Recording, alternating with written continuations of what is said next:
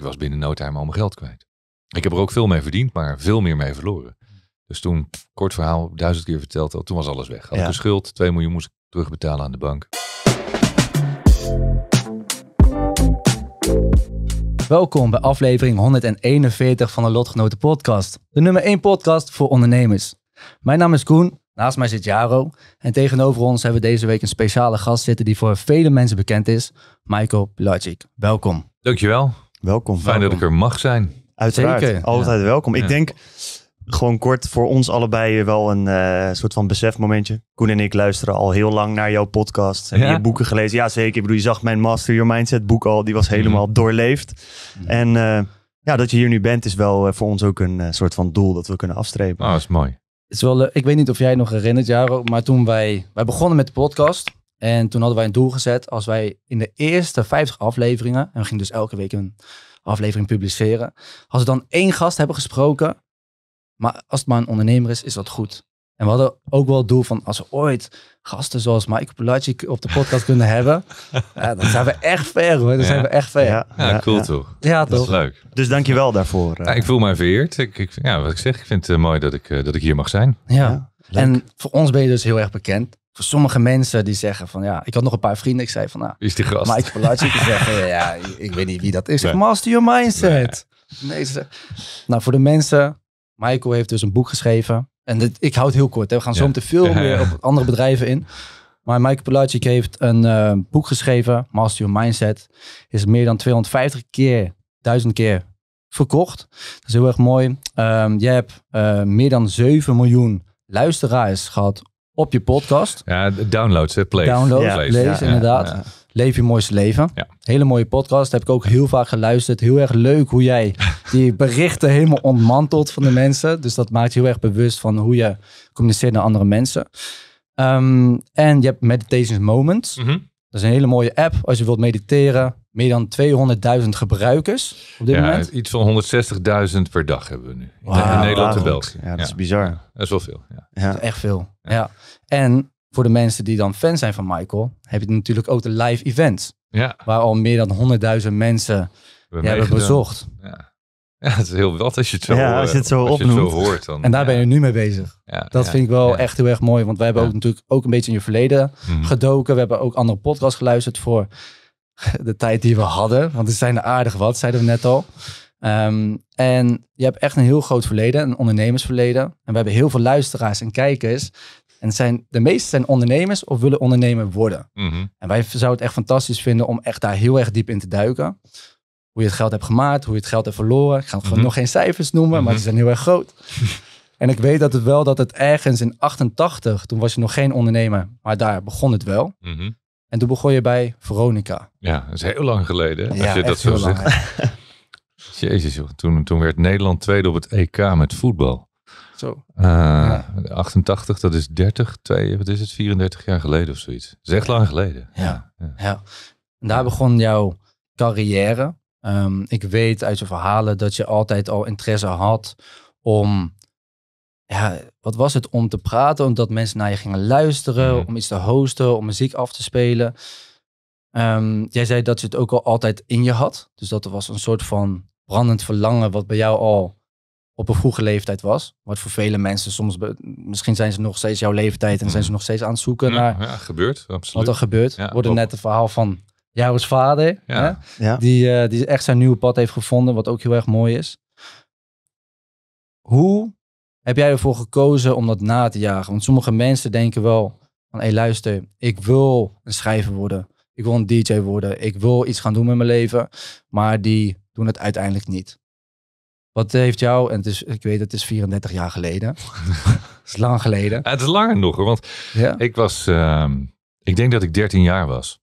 Dat ik naar de radio luisterde. En dat ik me realiseerde van, er zit dus iemand in die radio. Er, zit een, zoals wij nu voor zo'n microfoon zitten, er zit een mannetje voor een microfoon. Die zit nu, toen de tijd, plaatjes te draaien. Ja. En dat vond ik wel een soort van magic. Dat ik dacht van, wauw, zeg hij, dit is gewoon iemand die, die, die is dat daar nu aan het doen. En toen dacht ik, dat wil ik ook. Ik wil, ik wil dat mannetje van de radio zijn. Dus ik was 13 of 14. En eh, toen ik dat vertelde aan eh, mensen in mijn omgeving, op school, in de klas, aan leraren, mijn ouders, iedereen dacht van, oh, weet je, nou ja, gast, laat maar gaan. Ik bleef dat volhouden. Toen zei ze, ja, maar je moet serieus zijn. Dat, dat kan helemaal niet. Hoe, hoe, hoe denk jij dan dat je dat voor elkaar krijgt? Of je moet aan je toekomst denken. Of denk je dat je daar geld mee kan verdienen? En eh, je kent niemand bij de radio. Hoe, eh, dat is heel mooi. Iedereen ziet al, altijd alles waardoor het niet zou kunnen. Mm. En ik zag alleen maar waar- waarom het wel zou kunnen, omdat ik dat wilde. Ik wilde dat gewoon, punt. Mm. En ik heb me nooit afgevraagd waarom het niet zou lukken. Ik dacht alleen, wat moet ik doen om te zorgen dat het wel lukt? En, en dat ben ik gaan doen. Is dat iets ehm, wat je mensen kan aanleren? Ehm, het praktische kun je mensen aanleren. Dat is wat ik doe. Als ik aan jou vraag van wat is je droom? Wat staat er op je wensenlijst? Wat wil je heel graag? En jij, jij roept iets. Als jij zegt, ik wil schrijver worden. Ik, ik wil een podcast beginnen. Ik zeg, nou, heb je er wel eens over nagedacht? Hoe begin je een podcast? Nou, sommige mensen die zitten dan echt van... eh, eh, iemand anders zegt, nou, je moet een microfoon kopen... of een koptelefoon of een mengpaneel. Oké, maar heb je voorbeelden? Heb je naar andere podcasts geluisterd? Wie vind je dan goed? Heb je ook wel eens naar een podcast geluisterd die je niet goed vindt? En wa- waarom vind je het ene wel goed en het andere niet goed? Ehm, wat heb je praktisch nodig? Nou, die spullen heb je nodig. Waar ga je het uitzenden? Op welk kanaal ga je dat doen? Met beeld, zonder beeld? Puur heel strategisch vragenlijstje. Nou, vervolgens is het is een kwestie van uitvoeren. Dan ga je het doen of niet. Dus dat is de keuze. En de meeste mensen, het klinkt vaak onaardig als ik dat soort dingen roep, de meeste mensen haken gedurende dat vraagproces van wat heb je nodig, haken ze al af. Denken ze, "Poh, veel te moeilijke vragen. Of uiteindelijk denken ze, ja, maar dan moet ik dat gaan kopen, of daar heb ik geen geld voor, of dan ga ik dat kopen en dan mislukt het. En dan- nee, doe ik maar niet. En merk je dan ook wel eens dat daar nog een derde soort is, die ik dan vaak opmerk, die het dan wel gaan doen, maar die gaan dan heel lang een logo maken Ja. en een naampje bedenken. Oh, nee. In ieder geval maar alles doen voordat ze die aflevering uit gaan Ja. brengen. Ja. Ik merk bij, eh, ik- er komen veel ondernemers ook naar, naar mij toe en naar de programma's. En een van de dingen die ik vertel is ook van, wat mij opvalt is dat heel veel mensen die voor zichzelf willen beginnen, die, eh, nou, die zijn eerst heel druk bezig van moet ik wel of niet naar de KVK, wel of niet doen. Oh, En dan eh, sturen ze me een berichtje, wow, nou, ik heb het gedaan. Hey. Ik zeg wat dan? Ja, ik ga een afspraak maken bij de KVK. Oké, nou, eh, maar goed, hè, dat is de eerste stap. zeker, zeker, Ja. zeker. En, en vervolgens is het dan, nou, ik ben al een jaar bezig met mijn logo. En ik ben al eh, tien jaar bezig met mijn website. Ik zeg altijd, heb je een klant? Heb je al 1 euro omzet? Ik heb geen website nodig. Ik heb geen logo nodig. Ik hoef, mijn bedrijf, ik hoef niet eens ingeschreven te staan. Ga geld verdienen. Ga wat doen. Zorg dat je een product hebt of een dienst. Ga wat doen. En daarna eh, ga je misschien eens over nadenken, hoe ga ik dat bedrijf noemen? Of eh, heb ik een logo? Of ga ik een website bouwen? Dat is ondergeschikt. Het is, het is niet belangrijk. Mhm. Tenzij je natuurlijk een webshop bent en je gaat via, via je online shop gaan verkopen. Maar meestal, mensen zijn echt, het is het hele goede wat je zegt. Mensen zijn veel te lang bezig met een visitekaartje. Nu nog, hè? Mensen zeggen, ja, ik ben een visitekaartje aan het maken, zeg maar. Ik zeg, ik kan me niet herinneren de laatste, nou, laten we zeggen, zeggen 15 jaar, dat ik van iemand een visitekaartje mee heb genomen. Ik, ik, ik schrijf je nummer toch op. Who who cares? Ik heb toch geen visitekaartje nodig? Het is een soort brain damage is dat, denk ik, Ja. hoor. Heb je wel eens over nagedacht waar, hoe dat dan komt? Want het is eigenlijk heel onlogisch. Want als ik zeg maar ga koken, dan weet ik heel goed, het eindresultaat moet zijn dat iets gaar is en mijn mond in kan. Dat snappen we, dus daar gaan we heel snel op af. We gaan niet een uur lang allemaal recepten lezen en moeilijk doen. Nee, er moet gegeten worden, dus dat gaan we doen. En in heel veel dingen in het leven doe je dat. Een fiets, als mijn band lek is, maar ik moet ergens komen, ja, dan fiets ik maar met een lekke band, want dat is sneller dan lopen. Of je, of je gaat lopen, uiteindelijk. Juist, exact. Mhm. Als je er maar komt. En dat doen we in heel veel dingen. Dat is bijna natuurlijk. En dan komt het aan op ondernemen of gewoon dingen gaan doen en Hmm. bouwen voor jezelf. En dan draait het ineens om. Als jij niet weet hoe je het moet doen, en als niemand het jou geleerd heeft, en jij denkt, ik weet niet waarom, maar jij denkt, eh, checklist, een visitekaartje, website, of, ja, dan ga je dat doen. Mhm. Dus als jullie tegen mensen zeggen, nou stop daarmee, ga gewoon, ga eerst bedenken eh, hoe je aan een klant komt, hoe je aan, aan de eerste omzet komt, en daarna de rest. Ja, en je hebt tien succesverhalen, dan ben je heel dom als je nog steeds bezig bent met je visitekaartje natuurlijk. Ja. Wat ik daarin heb gemerkt is, je hebt inderdaad zo'n takenlijst met tien verschillende taken. En dan één van die taken is dan ja, verkopen doen. Alleen dat is wel het meest oncomfortabele. Ja, maar die moet je bovenaan zetten. Daar gaat het om. Precies. Oh, waar, waar- waar- ik vind al- altijd ondernemers die dan een bedrijf beginnen, zeggen ze: Ja, het gaat me niet om het geld verdienen. Ja. En denk van, maar leg mij eens uit, waarom, waarom doe je het? Ja, ik doe het omdat ik het leuk vind. Ik zeg, nou, dat is mooi. Geef je producten weg. Hmm. Dan zit ze me aan te kijken. Ik zeg, ja, je, je vindt het toch leuk en het gaat niet om het geld. Kijk, komt vaak verkeerd over als ik het zo, zo eh, vertel. Van het gaat alleen maar om geld. Nee, het gaat niet alleen maar om geld. Maar uiteindelijk is een onderneming eh, iets waarmee je een dienst aanbiedt of een product. En in ruil daarvoor krijg jij geld. Hmm. Ja, als je alleen maar weggeeft zonder eh, als ruilmiddel geld te vragen, ook prima, helemaal goed. Maar dan ben je bij voorbaat failliet natuurlijk. Ja. Want dan kan je de onderneming niet draaiende houden. Dus even voor alle duidelijkheid, het gaat er niet om dat je mensen een poot uitdraait en dat het alleen maar om geld gaat. Maar het is wel heel belangrijk dat er omzet is. Want omzet, cashflow, is net als de benzine of de brandstof voor een auto. Als die er niet is, houdt die op als de tank leeg is. En een bedrijf zonder cashflow kan niet bestaan. Je hoeft geen winst te maken, maar je moet cashflow hebben. Er moet geld binnenkomen. Dat geld dat binnenkomt kun je investeren. Kun je mensen van betalen. Als er geen geld is, ja, dan is er geen bedrijf. Dus dat is het allerbelangrijkste. Jij werkt eh, dus in het begin van je car- carrière bij Veronica. Mhm. In je laatste jaar volgens mij werd je daar dus ook DJ. Als ik, eh, En toen je dus bij 538 begon, want dat was de periode daarna. Ja, wij zijn met eh, volgens mij vijf, vijf DJ's toen der tijd. Ja. Onze radiobaas van Veronica, die, die begon toen. Het was zijn idee om met, met Radio 538 te beginnen. En Erik de Zwart, Wessel van Diepen, Willuik en Gaan ik, dus eigenlijk met z'n vieren, eh, gingen wij mee met, eh, met Lex Harding, de, de baas. En toen zijn we met 538 begonnen in eh 11 december 1992. Had je toen überhaupt verstand van cashflow? Nee. Helemaal, toen, was je, toen was je gewoon bezig met DJ, je was gewoon bezig met... hebben helemaal geen verstand van. Hè? Ge- geen idee. Ik bedoel, Helemaal geen idee. Nee, t- toen wij met 538 begonnen, was, was dat voor mij ook niet een bedrijf. Hmm. Het was een radiostation waar ik mocht doen wat ik heel leuk vond. En dat was plaatjes draaien. En dat mocht ik iedere dag gaan doen. Heel lang. In het begin deed ik het... eh, ik deed volgens mij zes uur per dag in het begin. Ja. En ik vond het heel leuk. En doordat wij dat bedrijf opstartten, begreep ik dat het een bedrijf was. In, het begin had ik dat echt niet in de gaten. Pas toen, toen ik dacht van, ah, er moeten investeerders zijn, want dit station en ah, er moeten natuurlijk er moeten adverteerders zijn, begreep ik heel snel dat, dat er een soort business model achter zat. Dus ik heb heel veel geleerd, want ik was 22 toen we met 538 begonnen, denk ik. 1 of 22. Dus toen leerde ik ook van mensen die er heel veel verstand van hadden, hoe je een bedrijf begon en waar het fout kon gaan. We zijn 538 is bijna twee keer failliet gegaan. hè, We hadden het bijna niet overleefd. Er moest extern geld bij, want eh, de, de- ik weet nog wel, twee maanden lang konden geen salarissen betaald worden. Er was gewoon geen geld om de mensen te betalen. En dat gebeurt natuurlijk ook hè, bij, bij, eh, bij startende ondernemingen. En heel veel mensen zien dan ook hier weer 538 als het succesvolle station. Toen ik wegging waren we, waren we super groot.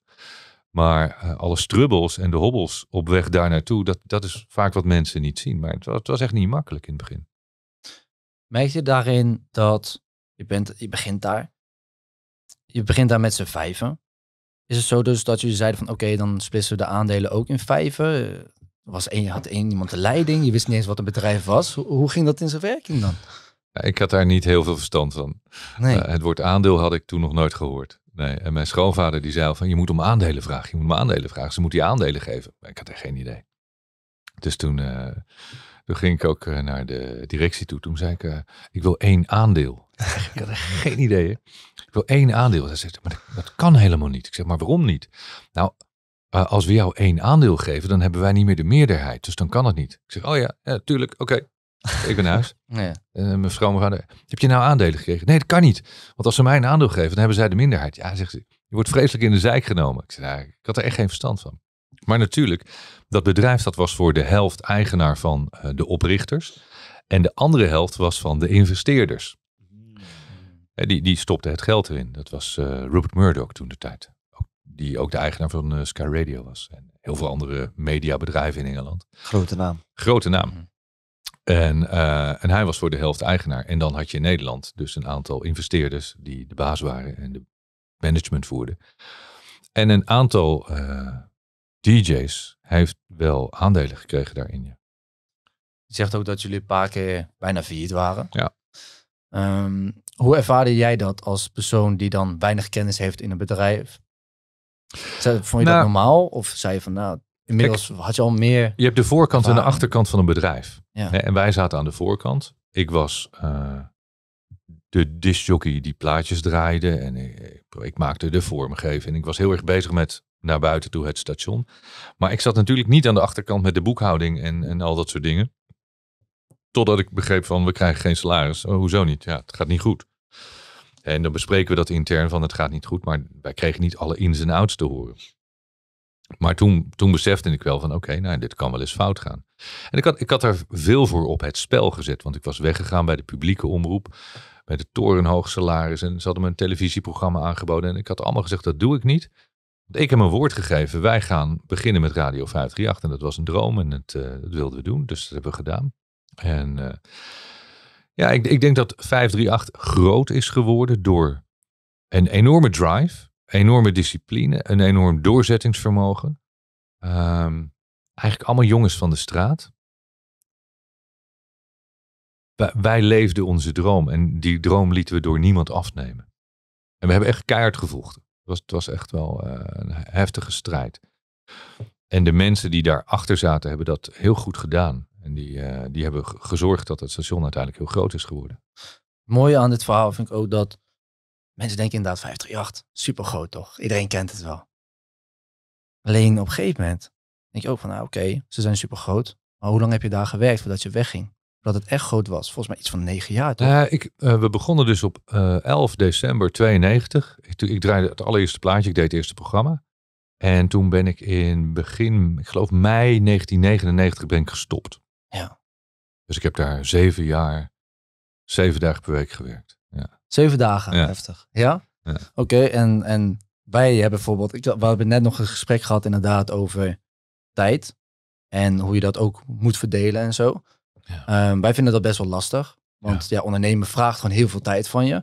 Ehm, hoe heb je dat gedaan dan met familie en vrienden en de balans daarin? Niet. Niet, gewoon niet. Nee. Ja, ik, eh, ik ben ondernemer eh, van, van de hele oude stempel. En ik ben opgeleid door mensen die nog ouder waren. Ja. Dan Peña is, mijn, eh, mijn zakelijk mentor. En is nu 78. Ja, die zei ook altijd, als je gaat ondernemen, dan moet je, als, je, als er al een thuis is, moet je gewoon tegen thuis even zeggen dat je over tien jaar weer eens thuis komt. niet vanavond, niet zondag, over tien jaar. Of over zeven jaar. Als je bedrijven verkocht, dan is er weer tijd voor thuis. Er is geen work-life balance. Je, gaat gewoon all the way. Je werkt 100 of 120 of 160 uur per week als het moet. En ondernemers. En de tijd is veranderd. Hè? Dat begrijp ik ook wel. Kan ik straks ook nog wel op een andere manier vertellen. Maar toen ik ging ondernemen, nou, toen ik radio maakte, was het voor mij gewoon 16 uur per dag werken. Ik vond dat, ik vond het fantastisch.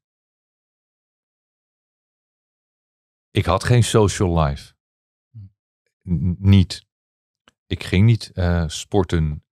Eh, ik ging niet uit met vrienden. Ik ging nooit uit met vrienden. Ik ben nog nooit uit geweest. Ik stond altijd plaatjes te draaien. Ik stond aan de andere kant.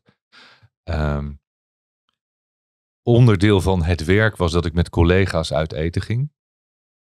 En dan spraken we over het werk. En natuurlijk ging ik af en toe wel eens voor de gezelligheid uit eten met, met mijn vrienden. Maar ik zag mijn vrienden nog steeds een keer of twee per jaar. En verder was ik aan het werk. Altijd aan het werk. Altijd. En was dat nou heel erg succesvol voor mijn relatie? Nee. Natuurlijk niet, want ik was heel vaak niet thuis. Hmm.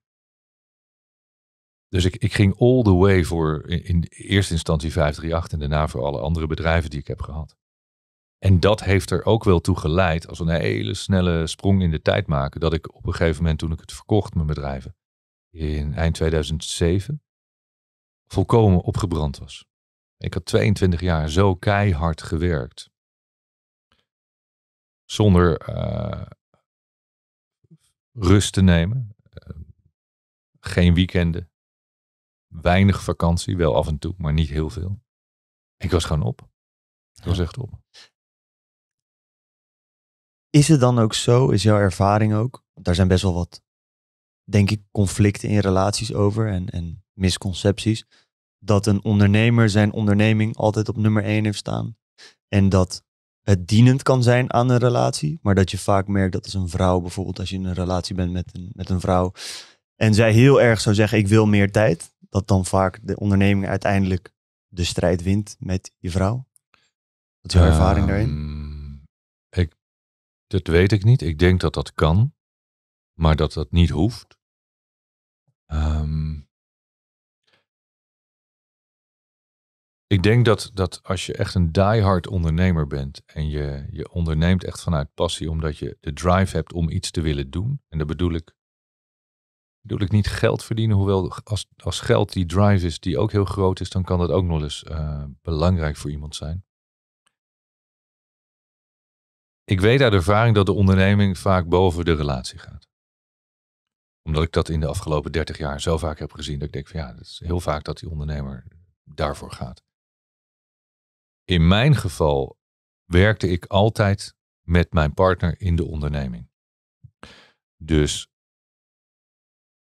toen ik getrouwd was met mijn eerste vrouw, haar vader, eh, dus mijn schoonvader die me adviseerde, die zat ook in die mediawereld. Dus voor haar was het, eh, mijn schoonvader was een van de mensen die helemaal aan het begin van het oude Veronica nog veel langer geleden heeft, eh, aan, aan, aan begin heeft gestaan. Dus zij kende heel erg die wereld en zij begreep dat ook. Zij begreep ook dat ik heel vaak er niet was. Hmm. En ehm, niet altijd dat dat leuk voor haar is geweest, besef ik mij nu achteraf. Dat, dat er eh, familie kwam of eh, vrienden en die zeiden van, eh, waar is Mike? Ja, hij is werken. Hij is altijd werken. Ja, hij is altijd werken. Maar zij heeft daar nooit een probleem van gemaakt. En toen die relatie voorbij ging, toen eh, relatie daarna, daarmee heb ik eh, mijn mediabedrijf opgericht. Dus we hebben tien jaar samen gewerkt, dag en nacht. Hm. En toen hebben we het verkocht. Althans, hebben we twee bedrijven gehad. En nu ben ik al eh, tien jaar met Cindy samen. We zijn een paar maanden geleden getrouwd. En wij werken nu ook al zo lang als we samen zijn. Acht, negen jaar samen. Dat is bijzonder. Of in ieder geval, dat is iets wat ik, in ieder geval ik niet. We hebben best wel een hoop ondernemers Mhm. gesproken. En eh, dat horen wij niet vaak, toch? Nee. Of kan jij je echt mensen herinneren? Nee, ik ken één iemand en dat is eh, Alex Hamosi. Die heeft eh, zelf ook een, eh, Ja. ken je ook wel, heeft een groot bedrijf. Eh, die helpt ook heel veel ondernemers. eh, heeft een eigen YouTube kanaal, best wel groot. En hij doet du- dus wel alles Mhm. met zijn vrouw. Mhm. Dat is de enige die ik ken. Ik zou, ik, zou, ik zou het niet anders kunnen. En Cindy zegt nu ook tegen mij: Ik denk niet dat een vrouw dat met jou uithoudt als dat niet zo is. En, en zij, eh, voor haar is het ook, ja, zij heeft de studie afgemaakt en is met mij gaan doen wat wij nu doen. We hebben drie bedrijven. En zij zegt ook: Ja, hoe, hoe zou dat dan gaan bij andere mensen? Dan, dan ben jij dus de, de hele dag ben jij jouw werk aan het doen. En ik doe mijn werk en dan kom je s'avonds thuis of niet. Want ja, jij bent tot twee uur s'nachts bezig. Dan lig ik al op bed. Jij bent 's ochtends vroeg alweer weg, dus ik zie je nooit. Maar stel je voor, je komt elkaar s'avonds tegen. En dan zeg je van, hoe was jouw dag vandaag? Nou, dan ga je allemaal dingen vertellen waarvan die partner denkt, ja, who cares? Ja, dat gaat niet. Eh, je- In die relatie moet er, ik denk dat die, ehm, in je liefdesrelatie bedoel ik dan, hè, moet er wel een, een enorme support zijn voor diegene die de ondernemer is, om die onderneming te dragen. Want als dat er niet is, dan krijg je zo, sowieso een loyaliteitsprobleem. Want als, als, stel jij bent de ondernemer en dat is je partner. En jij denkt, ja, ik ben 80 uur per week, 90 uur per week aan het werk. En, en, en dan zegt hij van, eh, ja, maar eh, ik ben er ook nog. Zeg, ja, je bent er ook nog. En dan ga je je tijd aan je partner besteden, wat je ook wil, want je houdt van elkaar. En denk je, ja, kut, weet je, maar eigenlijk moet ik werken. Elke uur dat ik niet aan die onderneming besteed, groeien we niet. Of, eh, want, want zo denk je. En dan kun je natuurlijk op een gegeven moment zeggen van ja, work-life balance. Ik, ik ben daar nu genuanceerder in geworden, omdat ik, ik zie dat de tijd is veranderd. En, en, dat, en dat besefte ik me eigenlijk in 2006, 2007 al, toen ik mijn mediabedrijf nog had, dat er mensen waren. Ik was toen, nou, zou ik zeggen, ik verkocht het toen ik 37 was, dus eh, ik was een beetje midden 30. Dat, dat jonge mensen die bij me werkten, ik had altijd hele jonge mensen, vaak stagiaires en die bleven hangen, want iedereen vond het tof. En die zeiden dan, ja, ik wil graag vier dagen werken. Mhm. Ja, dat was bij mij een soort van, Huh? er is iets mis met deze mensen, weet je. Vier dagen? Nee. Zes. ja, Ja. Extra werken. Zeven. ja. Kom. acht als het kan. Ja. Oké jongens, ik zit hier tegenover Jaro. Nog en steeds. nog steeds, eh, zoals jullie weten, is hij eh, een tijdje geleden gestopt met werken. Daardoor moeten we nu eh sponsorafleveringen hebben. En dat is deze, deze aflevering eigenlijk door NordVPN. NordVPN is een eh, programma. Ik heb geen flauw idee wat het doet. Jou gaat me vandaag uitleggen. Ik heb het wel eens op internet gezien. Dus ik heb een paar feitjes erover. Voor de rest, jongens, ik wil Godfather kijken. Dat staat niet op fucking Netflix. Jaro, leg me uit. Hoe Ja, ga ik die shit kijken, je weet man? het wel, je weet het wel. Nee, allereerst, we gaan niet die stomme kut-influencers nadoen met hun domme eh, NordVPN-praatjes. Dus we gaan het even anders aanpakken. Dus we gaan het gewoon heel eh, feitelijk houden.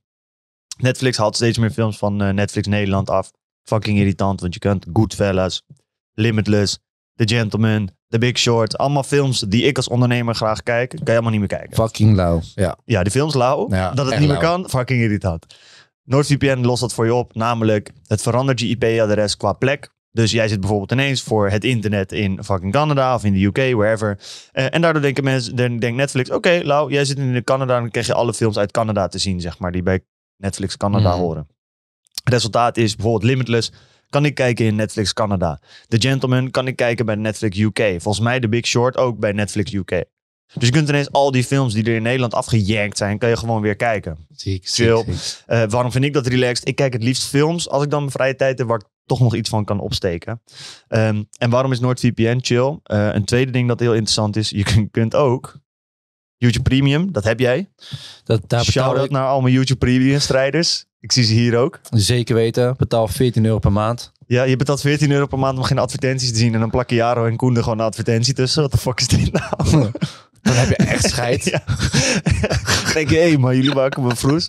Maar ehm, je betaalt waarschijnlijk best wel veel, man. Want hoeveel betaal jij nu voor YouTube Ja, volgens mij Premium? 14 euro. Fucking 14 euro per Ja, maand. Ja, ja, Dat is nog steeds niet heel veel geld, maar hey. Luister, het levert wel heel veel stressvrije dagen op. Als ik tenminste een normaal een muziekje kan luisteren zonder die fucking advertenties. Maar het is 170 euro per jaar.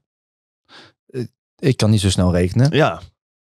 14 keer 10 is 140. 148. Nog twee erbij is 178. 170. Veel geld. Oké. Oké, laat ik je dit vertellen. Met, Noord, met NordVPN kun je je locatie veranderen, toch? Dus kun je hem ook in Argentinië zetten. En in Argentinië kost het echt maar iets van 1 of 2 euro per maand. Ja. Dus, chill. ja. Want dan kan ik voor jouw kosten voor één maand, kan ik een heel jaar YouTube Premium gebruiken. Dus je gaat niet meer op mijn YouTube Premium zitten. Juist. Ai, fijn. Kan ik lekker mijn eigen video's gaan kijken. Is goed, betaal jij maar. Dan eh, doe ik gewoon tranquilo.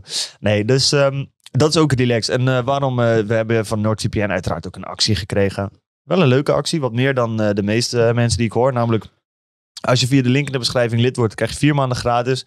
En kun je beginnen vanaf 2,88 euro per maand. Dus dat is wat? Eh, het- een kop koffie bij de Starbucks. Niet eens een halve kop koffie. Starbucks stand hoe duur. Inflatie hoog, broeder. Tegenwoordig abnormaal. Juist. Ehm, dus het kost niks. Daar support je ons mee. Daar support je natuurlijk jezelf mee. Want je kunt, als je het slim doet, stel je voor, je pakt hem voor 2,88 euro. 2 euro voor eh, YouTube Premium erbij. Dan ben je nog steeds goedkoper uit dan als je hem hier in Nederland gewoon bestelt. Oké. En dan heb je een VPN. Dat is interessant. Eh, Oké, want weet je wat het is? Is dit nou ook zo dat je dan bij andere abonnementen ook korting krijgt en shit? Weet ik niet. Weet niet. Moet je zelf uitvogelen. Nou, eh, tip aan jullie. Ik zal het wel uitzoeken. Ik ga het wel even uitzoeken. Ja, je kunt hem gewoon op andere dingen. Als ik het tegenkom, en verder ook qua films die je kunt kijken in andere landen, zal ik hieronder ook even een eh, linkje naar een documentje waar je dat kunt zien gooien. Gewoon een Word documentje. Ga je die maken? Ik heb al gemaakt. Wel doen, hè? Ik heb al gemaakt. Wel doen. Ik heb al gemaakt, bro. Dat is een belofte aan de lotgenoten. Ik zweer het je, ik heb al gemaakt. Dat is goed. Ik beloof Laat jullie zien, dat zien. NoordVPN jullie goede films gaat blessen. Ik, volgens mij heb ik hem hier in mijn notities. Wacht, ik ben serieus. Of ik heb hem ergens op met de hand geschreven, wat echt fucking dom zou zijn. Maar Oké. Maar dus een pluspunt, en dat hebben we nog niet zelf helemaal uitgezocht, maar wel voor YouTube Premium en dan voor. Ja, ja. Allebei goedkoper. Als je Mhm. daar een abonnement voor afsluit. Boys, check dit ook eventjes voor andere shit waar je allemaal van die abonnementen op hebt lopen die allemaal 10, 20 euro per maand kosten. Ja, laat ons ook weten, man. Ja, maar laat ons Laat weten, ons man. weten, Laat ons weten. Laat ons weten, dan, eh, dan ga ik het checken. En eh, ja, ik wil uh, NoordVPN gewoon bedanken voor het sponsoren. Dan gaan we terug naar de aflevering. Wacht, wacht. Oh, Hoe lang? Je hebt nog niet gezegd hoe lang. hoe lang wat? Vier maanden. Oh, vier maanden gratis had ik al gezegd, gauw. Ah, ja. Twee keer Ja. zo lang als de andere oenlullen van creators op YouTube die zeggen, oh, we hebben educatieve video's. Ja, ja, ja. ja. Wij doen Oh, het dubbele, bro. En ik zie hier ook nog staan wat ik moest zeggen van eh, NoordVPN. Maar ik denk dat het wel klopt, anders mogen we niet claimen. Het is altijd goedkoper via onze link dan via ergens anders. Dus Ja, en dus langer gratis. doe met die info wat je wil. Koop meer Starbucks. Want je hebt toch geld over voor vier maanden. Het is geen sponsor van Starbucks. Ciao. Heb ik een tijd gedaan. Hè? Ik, ik, heb, eh, ik heb echt een, een, een lange periode. Heb ik acht dagen per week gewerkt. Hoe? Nou, dat ga ik je uitleggen. Ik, omdat ik vroeger op, op, de, op de radio s'nachts altijd... Ik deed een programma op vrijdagnacht. Van twee tot vijf. En later van vijf tot zeven. En, en dat, dat, dat zijn tijden dat je denkt van ja, ga je dan daarvoor nog slapen? Dat is helemaal niet handig. Dus ik bleef één nacht per week bleef ik altijd op. Ja, toen was ik eh, tussen eh, 25 en 30 jaar. En ik draaide heel veel in het land, in clubs en eh, overal. Dus één of twee nachten per week sliep ik eigenlijk toch al nooit. En toen ik stopte met draaien, toen dacht ik van ja, ik ben er toch aan gewend om één nacht per week niet te slapen. Als ik die nacht ga gebruiken om te werken of andere dingen te doen, het voordeel ervan. Niemand belt je, niemand mailt je, je wordt niet gestoord. Je kunt al die dingen doen waar je de hele week niet aan toe komt. Daar bijna in die ene nacht deed ik meer werk of ik haalde meer resultaat dan in de hele week. En dat heb ik tot mijn 36ste altijd gedaan. Dus ik had bijna een achtste werkdag, waardoor ik overdag ook wel wat meer tijd had voor mezelf. Dat ik af en toe gewoon wel eens lekker eh, niks kon gaan doen natuurlijk. Ja. Prachtig, want ik denk dat als een niet... Ik begrijp dit volledig. Sterker nog, ik dan zou dan denken... Hmm, zou dit wel eens willen proberen een periode. En jij waarschijnlijk ook, dat je denkt van... Nou, dat is misschien iets waar je ooit mee zou testen of zo. Ja, man. Maar Ja. als ik dit aan mijn ouders zou laten horen... of aan vrienden van vroeger... moet je niet gaan zouden zeggen, man. mensen echt zo Nee, zeggen, natuurlijk. Ach, daar, waar heb jij het allemaal over? Je bent gek geworden. Ja. jij." ja. Dat is wel... eh, en dan lachen ze je uit, hè? Ja. ze je uit. Ja, klopt. En dan vinden ze je gek. klopt. En, en dan over zeven jaar, want een periode van vijf of zeven jaar is meer dan genoeg, heb jij een succesvol bedrijf opgebouwd. Jij verkoopt dat bedrijf. Heb ja. ik geluk gehad. Je hebt een enorme zak geld. Ja, je hebt mazzel gehad. Ja, mooi is dat, hè, hoe dat gaat. Dat, dat, dat soort dingen. Dat merk ik ook steeds meer, hoe dieper ik in het ondernemen ga. Als ik dan bijvoorbeeld kijk, eh, en daar hoeven we niet helemaal diep in te gaan, maar bijvoorbeeld het belastingstelsel in Nederland. Wij hebben het dan wel eens in eh, TikToks en dingen. Op TikTok eh, doe je alles lekker kort en bondig. En de reacties zijn ook vaak kort en bondig. Lekker ongenuanceerd. Hebben het over als iemand een ton verdient. En de reacties die dan krijgt, een ton verdienen slaat nergens op. Niemand hoeft dat, dit, dat, zus, zo. Per maand of per jaar? Eh, per jaar. Ja, Per per jaar. En dan Ja. denk ik van ja, in de, in de mindset en de context waarin heel veel mensen denken, namelijk, nou, ik werk ook hard, want ik werk van 9 tot 5, vijf dagen in de week en ik, ben, ik doe eerlijk en hard werk en ik verdien 50.000 euro per jaar. Nou, hij kan echt niet twee keer zo hard werken in diezelfde tijd, dus waarom zou hij een ton mogen verdienen en ik niet? Dat soort gedachtegangen merk je dan heel veel. En dan denk ik van ja, er is zo'n disconnect tussen de massa en wat ondernemers doen. Terwijl als ik nu zie wat ondernemers allemaal doen en laten om dat geld te verdienen, dan denk ik nou, Ja. die belasting mag nog een flink stuk lager. Want wat er ingeleverd wordt op, op, op alle vlakken, dan denk ik, jezus, dat is wel veel. Het is heel interessant wat je zegt. Ehm, heel veel dingen waar mensen oordelen over hebben zijn best interessant. Alleen ze zouden dat moeten omdraaien en er een vraag van maken. Als ik die 50.000 euro verdien en jij verdient een ton, dan denk ik dat jij het dubbele verdient voor hetzelfde werk wat ik doe. Ik denk, ik denk niet, ja, hij zal wel meer doen, harder werken. Nee, ja, dus ik zie alleen het resultaat. Jij krijgt het dubbele betaald. En jij kan er natuurlijk niet meer voor doen. Dat, dus de input moet hetzelfde zijn, maar jij krijgt twee keer de output. Dus daar is het al een gedachtefout. Je kunt ook denken, hoe kan het nou zijn dat die ander twee keer verdient wat ik verdien? Waar ligt dat aan? Heeft hij gewoon een aardige baas? Heeft hij mazzel? Of doet hij iets waardoor hij twee keer meer betaald krijgt? En als je die vraag aan jezelf gaat stellen, of wat zou ik kunnen doen om 100.000 euro te verdienen? Dat is interessant. Want vaak de mensen die deze oordelen hebben, worden betaald voor hun tijd. Dat zal voor jullie niet nieuw zijn. Er zijn hier al 140 ondernemers geweest. Dus mensen die hierover oordelen, die zeggen, hoe, hoe kan jij nou twee keer zoveel verdienen? Ik werk toch ook een uur? Ja, alleen als ik één uur werk, krijg ik 10 of 15.000 euro betaald. Of soms, soms wel eens 100.000 euro. Hè, afhankelijk van wat ik doe. Maar dat komt niet doordat ik dat uur werk. Het komt door wat ik geef. En waardoor mensen bereid zijn mij in ruil daarvoor iets te geven. Dus de waarde die jij toevoegt in dat uur, wat is dat waard? Niet het uur. Ik verkoop niet mijn tijd. Ik verkoop mijn waarde. Net zoals een topsporter die anderhalf uur een voetbalwedstrijd speelt. Die wordt niet betaald voor die anderhalf uur. hey, hij wordt ten eerste betaald voor al die jaren dat hij kaart getraind heeft. Al die uren dat hij traint de hele week. En die doelpunten die hij maakt. Maar mensen denken alleen, ja, die staat anderhalf uur. Hij heeft één keer gescoord. En dan verdient hij, eh, weet ik veel, eh, 5 miljoen met zo'n wedstrijd. Maar het gaat om de, om de meerwaarde. Het gaat altijd om jouw toegevoegde waarde. En als je toegevoegde waarde groot is, ga jij meer beloning krijgen. En in, in deze wereld is dat geld. Opmerkelijk daarbij, kort, dan, dan mag je me overpakken, vind ik, vind ik daarbij ook dat zelfs ondernemers die dat ondervinden en die weten dat dat echt een, een universeel feit is, kunnen op onderwerpen waar ze geen kennis of brood van gegeten hebben, nog steeds diezelfde fout maken. Neem bijvoorbeeld iemand die heel erg in de klassieke media werkt en die dan iets gaat doen op social media en een account heeft een miljoen volgers en die zegt, ja, één post kost 10.000 euro. 10.000 euro, maar je doet toch gewoon een afbeeldingje posten. Dat, duurt jou tot, dat kost jou vijf minuten. Waarom zou ik jou daar 10.000 euro voor? Waar slaat dat op? En dan zien ze dus ook weer in die context dus niet in van... hé, hey, nee, maar ik heb dat opgebouwd. En gaan, dus het is heel grappig hoe dat zelfs nog voor mensen die dat in heel veel dingen wel weten... op andere dingen weer kunnen missen. Vind ik interessant. Ga ik meenemen. ik dit is dus heel, heel interessant.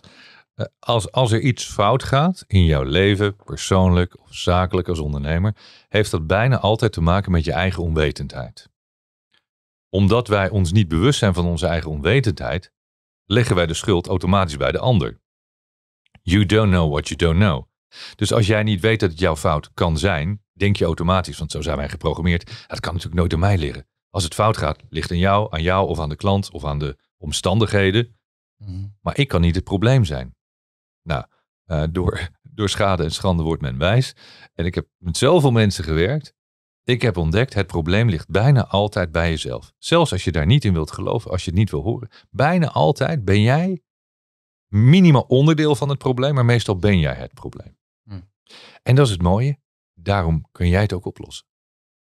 En ben je dus niet afhankelijk van andere mensen die jouw probleem gaan oplossen. Als je daar naar kijkt.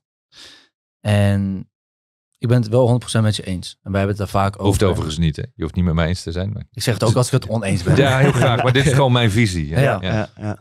Dan kan je altijd de schuld op jezelf leggen. Of tenminste, je kan altijd kijken naar jezelf. Oké, wat kon ik hier beter doen? Wat kon ik anders doen om ervoor te zorgen dat je betere resultaten geeft? Andere resultaten. Dan heb je een tweede. En dat is, hoe communiceer je dat naar de andere persoon of naar de groep toe? Want dit is een hele grote fout die sommige mensen maken. Die nemen altijd de schuld op zich. Maar die zijn niet zo bewust dat ze hun acties gaan veranderen. Maar die hebben wel de habit om maar te zeggen van, oh, dan zal het wel waarschijnlijk mijn eigen fout zijn geweest. Omdat heel veel andere mensen juist wijzen met hun vingers. Dus er- sommige mensen die wijzen altijd met hun vingers. Andere mensen zeggen, ja, waarschijnlijk zal het wel aan mij liggen. Mm, Ik, ik vind als jij de ondernemer bent, als jij de baas bent, Ja. als jij de teamleider bent, de captain, als, je, als jij controle wil houden over de situatie, neem altijd direct de schuld op je. Hmm. Het is altijd de schuld van de leidinggevende. Altijd. Als de leidinggevende zegt het is jouw schuld, dan geeft hij eigenlijk de macht uit handen aan diegene waarvan hij zegt, ja maar jij hebt fout gedaan. Dat betekent dat die leidinggevende daar geen invloed op had. En dat heeft hij wel. Hij heeft of iets niet goed uitgelegd, hij heeft niet uitgelegd wat de opdracht is, eh, of hij heeft het niet goed gecontroleerd, of hij heeft gewoon helemaal niet opgelet. En vervolgens gaat het fout en dan zegt hij, ja, het, het, het lag niet aan mij. Nee, het lag wel aan jou. En zelfs al, al lag het niet aan jou, neem altijd die schuld op je. Want jij bent de ondernemer, de leidinggevende, de, de, de chef, de coach, die moet zorgen dat het weer goed komt. En dan kun je wel zeggen, ik ga even praten met mijn spelers of met mijn team. Hoe gaan wij dit oplossen? Wie kan dit oplossen? Wie, wie, hè, wie, wie heeft een plan? Hij hoeft het niet zelf te doen. Jij als ondernemer hoeft het niet altijd zelf op te lossen. Maar je moet wel kijken hoe we tot die oplossing kunnen komen. Ja, anders kun je net zo goed geen personeel hebben, kun je al het werk zelf gaan doen. Die fout heb ik ook gemaakt. om alles zelf te gaan doen. Ja, Ja, oké. dat Ik vind dat een heel interessant antwoord. En voordat we te ver afdwalen van het onderwerp waar we het net over hadden. Je had het namelijk over eh, je waarde voor de Ja. tijd. Ja. En ik weet dat jij heel lang hebt gewerkt aan je stem. Om je stem te ontwikkelen. Dat Ja. toen je klein was, dat je stem niet was zoals die nu is. je hebt echt heel goed onderzoek gedaan, hè? We kennen je ook een beetje. Ja, Een stukje fan, fan zijn Ja. en dan nog wat onderzoek erbij, Ja. dan kom je een heel eind. Ja, en Ja. ik vind bijvoorbeeld eh, het gebruiken van je stem. eh, ik had vroeger toen ik klein was spraakgebrek. Dus ik was alles behalve goed in spreken. Nou zit ik met deze jongen. En deze jongen is juist heel erg goed erin. Dus ik heb veel mogen leren van Jaro. Maar jij bent er natuurlijk ook heel goed in. En dat, dat heb je ook vaak aangegeven. Ik ben heel erg benieuwd. Want de meeste mensen die waarderen het bijvoorbeeld niet als jij nou, voor zo'n reclamespotje gaat inspreken. En dat jij binnen 10 minuten klaar bent. Terwijl iemand anders daar een heel weekend mee bezig is. Maar wat is voor jou de routine geweest om je stem te ontwikkelen? Is dat gewoon puur werken geweest? Of hoe bewust ben je daarmee omgegaan? Nou, ik zou graag eerst een voorbeeld willen geven, want ik krijg best wel eens de opmerking van ja, maar jij hebt ook een hele goede stem. Nou, ik, ik ga dat niet weer spreken. Ik denk dat dat wel zo is. Eh, althans, ik ben er wel blij mee, laat ik het zo zeggen. Maar stel nou eens dat ik jou een hele mooie Steinway Songs piano geef. Gewoon echt fantastisch mooie piano. Echt, ik, ik, ik of iemand geeft jou eh, de, de allermooiste vleugel. Apparaat kost, weet ik veel, een paar ton. En die is van jou. Zeg van nou, je hebt nu de allermooiste piano van de hele wereld. Ga maar spelen. Het lukt niet. Want je, je kan niet piano spelen. Je hebt het nog nooit geoefend. En dat is met een stem hetzelfde. Een stem is een instrument. Toen ik klein was, die stem was er natuurlijk wel een beetje, maar dat moet je ontwikkelen. Net als, eh, je kan, zou kunnen zeggen, het is een beetje talent. Hè? Je hebt een beetje meegekregen. Maar Michael Jordan was ook niet ineens de topscorer. En, en Ronaldo was ook niet ineens. En, en Messi was ook niet ineens die grote voetballer. Het is gewoon beetje talent, heel veel oefenen. Ik heb heel veel geoefend. Want ik sprak heel erg plat Haags. Het klonk nergens naar. Toen ik begon, ik weet nog wel, op de dag dat ik begon met werken, kreeg ik een beugel. Weet je, ijzer in je mond. Ze helemaal niet praten. Ik, ik had vreselijke pijn in mijn mond van die beugel. Het was echt één drama. Ik heb moeten leren praten. Ik heb moeten leren articuleren. Ze hebben me twee jaar naar eh, logopedie gestuurd. Om te leren praten. Le- Letters. Mooi, mooi praten. In plaats van eh, een beetje, een beetje Haags praten, weet je. Zo, eh, eh, vroeg ik, eh, zo klink ik op school vroeger. Zo van, eh, nou, eh, was een leuke dag. Hartstikke leuke dag, man. Eh, lachen, man. Eh, eh, werk je? Ja, ik werk bij de radio. Waar dan? Bij Veronica. Veronica op Radio 3. Dan zeiden ze van, nee, wat is er met jou aan de hand? Ik zei, wat is met mij aan de hand? Nou, helemaal niks. Gewoon, eh, eh, ik moest een potje inspreken. Vanavond bij Veronica op TV2, Married with Children. En zeiden ze, nee, je moet eh, vanavond bij Veronica op TV2. Ik zeg, nou, zeg ik toch. Mhm. En ik heb het echt moeten leren. En, en, en net als als je piano moet leren spelen, of sporten, of ballet, of weet ik veel wat. Iedere dag hard op de krant oplezen. Eh, opnemen, jezelf terugluisteren. Oh gosh, het klinkt echt helemaal fuck, weet je. Dit is niet goed. Nog een keer. Duizenden keren opnieuw. Net zolang totdat je denkt, hmm, het is best aardig. Oké, heel dus- veel oefenen. Echt heel veel oefenen. en dat Is ook is eigenlijk na, naast die 16 uur werken. Nou ja, dat was, Dat was de- onderdeel van, onderdeel van, van. het werk Ja. ook. Ja. Maar wel, eh, als ik in de auto zat, eh, dan, dan was ik dus gewoon aan het inspreken op zo'n uh, ouderwets dictafoon, eh, wat tegenwoordig in je telefoon zit. Was ik aan het inspreken, bandje terugspoelen. Oh, nog een keer. Gewoon oefenen, oefenen, oefenen, oefenen. Heel vaak. Ik onderbreek de podcast even met een belangrijke boodschap. Want in de samenleving loop jij waarschijnlijk tegen een hoop onbegrip en zwakheid aan. Mensen begrijpen je niet of willen je niet begrijpen. En dat is oké. Sommige dingen zijn niet voor iedereen om te begrijpen. Daarom organiseren wij een avond op 14 januari. Een avond voor mensen die elkaar willen zien winnen. Een avond voor mensen die niet bang zijn om hun ambities uit te spreken. Een avond voor mensen die het begrijpen. Er komen 20 tickets beschikbaar. Dus klik op de link in de beschrijving en dan zien we je hopelijk daar. Het is interessant, dat, ja. eh, ik hoorde dat laatst ook in een video, dat dat, dat voor zingen ook heel erg geldt. Heel veel mensen denken dat zingen een aangeboren talent is. Is totaal niet het geval. Ik Bijna kan bijvoorbeeld niet zingen. kan Want iedereen zegt, oh, je kan vast eh, heel mooi zingen met zo'n stem. Ik zeg, nou, als ik één ding niet kan, wat ik echt had gewild. En zeggen mensen, ja, je kan toch alles aanleren? Ik zeg, nee, ik kan alles leren. Eh, iedereen kan een bal leren trappen, maar ik, ik word nooit Ronaldo. En ik ga ook nooit eh, Pavarotti of eh, Bocelli worden, dus eh, laten we het gewoon niet doen. Hmm. Hey, het lijkt mij interessant om terug te pakken eigenlijk naar het begin. Mhm. Ja. Is iets wat, eh, waar ik, en ik heb het een beetje in onze community met lotgenoten, we hebben een Discord met de community, een beetje wat vragen gesteld. Ja, pak vooral. Ehm, en daar was heel veel interesse in juist dat hoe jij ontwikkeld bent als ondernemer, dat stuk. Hè? Want jij bent natuurlijk eh, mentaal, spiritueel denk ik vrij ver. Of in ieder geval, je hebt er veel tijd aan besteed, waardoor je er veel over kunt zeggen. Ehm, maar juist dat stukje, hoe kan je nou geld verdienen? Hoe leer je dat? Hoe ben je daarin ontwikkeld? Want je staat daar nu vrij ver in. Ehm, zou je ons kunnen meenemen naar, je bent in die periode, je bent bij Veronica, nou, dan ga je op een gegeven moment ga je naar 538. Eerst weet je niet wat een aandeel is. En op een gegeven moment komt er iets van een vonkje dat je denkt, ik wil voor mijn dertigste miljonair zijn. Ja. Dat had ik, had ik al besloten toen ik zeven was. Oké, cool. Eh, toen, eh, toen ik zeven was, wilde ik miljonair worden. Ik, niet dat ik wist wat het was, maar eh, ik begreep wel dat het iets te maken had met veel geld. Eh, dat je alles kon kopen wat je zou willen. En eh, weet je, ik, ik kom uit gewoon heel normaal gezin. Eh, Toen ik twee was, zijn, zijn mijn ouders uit Polen naar Nederland gekomen. Wij hadden het in Polen zeker helemaal al niet breed. Toen, toen zijn mijn ouders hier naartoe gekomen. Mijn, mijn vader sprak de taal niet. Ehm, kon niet aan werk komen. Ik was het jongetje uit Polen. Weet je, dus altijd eh, in de klas was... eh, oh, jij komt uit een ander land, hè? Weet je, het is heel erg... Oh, maar jij bent dus anders. Ik was altijd anders. Eh, dat heb ik wel toen ik klein was zo ervaren. En ik kom er heel erg van de straat. Ik heb gewoon mezelf alles aangeleerd. Ik heb ook op school gezeten, maar ik was niet zo slim en intelligent als jullie. Ehm, en toen ik op school zat, moet ik nog iets verder teruggaan. Toen dat idee ontstond van ik wil bij de radio. Dat was in de periode dat er heel veel illegale radiostations waren. Er waren nog radiopiraten. Een beetje wat wij nu doen, maar dan met muziek er tussendoor. Ja.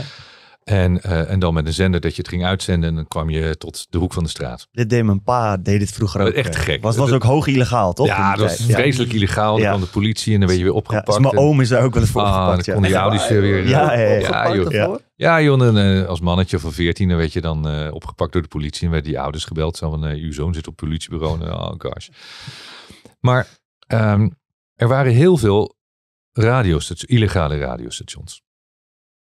Ik heb in Utrecht, heb ik eh, trouwens nog lang bij Midstad eh, gezeten. Dat was toen legaal al.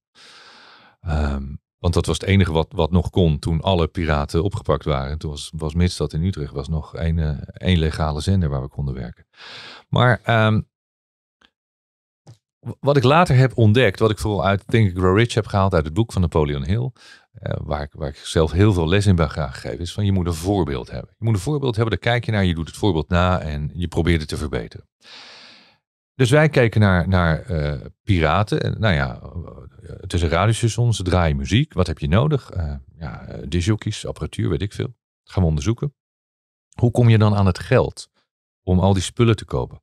Ah, zij hebben spotjes. Ze zenden commercials uit, commercial blokken. Hoe komen we dan aan een commercial? Weet ik veel. En dit is het mooie. Als je niet weet hoe het werkt, dan, dan denk je ook niet na wat, wat er mis kan gaan. Dus ik dacht, nou, dan ga ik naar het winkelcentrum. Was ik 15 jaar. Ging naar het winkelcentrum. En dan ging ik gewoon naar een tapijtzaak toe en naar de autodealer. En dan zei ik van, eh, ja, ik ben, ehm, ik ben Michael. Ik heette Michael Prins toen. Ik eh, praat ook zo. Ik zeg, Michael Prins. En ehm, we hebben een radiostation. Wilt u adverteren? Dan moet je nagaan. Een mannetje van 15, die komt er bij een of andere gast die een autobedrijf heeft. Of een tapijtzaak, of de bakker. En zei ze, wat kost dat dan? 60 gulden. Gulden is in die tijd natuurlijk. Was, eh praat over nu 85, hè, 1985, 86. En zei ze, voor de hele maand. Ik zei, ja, voor de hele maand. Nou, zei ze, is goed. Wauw. ik zeg, maar heeft u wel een eh, commercial dan? Nee. Ik zeg, die kan ik ook maken. Kost nog een keer 60.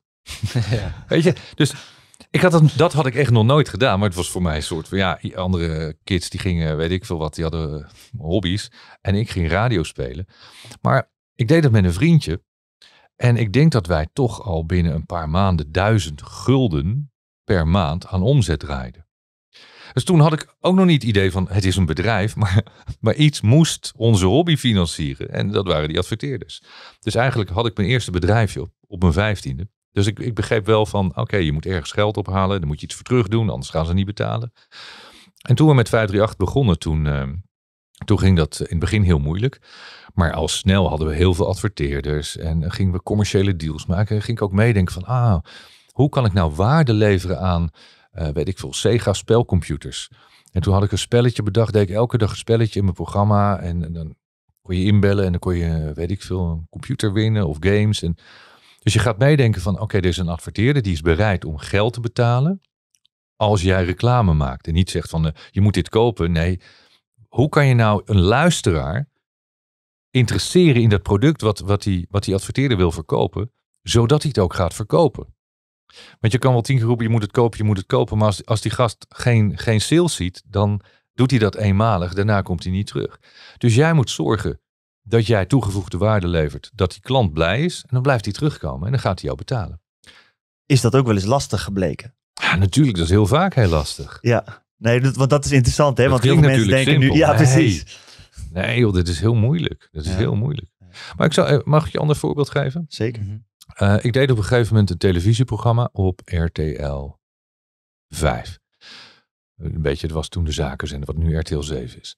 En we hadden een programma dat heette e-business. En het was, praat ik over 2000, 2001, 2. Een beetje de internethype, de bubbel. Uh, alles was, was e-commerce en uh, content was het gouden woord. En bij televisie gaat het natuurlijk altijd om kijkcijfers. Je moet veel kijkers hebben, dat is belangrijk. Veel, veel massa.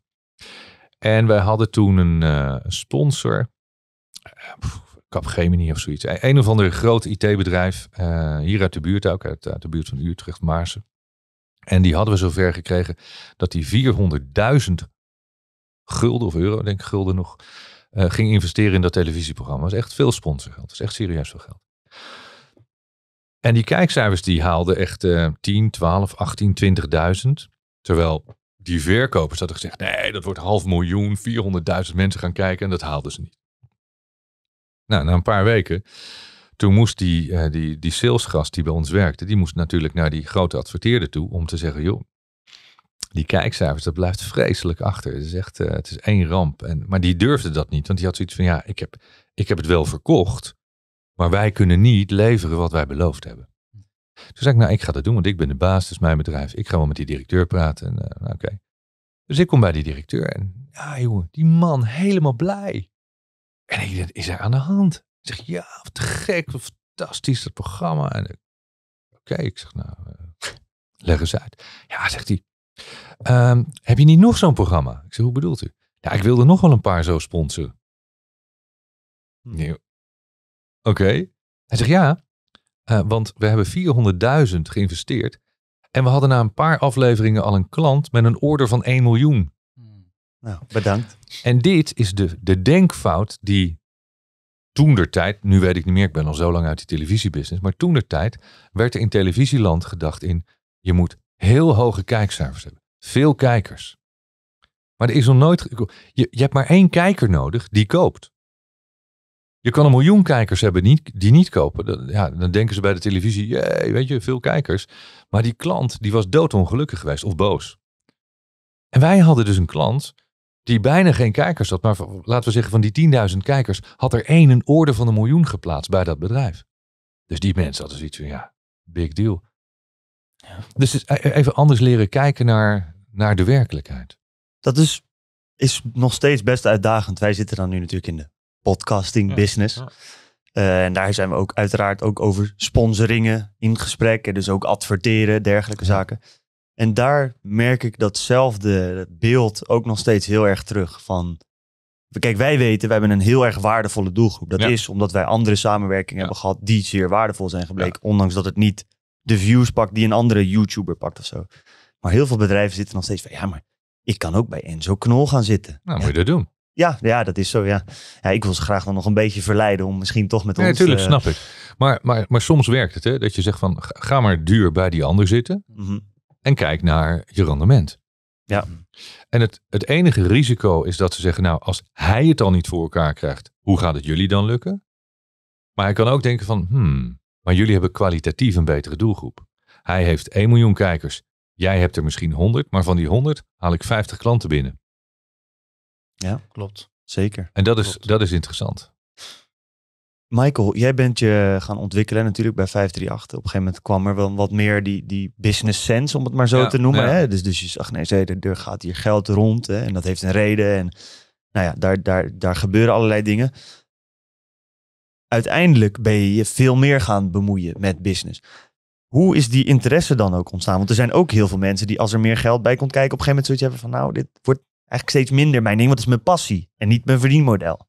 Nou, kijk, bij mij was ehm, radio was de passie. De, muziek was de passie. Plaatjes draaien, mensen blij maken. Eigenlijk niet veel anders dan wat ik nu doe, alleen ik riep toen andere dingen. Ik vond het leuk om, om voor het publiek dingen te doen, mensen blij te maken, op een podium te staan bij TMF. We deden showcase live in het land, om blij mensen te zien. Eh, op een gegeven moment werd, werd 538 een eh, heel commercieel succes. En toen vond ik het niet meer zo leuk. Want dan heb je te maken met allerlei regels. Dan mag er dit niet meer, dan moet dat. En dan... Ik vond het niet meer leuk. Bij het feit dat ik het al heel lang gedaan had. Dus ik was er klaar mee. Dus nou, ik had zoiets, ik ga weg. Als je, als je iets niet meer leuk vindt, stop er dan mee. Maar was jij alleen destijds een DJ of deed je ook nog andere dingen op een gegeven moment in de business zelf van, van Radio 538? Nee. Nou ja, ik, ik, ik, ik draaide de, mijn programma's draaide Ja. ik. Ik deed de vormgeving, dus alle jingles die je hoorde. En eh, spotjes en promotjes, dat, dat maakte ik allemaal. En eh, zakelijk verder niet. Ik, ik hield me niet met sales bezig. Alleen inhoudelijk, als de klant natuurlijk bij ons kwam. Kijk, sales is aan de ene kant eh, vrij eenvoudig, want je verkoopt minuten of weet ik veel, millimeters. Maar uiteindelijk moet het ingevuld worden.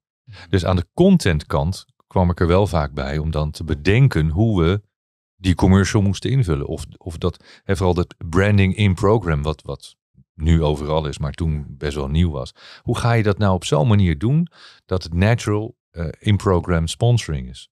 Daar ik dan over meedenken van ja, hoe kunnen we dat doen? En ik was, ik was eigenlijk de doelgroep, want ik was toen natuurlijk net zo jong als de luisteraar. Of iets ouder dan de luisteraar. Ja. En de mensen bij de sales waren veel ouder, dus die konden zich helemaal niet voorstellen wat, wat die kids leuk vonden. En jij had creativiteit. Ja. Ja. continu bezig met creativiteit. Ja, dat is waar. En wij merken dat nu wel. Tenminste, ik merk dat heel erg. Wij zijn nu heel erg operationeel bezig. En we zijn gewoon op hoog tempo taken aan het afvinken. Ja. Ik ben op dit moment helemaal niet creatief. Creativiteit is echt even waarin je een weekendje gewoon rustig aan moet doen. Ja. Eventjes de tijd voor gaat nemen. Dan denk ik, oh, nu komen de ideeën binnen. Ja. Reserveer jij tijd apart op een dag, nu of vroeger, om creatief na te denken? Is dat zeg maar ook werktijd voor jou geweest? Dat je gewoon zegt van, ik ga nu zitten met een idee en laat gewoon me opkomen. Ja, ja, tuurlijk. Dat is heel belangrijk. Het, het, het, het, het creatieve proces ehm, is een heel belangrijk, hele belangrijke fase in, in het ondernemen. Je, je, hebt het proces van het bedenken. Het bedenken van wat ben ik aan het doen, wat ga ik doen, wat ga ik verkopen, wat ga ik maken. Dan ga je het maken en, en daarna ga je het verkopen. Of als je heel slim bent, ga je eerst bedenken wat je zou willen verkopen. Dan ga je het verkopen, dan ga je het uitwerken, maar dan heb je het al verkocht. Dat is beter natuurlijk. Hmm. Want als je eerst alles gaat maken en daarna moet je nog gaan verkopen. Ja, ik zou het omdraaien. Ik zou het proberen eerst te verkopen en dan creatief helemaal uit te werken. Ehm, ik reserveer er wel tijd voor. Maar ik merk ook in, drukke perioden zoals nu, ben ik aan het werk. Ik ben gewoon ben aan het stampen. Ik ben dingen aan het doen. Eh, ik heb een heel druk eh, schema op een dag. Dan, eh, weet je, ik doe dit soort dingen. Ik moet allerlei dingetjes doen, regelen, operationeel, bedrijven aansturen. Ook de dingen dat ik denk van ja, minder leuk, de finance en contracten en juridische dingen. Maar dat hoort erbij. Maar dan weet ik ook van nou ja, de komende zes weken heb ik heel veel tijd voor mezelf, moet ook wel, om een creatieve invulling te vinden om mijn nieuwe programma's te verkopen. In juni doen we drie dagen Maximum Potential, 1, 2, 3 juni, in Den Bosch. Groot programma. Ik moet dat programma helemaal gaan maken. Daar heb ik ongeveer vier, vijf maanden voor om inhoudelijk dat te gaan bedenken. Maar dat is een creatief proces. Een soort van, je schrijft een boek. En, eh, en ik moet het verkopen. Ik moet, ik, ik moet het aan de man brengen van wat ga ik dan doen? Wa- Waarom zou je daar naartoe moeten komen? Daar moet ik heel creatief eh, mee bezig zijn. En nou ja, daar heb ik echt wel twee, drie weken voor nodig om de, de goede woorden te vinden. Van wat, wat wil ik communiceren? Eh, ik ben al twee weken bezig om de website te bouwen. Ik heb een hele goede gast die dat doet. Simon Weijers, die, eh, die, die doet dat voor ons. Maar, maar ik ben aan het knutselen in de site gewoon om hem op te zetten. Dan zeg ik, ja, de design moet, moet jij allemaal afmaken, maar ik doe de basis. En ik verzin de teksten. Dat schrijf ik allemaal zelf. Ik doe, ik doe heel veel zelf. Waar heel veel ondernemende vrienden van mij zeggen, ja Mike, waarom doe je dat allemaal? Dat moet je uitbesteden. Ik zeg, ja maar ik denk dat dit een van de successen is, of de krachten van mijn succes, dat ik dit soort dingen allemaal zelf doe. Ik heb, een, ik heb een vraag. Ik ben heel erg benieuwd. Ja. Ik keek inderdaad naar je website. En ik dacht van, ik ben heel erg benieuwd of Ja. Michael dit zelf heeft geschreven. Ja. Heb jij bijvoorbeeld ook je eigen Wikipedia pagina geschreven? Nee, want dat mag niet. Dat mag niet. Nee. Oh. Jij Nee, was ik- wel druk aan het schrijven, of niet? Nee, ik, Ik, eh, ik was al verhaaltje van mezelf aan maken. Wikipedia is een eh, vreemde organisatie. Daar zitten stagiaires van 16 en 13 en 12 en 8 en soms van 18. Die moeten moderaten of wat er geschreven wordt juist is. En die mogen ook van alles afkeuren. Nou ja, er, staan heel veel, er stonden heel veel onzinnige dingen in mijn Wikipedia. Die had ik weggestreept. Toen heb ik, heb ik de waarheid erin gezet. En dat werd daarna gewist en weer teruggezet. De, de, de, er stond een foto van mij, echt een, antieke foto. Dus ik dacht, nou weet je, die doe ik even uploaden. Nieuwe foto erop gezet, werd er afgehaald. Toen kreeg ik een mailtje dat ik, eh, ik mocht niet aan mijn Wikipedia zitten. Ik zeg maar, ik, ik heb alleen een actuele foto van nu gedaan, want die foto die erop staat is 12 jaar oud. Toen zei ze, ja, u heeft de rechten niet van die foto. Dan wacht even. Ik heb één fotograaf, William Rutte. Iedereen kent hem inmiddels. Hij is overal op televisie. William maakt al mijn foto's. Al 25 jaar. Die koop ik van hem. Die maakt hij speciaal voor dit soort doeleinden. De foto die jullie erop hebben staan is ook door hem gemaakt. Dat mag blijkbaar wel. Ik vervang die foto door een nieuwere foto die hij heeft gemaakt. Dat mag niet. Nee, mag niet. Ik heb discussies gehad. William heeft uiteindelijk drie mails moeten sturen naar Wikipedia. Zodat ik mijn foto mocht veranderen. Nou, ik wilde niet veel, veel verder over uitweiden. Maar mijn Wikipedia is zo lang over 19, nou ja, van laat ik zeggen toen ik geboren was tot, tot 2014. En van 2014 tot nu staan er denk ik twee regels. En ik van, nou, ik heb best wel wat gedaan sinds 2014 tot nu. Ehm, ik zag nu wel het laatste eh, van de week, ze hebben mijn boeken erbij gezet. Dus al mijn boeken staan er gelukkig nu bij. Maar en je mag daar niks aan veranderen. Het ging over de website, zei je. Nee, kijk, inderdaad. Ik, eh, ik, had, ik dacht, Michael, meestal als wij bijvoorbeeld eh, ondernemers spreken of zo, ik zoek ze niet op op Wikipedia. Maar Jaro ik zaten een beetje zo van, hoe is dat eigenlijk gegaan met zijn tijdlijn? Van hoe eh, Veronica en 538 en Ja, dat staat er wel oké. hè? Precies, dat Ja, staat allemaal in. Dus we gingen gewoon even checken van, oh ja, ja alles staat op volgorde. Nu weten we een beetje hoe dat het is in chronologische volgorde. Ja. Ehm, tijdens je periode eh, van 538, volgens mij een beetje tegen het einde aan, toen ben je op een gegeven moment gaan realiseren van oké, ehm, hoe ga ik nou echt die miljoen verdienen? Ja. En toen ben je op een gegeven moment een boek gaan lezen, hoe krijg ik 1 miljoen of zo van zo'n Duitse schrijver. en zijn mentor Ja, dat was dus, ja. ja, was dus Dat een man in een groot kasteel in Schotland. Ja, ja. Ik, ik, ik ging een boek lezen. Ik las eigenlijk nooit boeken. Lezen jullie boeken? Lazen jullie boeken? J- Ik las eh, heel wel. veel boeken. Ik merk dat ik nu aan mezelf voorbij loop de laatste tijd. En dat dat dan een van de eerste dingen is die... Ja, twee pagina's voor het slapen zo. Mm. Ah, ik, ik merk wel, jullie generatie en, en de jonge ondernemers van nu lezen best wel veel van dat soort boeken. Zijn heel erg, ook omdat social media natuurlijk eh, toegankelijker is. En eh, mensen die Gary Vee volgen en dat soort gasten. En eh, die hebben dan weer boekentips. Dus er wordt veel of meer gelezen eh, in boeken. Niet alleen op, op eh, telefoon. Maar ik ging een boek lezen. Nou, dat was echt, eh wauw, hij gaat een boek lezen. en hoe heet dat boek dan? Hoe bereik ik mijn eerste miljoen? Mm. Van. Bodo Schaefer. Ja, vond ik een goede titel. Heel duidelijk ook. Ja. Hè? Gewoon, waar gaat het over nou dat? En dat vond ik een goed boek. En er stond in hoe je, hoe je geld kon verdienen. Althans, dat dacht ik. Ik vind het een goed boek, nog steeds. Maar toen dacht ik van ja, deze man heeft dat ergens geleerd. En die man die hem dat geleerd heeft, heet Dan Peña. En dat is een Amerikaanse zakenman die woont in Schotland op een kasteel.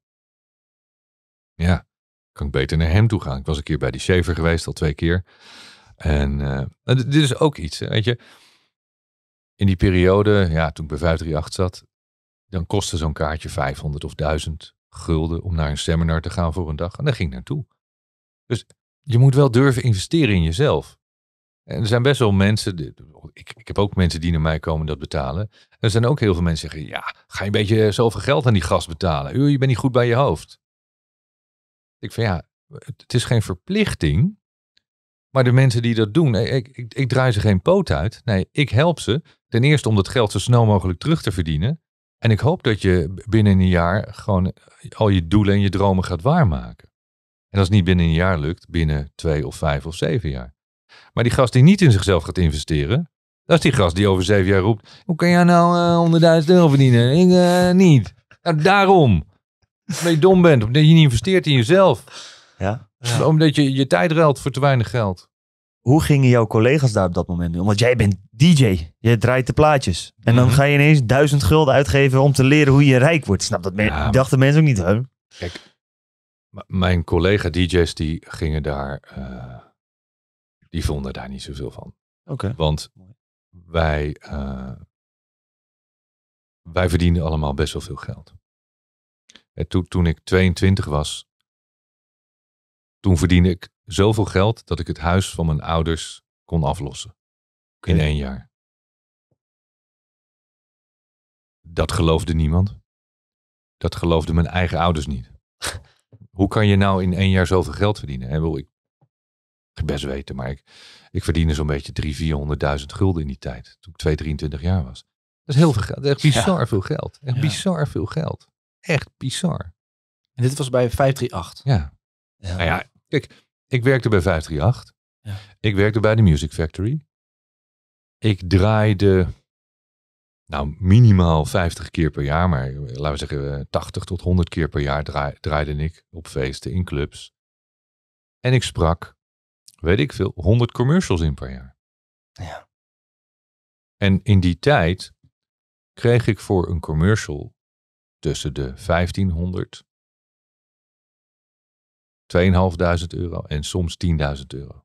En dat was van eh, bedrijf als McDonald's die hele grote campagnes deden en dat heel veel gingen gebruiken. En die kochten dat af en dan betaalden ze 10.000 euro. Bizar veel geld. Had je dan niet al dat pad voor jezelf duidelijk? Want je zegt, als je, als je vier ton per jaar verdient, dan is de vraag van, ja, hoe word ik miljonair? Nou ja, drie jaar En dan beetje slimme centjes investeren en niet te veel geld Nee, uitgeven aan, aan, liabilities. Ik, ik, ik, ik zet het gewoon op de bank. Ik, ik spaarde dat geld. Ik gaf, ik gaf niks uit. Ik, ik, ik wist niks van beleggen. Ik had geen idee hoe dat werkt. Nog nooit over nagedacht dat je geld kon investeren. Ehm, ik zette het op de bank. En ik dacht dat dat veilig was in die tijd met de bank. Was misschien toen ook veilig. En, en dan kreeg je rente. Of, toen ik jong was, zeiden mensen ook: als je oud bent, dan kun je misschien gaan rentenieren. Hè? Oude mensen die genoeg geld hadden, konden rentenieren. Die kregen rente op hun geld. En dat was zoveel dat je daarvan kon leven. Nou, dat kan je niet meer voorstellen. Dat je gewoon, Ja, ja, ja. weet ik veel, 10 of 12 procent rente kreeg. Echt bizar. En eh, ja, nee, ik, ik ging gewoon sparen. Eh, Maar ik, ik dacht ook wel van ja, er er moet, er- ik weet niet, er moet iets anders zijn, weet je. Ik, ik, ik vond het mooi. Ik vond, ja, geld heeft me altijd wel gefascineerd. Ik vond het mooi. Maar nooit om super rijk te worden. Ik heb nooit het idee gehad van ik moet 100 miljoen hebben of ik ga, ik ga me helemaal doodwerken voor heel veel geld. Of, nee, dat niet. Ik wilde gewoon leuk, leuk, comfortabel leven.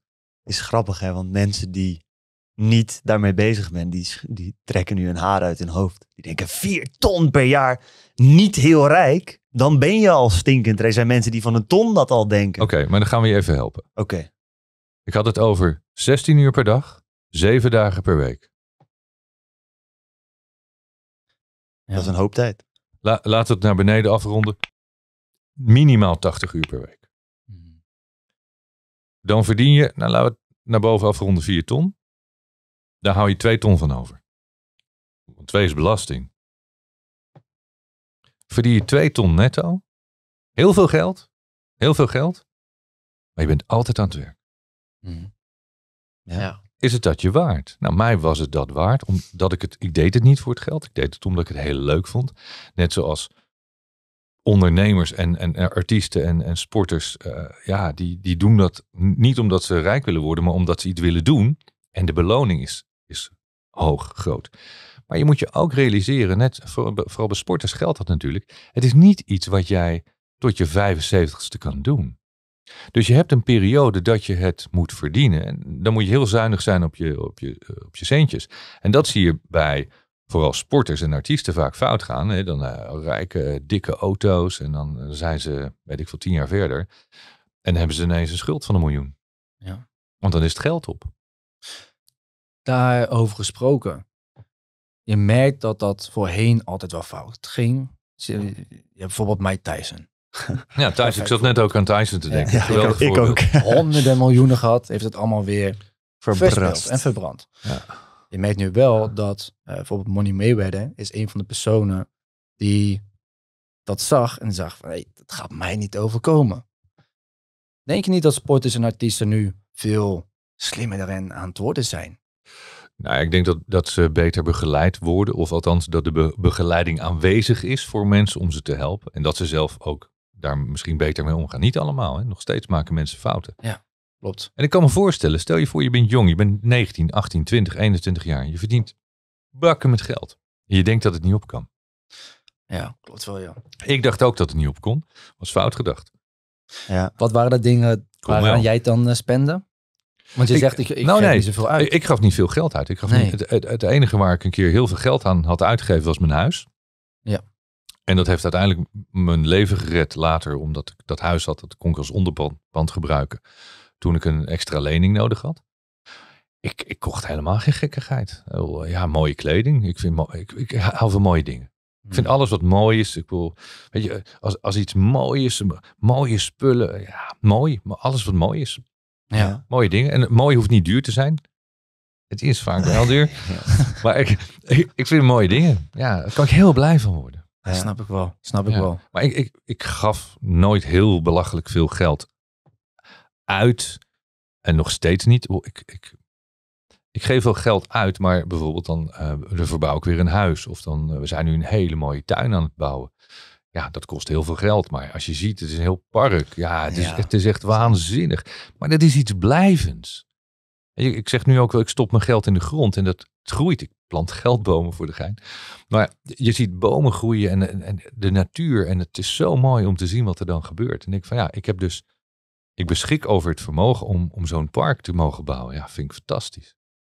Snap ik wel. Ja, kan, ik echt, kan ik heel erg van genieten. Ja. Daar kan ik heel blij van worden. Dan komen er vogels en beesten. En ik denk van wauw, dat is te gek. Ja. Hoeveel vermogen vind jij dan dat je daaraan mag uitgeven? En zoveel als jij wilt. Want jij bent eh, op dit moment een, eh, waarschijnlijk een aardig vermogend persoon. Nou ja, dat, ik denk dat het wel meevalt. Kijk, dat, dat, dat hangt er altijd vanaf eh waar je staat en hoe je kijkt. Hmm. Op het moment dat jij een tientje hebt en hij heeft 100 euro, zeg je, jezus, hij is rijk, want hij heeft tien keer zoveel. Als jij 100 hebt en jij hebt 100.000, denkt hij, ja, ik ben een arme sloeper. Mhm. Wie heeft er nou gelijk? Als ik het vergelijk dat de meeste mensen een doel hebben om een vermogen hebben te- van 1 miljoen of op een gegeven moment een businesswaarde te hebben van 1 miljoen of 1 miljoen zelf misschien te verdienen, misschien nog wel op de bankrekening te hebben. Ben jij in vergelijking met die mensen dan rijk? Ja. Ja, Ja. dat durf ik wel te zeggen. Ja. Ja. En dat is voor, denk ik, voor de meeste luisteraars en kijkers. Dit heb je op jonge leeftijd al, ben je al die richting opgegaan. Ja. Dat je al over miljoenen ging praten. Nou, kijk, het is een bewuste keuze geweest. Hè? Ik, wat ik zeg, het, voor mij was het een bewuste keuze om wel altijd veel geld te verdienen. Voldoende om comfortabel van te kunnen leven. En ik dacht altijd, 7 miljoen, dat is, nou, als je 7 miljoen hebt, dat was in mijn optiek van, nou, weet je, moet je echt op één staan in de quote 500. Oh, ik vond belachelijk dat er mensen meer, waren, geld, eh, meer geld hadden. 7 miljoen is natuurlijk niet zoveel. Ik geloof als je, Max staat nu onderaan met 50 miljoen of 100 miljoen of 150. Dan sta, nummer 500 of zo, weet je. Dus ik stond in de quote toen ik 37, 38 was met 9 miljoen, geloof ik. Is dat zo bizar snel gegroeid? Als in dat je toen met dat vermogen in de quote... Dat was, oh, dat was in de quote onder de 40. Ah, ja, ja. Ja. ja, dat is weer... Ja, En toen stond ik volgens mij op 60, 65, Ja. 70. Echt een beetje bungelde onderaan. Als je nu kijkt naar die quote onder de 30, volgens mij zijn er nu net een paar 140, weer. hè? Of, 140. eh, of onder de, ja, je hebt volgens mij nu zelfs een onder de 30 Oh ja? ook. eh, ja, Maar ja, ik denk nu met, met 9 miljoen dat je niet eens niet op 100 staat. Nee, nee, nee, Nee. zelfs onder de 30 volgens mij niet. Want onder de 30, maar die sprongen zijn ook bizar nu. Dat je ziet, eh, 15 miljoen staat dan nog misschien op een plekje Ja. 30 of zo. Ja. En op nummer 1 staan dan al die gasten van, eh, nou ja, de, de, de Molly en dat Ja, soort dingen. Die ja. gasten beginnen nu volgens mij zijn Ja. net de 30 uit. Die zitten gewoon op een miljard. Ja, dat is toch bizar? Ja, dat is echt Ja, dat is bizar. niet normaal. Maar het is dus mogelijk. Ja. En, en het, het gaat er niet om van, joh, die gasten zijn eh, schandalig rijk en zo. Want ik vind iedereen mag verdienen wat, wat, hij, wat hij mag verdienen. Maar het betekent dat er mogelijkheden zijn geweest in de afgelopen 5, 10, 20 jaar. Voor misschien niet iedereen, maar voor heel veel mensen om dat ook te doen. Molly heeft iets bedacht waarvan hij wist, daar is vraag naar. Eh, je, je had die andere ook, je hebt er natuurlijk een paar. Ja. Eh, ja, had het gewoon bedacht. Bedoel, eh, mensen die zien vaak de kansen niet die op hun pad komen. Ja, misschien lopen ze op het verkeerde pad. Ehm, als iPhone met, met of Jobs komt met een iPhone. Dan kun je denken, ah, dat is een coole iPhone. En dan ga ik, eh, die ga ik kopen. Je kan ook denken, als ik die dingen nou inkoop en ik ga ze verkopen en er zit ik een beetje tussen, dan heb ik handel.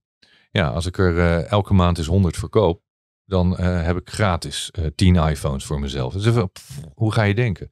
Je kunt ook denken, hmm, die iPhone, die heb ik nou al drie keer laten stuiteren, die, eh, die is kapot. Misschien is een hoesje handig. Nou, iemand bedenkt een hoesje. Waarom heb jij die bedacht?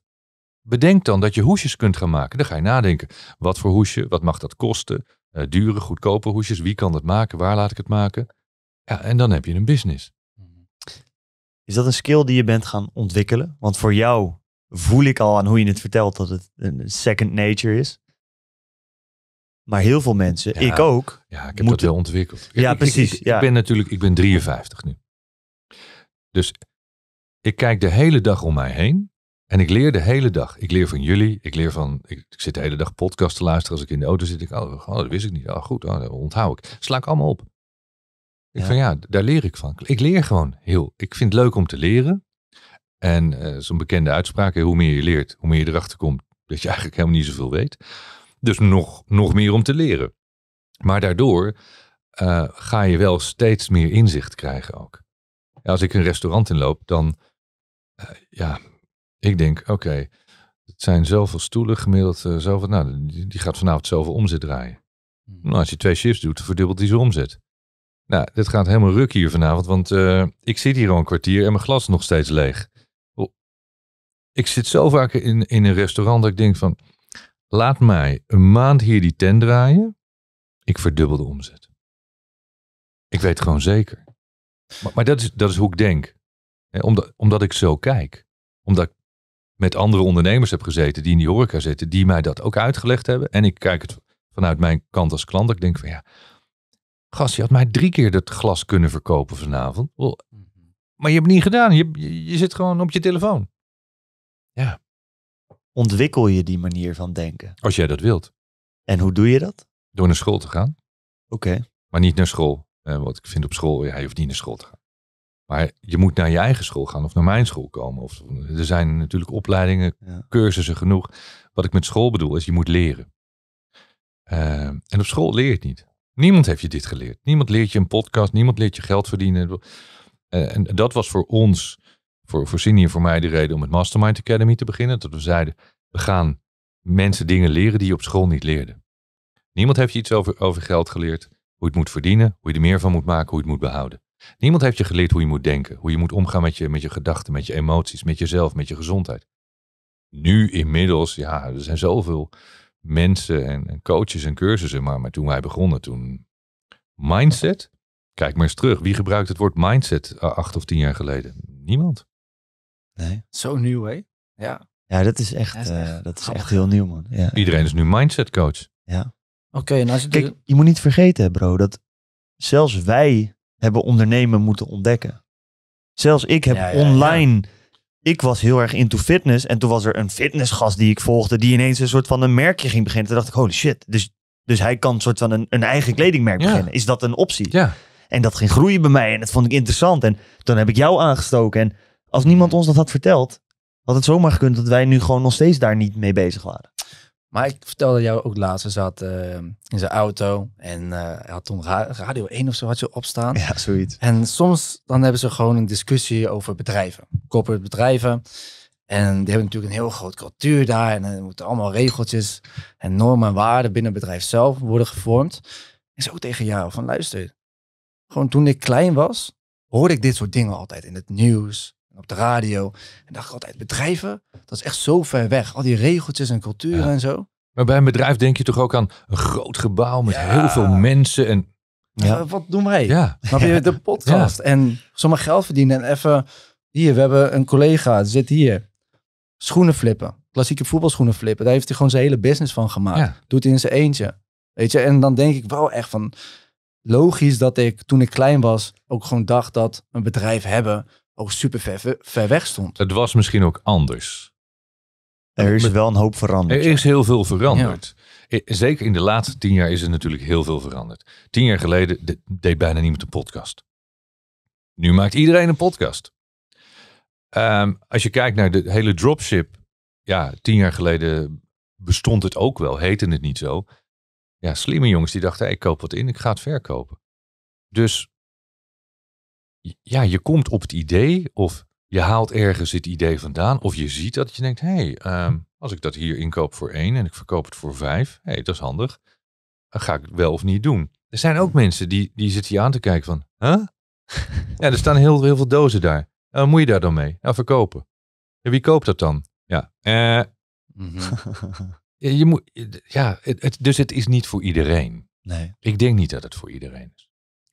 Kun je dat vroeg ontdekken? Want dat is wat wij wel eens merken. Dat mensen Ja. zeggen, ik ben bezig met het nadenken over een onderneming die ik wil doen. En ik, ik heb toevallig afgelopen eh, weekend een vriend van mij, echt een hele goede vriend van mij, fantastische gast, maar die schreeuwt al twaalf maanden dat hij het anders wil. Mhm. Zijn studie bevalt hem niet, zijn baan bevalt hem niet. Hij rookt net iets te vaak een jointje. Het zit hem in de weg.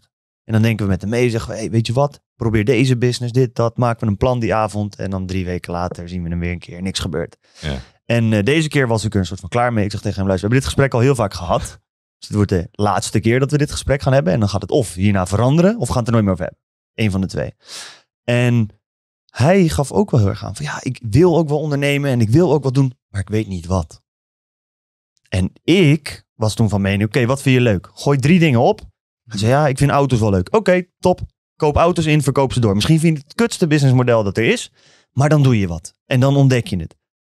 Vind jij dat mensen moeten gaan zoeken naar die onderneming die hun echt iets doet?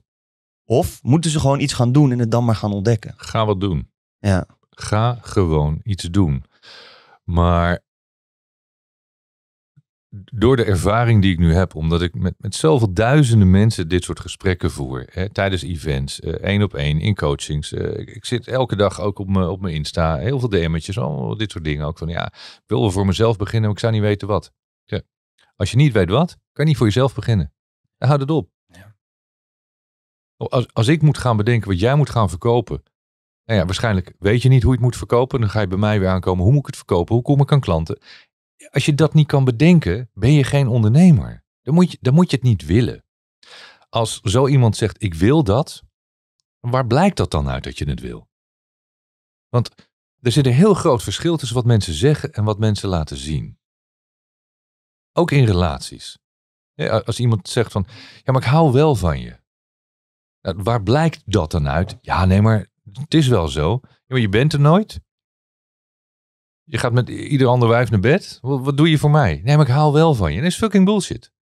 Mensen zeggen vaak hele andere dingen dan dat ze bedoelen. En met ondernemen is het echt zo van, als jij dat echt wilt, wa- waarom kan jij wel die vragen bedenken? Zet gewoon eens drie dingen op papier. Wat zou je dan willen verkopen? Ja, ik weet het niet. Dan gaat het niet. Dan gaat het niet. Nee. Be- begin gewoon. Het maakt niet uit. Onderzoek het. Bedoel, holy fuck jongens, weet je. Stop met school. Ga de hele dag op YouTube en op Google zitten. Als, als jij de... Je kan echt... Ik vind, ik vind het heel belangrijk dat je je talen leert, dat je er goed in bent, dat je fatsoenlijk Nederlands leert spreken en schrijven. Maar ga de hele dag op YouTube en op Google zitten. Als je na een maand niet een businessmodel hebt, zoek een baan. Want het wordt nooit meer wat. Als je niet binnen een maand als ondernemer iets kan verzinnen dat je denkt van ja, maar dat is het. Dan, gaat het niet meer gebeuren. Daar ben ik het eh, denk ik wel mee eens. En dan ben je dan ook van mening dat het inderdaad echt is. Sommige mensen moeten ook niet willen. Nee, dan moet je het ook niet doen. Dan moet je het echt niet doen. Wat ik Nee. veel mee merk, en dan ben ik heel benieuwd hoe jij met die struggle die ik dan bij die mensen ontdek, dan zeg ik van ja, misschien is het dan niet voor je. Hè? En dat probeer ik dan op een respectvolle manier. Van, Het is ook niet erg als je niet Nee. ondernemer bent, dat is helemaal prima. Maar heel veel mensen willen het wel. Of denken in ieder geval dat ze het willen. En dan ga je weer een nieuwe battle aan. Van oké, ik moet dus tot terms zien te komen met mezelf. Van ik denk dat ik dit wil. Dit is niet voor mij weggelegd. Ja, hoe ga je daarmee om? Nou, maar kijk, als, als, als iemand, eh, je zit nu te kijken en je denkt, ik wil dat, ik wil wel gaan ondernemen. Oké, wat zou je dan willen doen? Ja, weet ik niet. Heb je daarover nagedacht? Nee, want anders had je een antwoord. Dan schrijf nou eens op, in welke richting zou ik dan wat willen doen? Wil ik een product verkopen of wil ik een dienst gaan leveren? Dan weet je al een beetje van ja, de een of de andere kant op. Ga onderzoek doen. Ga, ga kijken, wie verkopen wat? Wa- Wat zou ik kunnen doen? Wat zijn de opties? Schrijf 100 opties op. Schrijf er 10 op. Mensen die altijd roepen, ja, ik heb duizend ideeën. Nou, meestal hebben ze er niet één. En mensen die heel veel ideeën hebben, als ze namelijk één goed idee hadden, hadden ze het uitgevoerd. Oh, ik heb zoveel ideeën. Nee, je hebt, je hebt duizend vage wensen, maar je hebt geen idee. Eén idee is meer dan voldoende. En dan gaan ze dingen opschrijven. Je moet helderheid hebben. Je mist de helderheid. Dus ga, ga je opschrijven, wat, wat zou kunnen verkopen? Waar is behoefte aan? Waar, waar, waar zit eventueel? Nou ja, waarschijnlijk als je in die fase zit, heb je niet het vingerspitsengevoel dat je, dat je de nieuwe dropshipper bent. Ga dat onderzoeken voor jezelf. En maak op basis daarvan, of ga met mensen praten die er enigszins verstand van hebben, die er ervaring in hebben. Ga vragen stellen, waar loop je tegenaan? Wat weet ik niet? Wat, wa- welke kennis mis ik? Waar kan ik die kennis kopen, winnen, leren? En, en vervolgens ga je een plan maken. Ga je het doen of niet? Maar als je het niet gaat doen, dat geeft ook niet. Wat je zegt, het is, het is niet voor iedereen weggelegd. Eh, sommige mensen hebben er uiteindelijk helemaal geen zin in, want dan blijkt toch dat het moeilijker is dan, dan je zou denken. Sommige mensen, jullie worden er blij van. Andere mensen denken, oh lief werk, weet je, oh, hoofdpijn en heb ik geen vast salaris, straks heb ik geen klanten, eh, kosten gemaakt. Doe het niet, maar zoek dan iets waar je ook blij van wordt. Zoek dan een baan waar je, waar je plezier in hebt. Als je toch moet werken, doe dan iets wat je leuk vindt. En ik zeg altijd, ja, als je toch moet werken, werk dan voor jezelf. Ja. Waarom zou je voor iemand anders gaan werken? Waarom? Kijk, eh, eh, ik heb ook personeel en ik ben heel blij, maar Ja. je hebt ook teams nodig natuurlijk. Mensen die meewerken. Ik vind het altijd fijn als mijn mensen met, met ons meewerken. Als mede-ondernemer. Meedenken. Dat vind ik belangrijk. En ook mee beloond worden. Als het goed gaat, mag iedereen Ja. verdienen natuurlijk. Denk je dan niet dat ondernemen nu gewoon eigenlijk een fucking hype is? Het is zo dat je ziet dat alle grote jongens die nu op social media zitten, die heel veel bereik hebben, en noemen we maar een naam, Andrew Tate, hè, die hebben allemaal eigen bedrijven. Die hebben altijd alles in eigendom gehad en eigenschap gehad en de verantwoordelijkheid. Nu denkt iedereen van ja, dat wil ik ook. Want het is een groot voorbeeld en we zien eigenlijk iedere grote persoon doet wel iets voor zichzelf. Die hebben zich op een gegeven moment helemaal losgekoppeld aan datgene wat hun zo lang vasthield. Mhm. Dan is het toch ook een vertekend beeld wat we nu krijgen. Want niet iedereen hoeft een ondernemer te zijn. Maar we krijgen wel van iedereen te horen dat we een ondernemer moeten zijn. Ik weet niet of ik het daarmee eens ben, man. Ik weet niet of Andrew Tate daadwerkelijk verkondigt dat je ondernemer moet zijn. Vooral dat Doet je, niet. dat je moet staan achter hetgeen wat je doet. En dat je zorgt dat je wel je eigen centje slim investeert en zorgt dat je wat opbouwt. voor- Dat is niet per se ondernemer. Dat is slim omgaan en- met geld en, en- het verdienen. Mhm. Je moet niet kijken waar Andrew nu staat. Dat zegt hij zelf ook. Kijk even wat hij de afgelopen 30 jaar heeft gedaan. Waar hij vandaan komt, waar hij doorheen is gegaan. Wat hij allemaal heeft moeten doen. De discipline. Kijk, ondernemen is net als sporten. Heel veel en heel lang dingen doen die andere mensen niet willen doen. Doordat jij heel lang, heel vaak dingen doet die anderen niet willen doen, krijg jij de beloning die iedereen wil hebben. En dat, is, en dat is denk ik ook voor mensen belangrijk. Dat kan in heel veel vormen zijn. Wat ik bijvoorbeeld de hele tijd gemerkt heb, is dat werken zonder precies te weten waaraan. Want dat merk ik nu.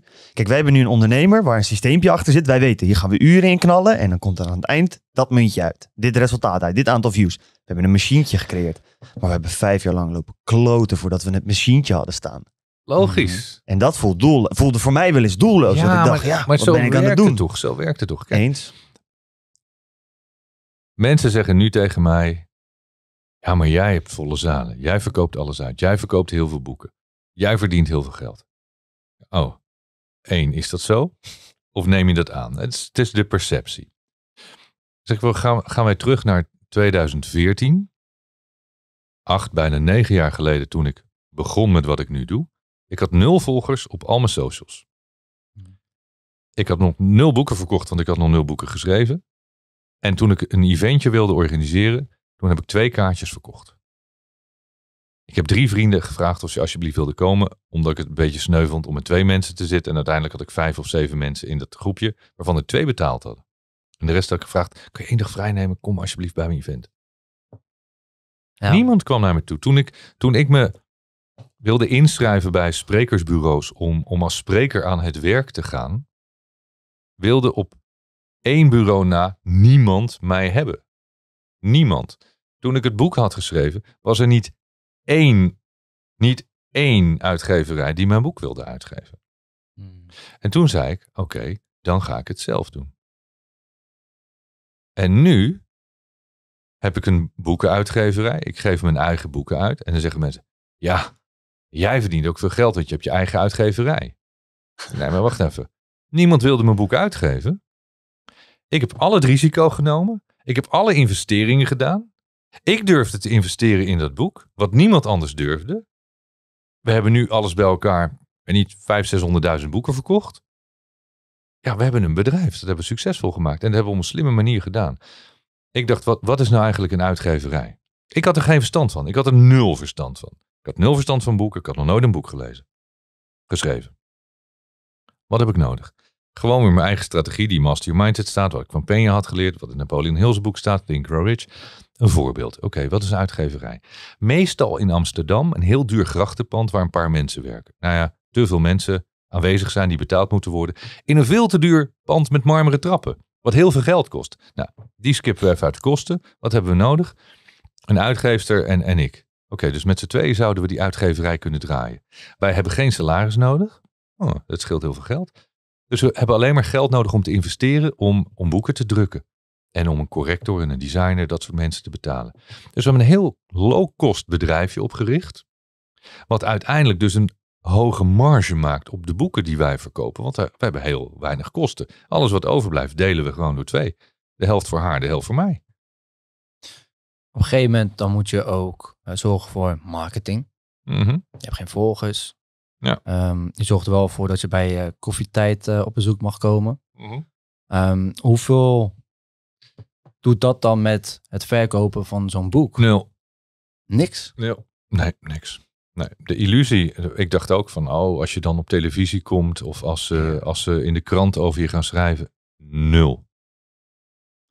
Oké. Dat is ook weer een hele interessante. Daarin merk je ook weer terugpakkend naar waar we het eerder over hadden. Adverteerders, wat jij dan eigenlijk in dat geval bent, maar dan Ja. voor jezelf, moeten heel goed weten waar ze gaan zitten en of die doelgroep geschikt is voor het bericht dat zij ver- Nou ja, ik, ik, verkondigen. ik dacht, eh, eh, koffietijd belde toen van, vind je het leuk om te komen praten? Oh yes, weet je. Ja, eindelijk, eindelijk een televisieprogramma. Niemand wilde hem hebben, ga ik daar zitten. En dan krijg je anderhalve minuut om kort wat te vertellen. Het is nooit tijd op televisie. In podcast kun je oneindig praten. Gaat het de diepte in? Gaat het soms nergens over? Soms gaat het wel ergens over. Maar op televisie gaat het bijna nooit ergens over. En er is nooit tijd. Mm. Daarom zul je mij nooit in een televisieprogramma zien. Het is, het is een medium dat niet meer bestaat voor mensen die al zo oud zijn, die, die niet meer doorhebben waar ze naar zitten te kijken. Normale mensen kijken geen televisie. Ik vind het leuk dat je dat zegt, ja. Is maar, ja oké, merk je dat ook om je heen? Want de normale mens zit met zijn prakkie op de bank voor de tv. Ik TV weet, te niet, ik weet niet of die mensen normaal zijn. Ja? En daarna gaan ze op Twitter allemaal roepen dat kut is wat ze zien op televisie. Dat zijn die mensen, die vinden zichzelf normaal. Ja. Nou, Ja. weet je, ik- van, van die mensen dis, distancieer ik me een beetje. Ja. En zonder te willen oordelen. Maar ja, ik, ik, ik, ik kijk bijna geen televisie. Bijna niet. Nee, ik kijk Formule 1, dat vind ik leuk. Ja. Ik kijk af en toe de Champions League, dat vind ik leuk. En, en af en toe kijk ik een goede film. Maar ik kijk, ik kijk podcasts en Ja. ik luister naar podcasts. Dat vind ik leuk. Daar, kan ik, daar, daar leer ik iets van. Of ik ga op YouTube ga ik iets zoeken dat ik denk van, daar, oh, dat vind ik interessant, dat vind ik mooi. En ik vertrek vind ik fantastisch. Ja. Heb jij, heb je specifiek soort van dingen op YouTube die je kijkt? Daar ben ik wel benieuwd naar. Want wij kunnen YouTubers oplepelen en dan zitten we hier morgenochtend nog. Maar ik ben heel benieuwd of, of jij ook bepaalde kanalen of mensen hebt. Ja, alle dertien dood noem ik ze. Oké. Eh, Hmm. jullie hebben een generatie die ik waarschijnlijk niet ken. Alan Watts. Oké. Oh, Waanzinnig. Al- Alan Watts, ja, die is, eh, weet ik veel, 100 jaar dood. Wanneer zal die? Ja, f- nou, ik denk dat hij al jaren 50 dood is. Alan Watts was een eh, Engelse priester. Ja, hoe moet je dat zeggen? Hij heeft een beetje het boeddhisme naar het westen gehaald. Heeft daar boeken over geschreven. The Way of Zen. Eh, magic stem. Als je die stem hoort, heel veel van zijn, eh, van zijn talks die zijn opgenomen. En daar hebben mensen heel veel mooie YouTube filmpjes op eh, gemonteerd. Cool. Eh, Eentje is van eh, What if money was no object? Dus wat zou je doen als geld en tijd niet zouden uitmaken? Ja, een waanzinnig filmpje. Die stem is magic. Volgens mij heb ik, eh, misschien die, ik durf het niet precies te zeggen, maar volgens mij is dat echt een uur lange video. En die heb ik gewoon geluisterd toen Kees ging slapen. En Alan dan heb ik Watts. Gewoon Alan Watts heb Oh, dit- opgezet. En dat was gewoon een letterlijk een talk. En dan was het dan Oh ja, er zijn er zoveel. En toen dacht ik Het is zo mooi. Het is zo magic. Ja, ja, Dus, ja. dus eh, ja, dat luisterde ik dus toen ik, eh, weet ik veel, 2, 3, 4, 25 was al. Eh, maar dan de cassettebandjes. Nou, dat is echt een eh, prehistorisch eh, drager natuurlijk. Ehm, Jim Ron. Ja. Kijk ook ik. heel veel. Dat is natuurlijk eh, de leraar van Tony Robbins. Eh, ik heb heel veel Tony Robbins gekeken, maar ik, ik vind Jim Ron gewoon heel fijn. Bob Proctor kijk ik eh, nog Ja. steeds wel een beetje. Ehm, Robert Kiyosaki. Mhm. Ja. Eh, De, de podcast van eh, Robert, eh, ja, kijk toch elke week wel. Ehm, ja, Andrew vind ik geweldig. Ik vind Andrew Tate geweldig. Ja. Kijk, Mooi. cool. kijk, ik vind het leuk. Ja. En wat, eh, wat vind je zo mooi aan hem, Andrew Tate zelf? Omdat ik heel veel wat hij eh, zegt, daar, daar herken ik mezelf in. Ik, ik vind het leuk om, om, eh, om dat te horen bij hem. Eh, ik vind hem heel inspirerend. Ik vind hem heel recht door zee. Heel gewoon, ja, as it is. Mhm. Vind ik heel interessant, hè? Dat jij komt op mij over als best wel een rustig persoon. eh, genuanceerd. Dat ben ik ook denk ik wel. Ja, ja, zeker. ja. Ja, je, je luistert, je bent vrij eh, rustig. Maar eh, mensen waar je graag naar kijkt, of mentoren, een- Dan Peña of een Andrew Nou, Tate. dat- Penja is natuurlijk wel... ja, dat, dat is, vind ik zo grappig. Eigenlijk, ik denk, maar ik weet niet zeker, ik zou het even van Dan moeten vragen. Ik denk dat Andrew bij eh, Dan is geweest. Want Andrew Tate heeft zoveel letterlijke one-liners van Dan Peña, dat hij of heel veel video's van, van Peña heeft gekeken of hij is er geweest. Maar Ja. ik, ik hoor zoveel terug in wat hij roept, dat ik denk van, ah, dat, dat, dat kan geen toeval zijn. Ben ik wel benieuwd. Sowieso zou dat is een interview dat moet plaatsvinden. Dan Peña en Andrew Tate. Ja. Ik denk dat dat echt het internet Zou breken. Ja, hij, hij is wel een beetje, hij is wel een beetje de moderne, nieuwe Peña. Peña is natuurlijk wel Ja, oud en van een vorige generatie. En bij heel veel dingen denk ik ook, kijk, zijn inhoud vind ik heel goed. De manier waarop die dingen roept, denk ik wel eens van, ja, het is een beetje character geworden. schreeuwerig. Ja, ho- ho- hoeft niet van mij. Mhm. Maar inhoudelijk eh, heel goed. Maar daar komt een skill naar boven, waar wij, waar wij hameren daar altijd op. Maar dat is een skill die weinig mensen rijk zijn, maar die de wereld denk ik op grote schaal zou kunnen veranderen. En dat is, kijk niet naar hoe iets wordt verteld, maar wat er wordt verteld. Ja. Dus niet wie, Ja. niet de manier waarop, maar ga nou eens voor je nadenken. Kan ik hier wat van leren? Ja. En, en dat doe je goed. En dat vind ik een hele mooie skill. Ja, ik denk dat eh, de wereld heeft heel veel problemen. Eh, de meeste mensen hebben geen zelfwaarde, geen eigenwaarde, geen zelfdiscipline. Dat, dat zijn denk ik de, de twee absolute missing links voor de meeste mensen die niet het leven leven zoals ze dat graag zouden willen. Ehm, de, de, de grootste missing link is dat mensen niet weten hoe ze willen leven. Ze hebben geen doel, ze hebben geen droom. Niet iedereen. Hè? Ik heb het over de groep die, die niet weet hoe ze de invulling aan moeten geven. Maar heel veel mensen missen zelfdiscipline en eigenwaarde, waardoor het fout gaat. Hoor je Peña en, en Andrew Tate ook heel veel over praten. Maar toen ik leerde, en ik geloof dat ik dit leerde van eh, Ronald Kaan, van Coolcat, goede ondernemer ook. Volgens mij zei hij toen, luister niet alleen naar de buitenkant, naar de toon, maar luister naar de inhoud. toen dacht ik van wauw. Er wordt zo vaak over Den Peña, maar ook vaak over mij. Hè. Dus heel vaak eh, kritiek, er zijn oordelen op hoe ik dingen roep en kort door de bocht. En, en vaak als er zo'n snippet uit, uit zo'n gesprek als dit wordt gehaald, dan, dan is er altijd zo'n zin. Dat is net als de kop in de krant. Ja. Ja. ah, ah, ah, wacht even, je moet ook de rest van het uur even luisteren. Dat doen mensen meestal niet. Hebben ze geen zin in, geen tijd voor. En het is ook lekker om te kunnen oordelen. Hè? Ja. Maar ik vind het heel mooi wat je net zegt. De wereld gaat veranderen. Als mensen gaan luisteren naar de inhoud en niet oordelen op, op de buitenkant. Maar mensen luisteren niet omdat ze doof, stom en blind zijn en het vermogen niet hebben misschien. De, de, ze zijn niet deskundig genoeg om te kunnen luisteren. Het is heel moeilijk om te kunnen luisteren. In relaties ontstaan de meeste problemen door miscommunicatie. Omdat mensen elkaar niet begrijpen en niet naar elkaar luisteren of willen luisteren Mhm. alle problemen in de hele wereld ontstaan omdat mensen elkaar niet begrijpen. Het is mindset. Het is, ik kan niet begrijpen dat jij anders denkt dan ik. En ik vind dat mijn waarheid de werkelijkheid is. En ik snap niet dat jij niet begrijpt dat mijn werkelijkheid de juiste is. En dan is het oorlog. Hoe snel kan jij die percepties switchen? Dus wat ik bijvoorbeeld merk, voorheen toen jou en ik begonnen met samenwerken, hadden we soms discussies en dan waren we gewoon een uur waren we aan het kloten met elkaar en hadden we gesprekken erover. En zeiden we op een gegeven moment, ja laat maar. Heb je gewoon een uur verspeeld. Super veel energie. Daarna moest je weer gaan concentreren. Is het verspild? Laten we zo zeggen. Meestal nu verspillen we die tijd helemaal niet meer. Zijn we twee minuten mee bezig. Bro, zijn even een keer bezig. Maar dan je kunt, je kunt het ook zien als leerproces. Ja, zeker. Ja. altijd, Ja, ja, altijd. ja. Ja, Ja. zeker. Dus, dus er is misschien niet een direct, ehm, niet een direct resultaat. Maar het proces was nodig om daarna tot, tot een andere manier van met elkaar omgaan te komen. Ja, En dat is een leermoment, dat is belangrijk inzicht. Ja. Zeker. Ja. Je leert echt Eens. met bepaalde woorden in, in communicatie. Ik merk bijvoorbeeld, en, en Jaro kan het heel goed benadrukken, dat ik bijvoorbeeld wanneer ik geïrriteerd ben, en dan zegt hij het gewoon letterlijk, je bent geïrriteerd. En dan probeer ik niet geïrriteerd te praten, maar zo kom ik wel over. En dan hoort hij het wel zo en zegt, Ja. hij, luister, ga normaal praten, weet je wel. En dat, is, dat merk ik wel van, oké, het doet mensen wel heel erg veel, terwijl zelf ben ik daar heel onbewust mee bezig. Ik ben heel erg onbewust wanneer ik of heel lief tegen iemand praat, of juist ja, toch wel een beetje, misschien een beetje flauw ben of kort af, of heel erg kritisch, of misschien zelfs boos overkom. Ook hier weer, eigenlijk dan terugkomend.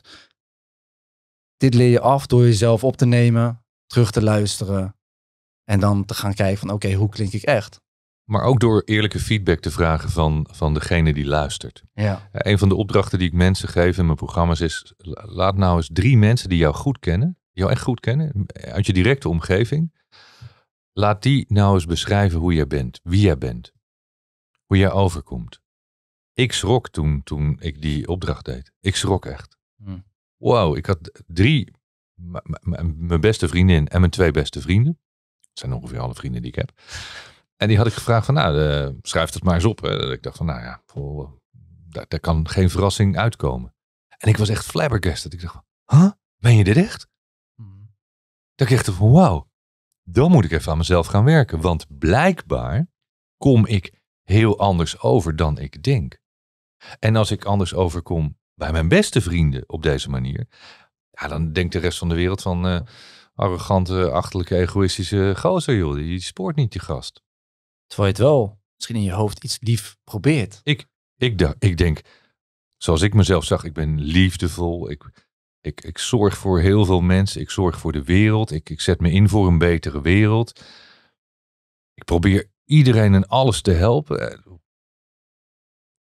Ik ben heel rustig, eh, begripvol. Ik, ik luister. En toen zeiden ze, nou, het gaat bij je altijd over geld. En eh, je bent zo asociaal, want eh, ja, je komt nooit op verjaardagen. Dat klopt. Eh, als, als je uitgenodigd wordt, kom je bijna nooit op feestjes. Dat klopt. Toen mijn moeder was overleden, toen heb ik gevraagd of je mee wilde gaan naar de begrafenis. En toen zei je, ja, hoezo? Ik heb haar toch nooit gekend? Toen zei ik, ja, maar en jullie lachen. Maar ik dacht, Cindy zei ook van, ja, snap je dat er niet? Ik zeg, wat? Je gaat toch niet voor, voor zijn moeder, je gaat toch voor hem Jij bent zijn beste vriend. Hij vraagt of je meegaat naar de begrafenis van zijn moeder. Nou, Oké, ja, dan had hij dat moeten zeggen. Snap je? Dus dit drong niet tot mij door. Alleen in de laatste 15 jaar heb ik dit allemaal moeten leren. Dus tussen mijn, nou ja, pak een beetje. Nadat ik mijn bedrijf verkocht had tot nu, heb ik al dit soort dingen moeten leren omdat ik dat niet zag. Ja. En ik dacht, maar ik ben toch heel lief en heel aardig en met heel veel compassie ga ik om met mijn vrienden. Maar in hele cruciale momenten was ik er niet voor ze, zonder dat ik het door had. En als mijn vriend had gezegd, hey, ehm, want die kennen mij, ehm, ik zou het heel fijn vinden als je voor mij er bent, had ik gezegd, natuurlijk, dan ga ik mee. Maar ik zag dat niet.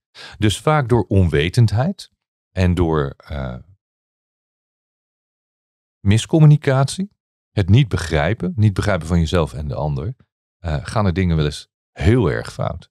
Is dat ook misschien de praktische aard van de ondernemer? Want ik, ik merk zo'n soort ding ook wel dat ik soms, omdat ik, hoe wij communiceren is super duidelijk, altijd recht voor je. Omdat als ik er een doekjes om ga winnen, duurt het weer drie minuten langer. En die drie minuten kan ik er afschaven, dus dat doe ik niet.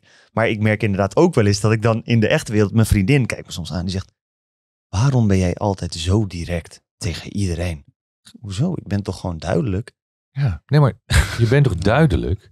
Kijk, ik, ik zeg altijd, waarom moet je altijd vijf minuten ouwe hoeren voordat je vertelt waar je voor belt?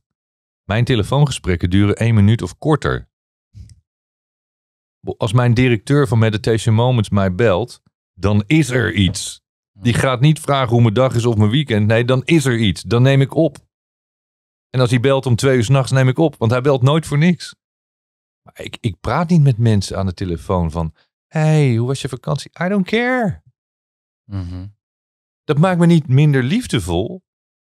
Nee, ik, ik geef heel veel om jou. Ik bedoel, ik ken, ken jullie een paar uur. Ik geef om je als mens, als ondernemer. Maar wat je met je leven doet, is aan jou. Ik hoef het niet te weten.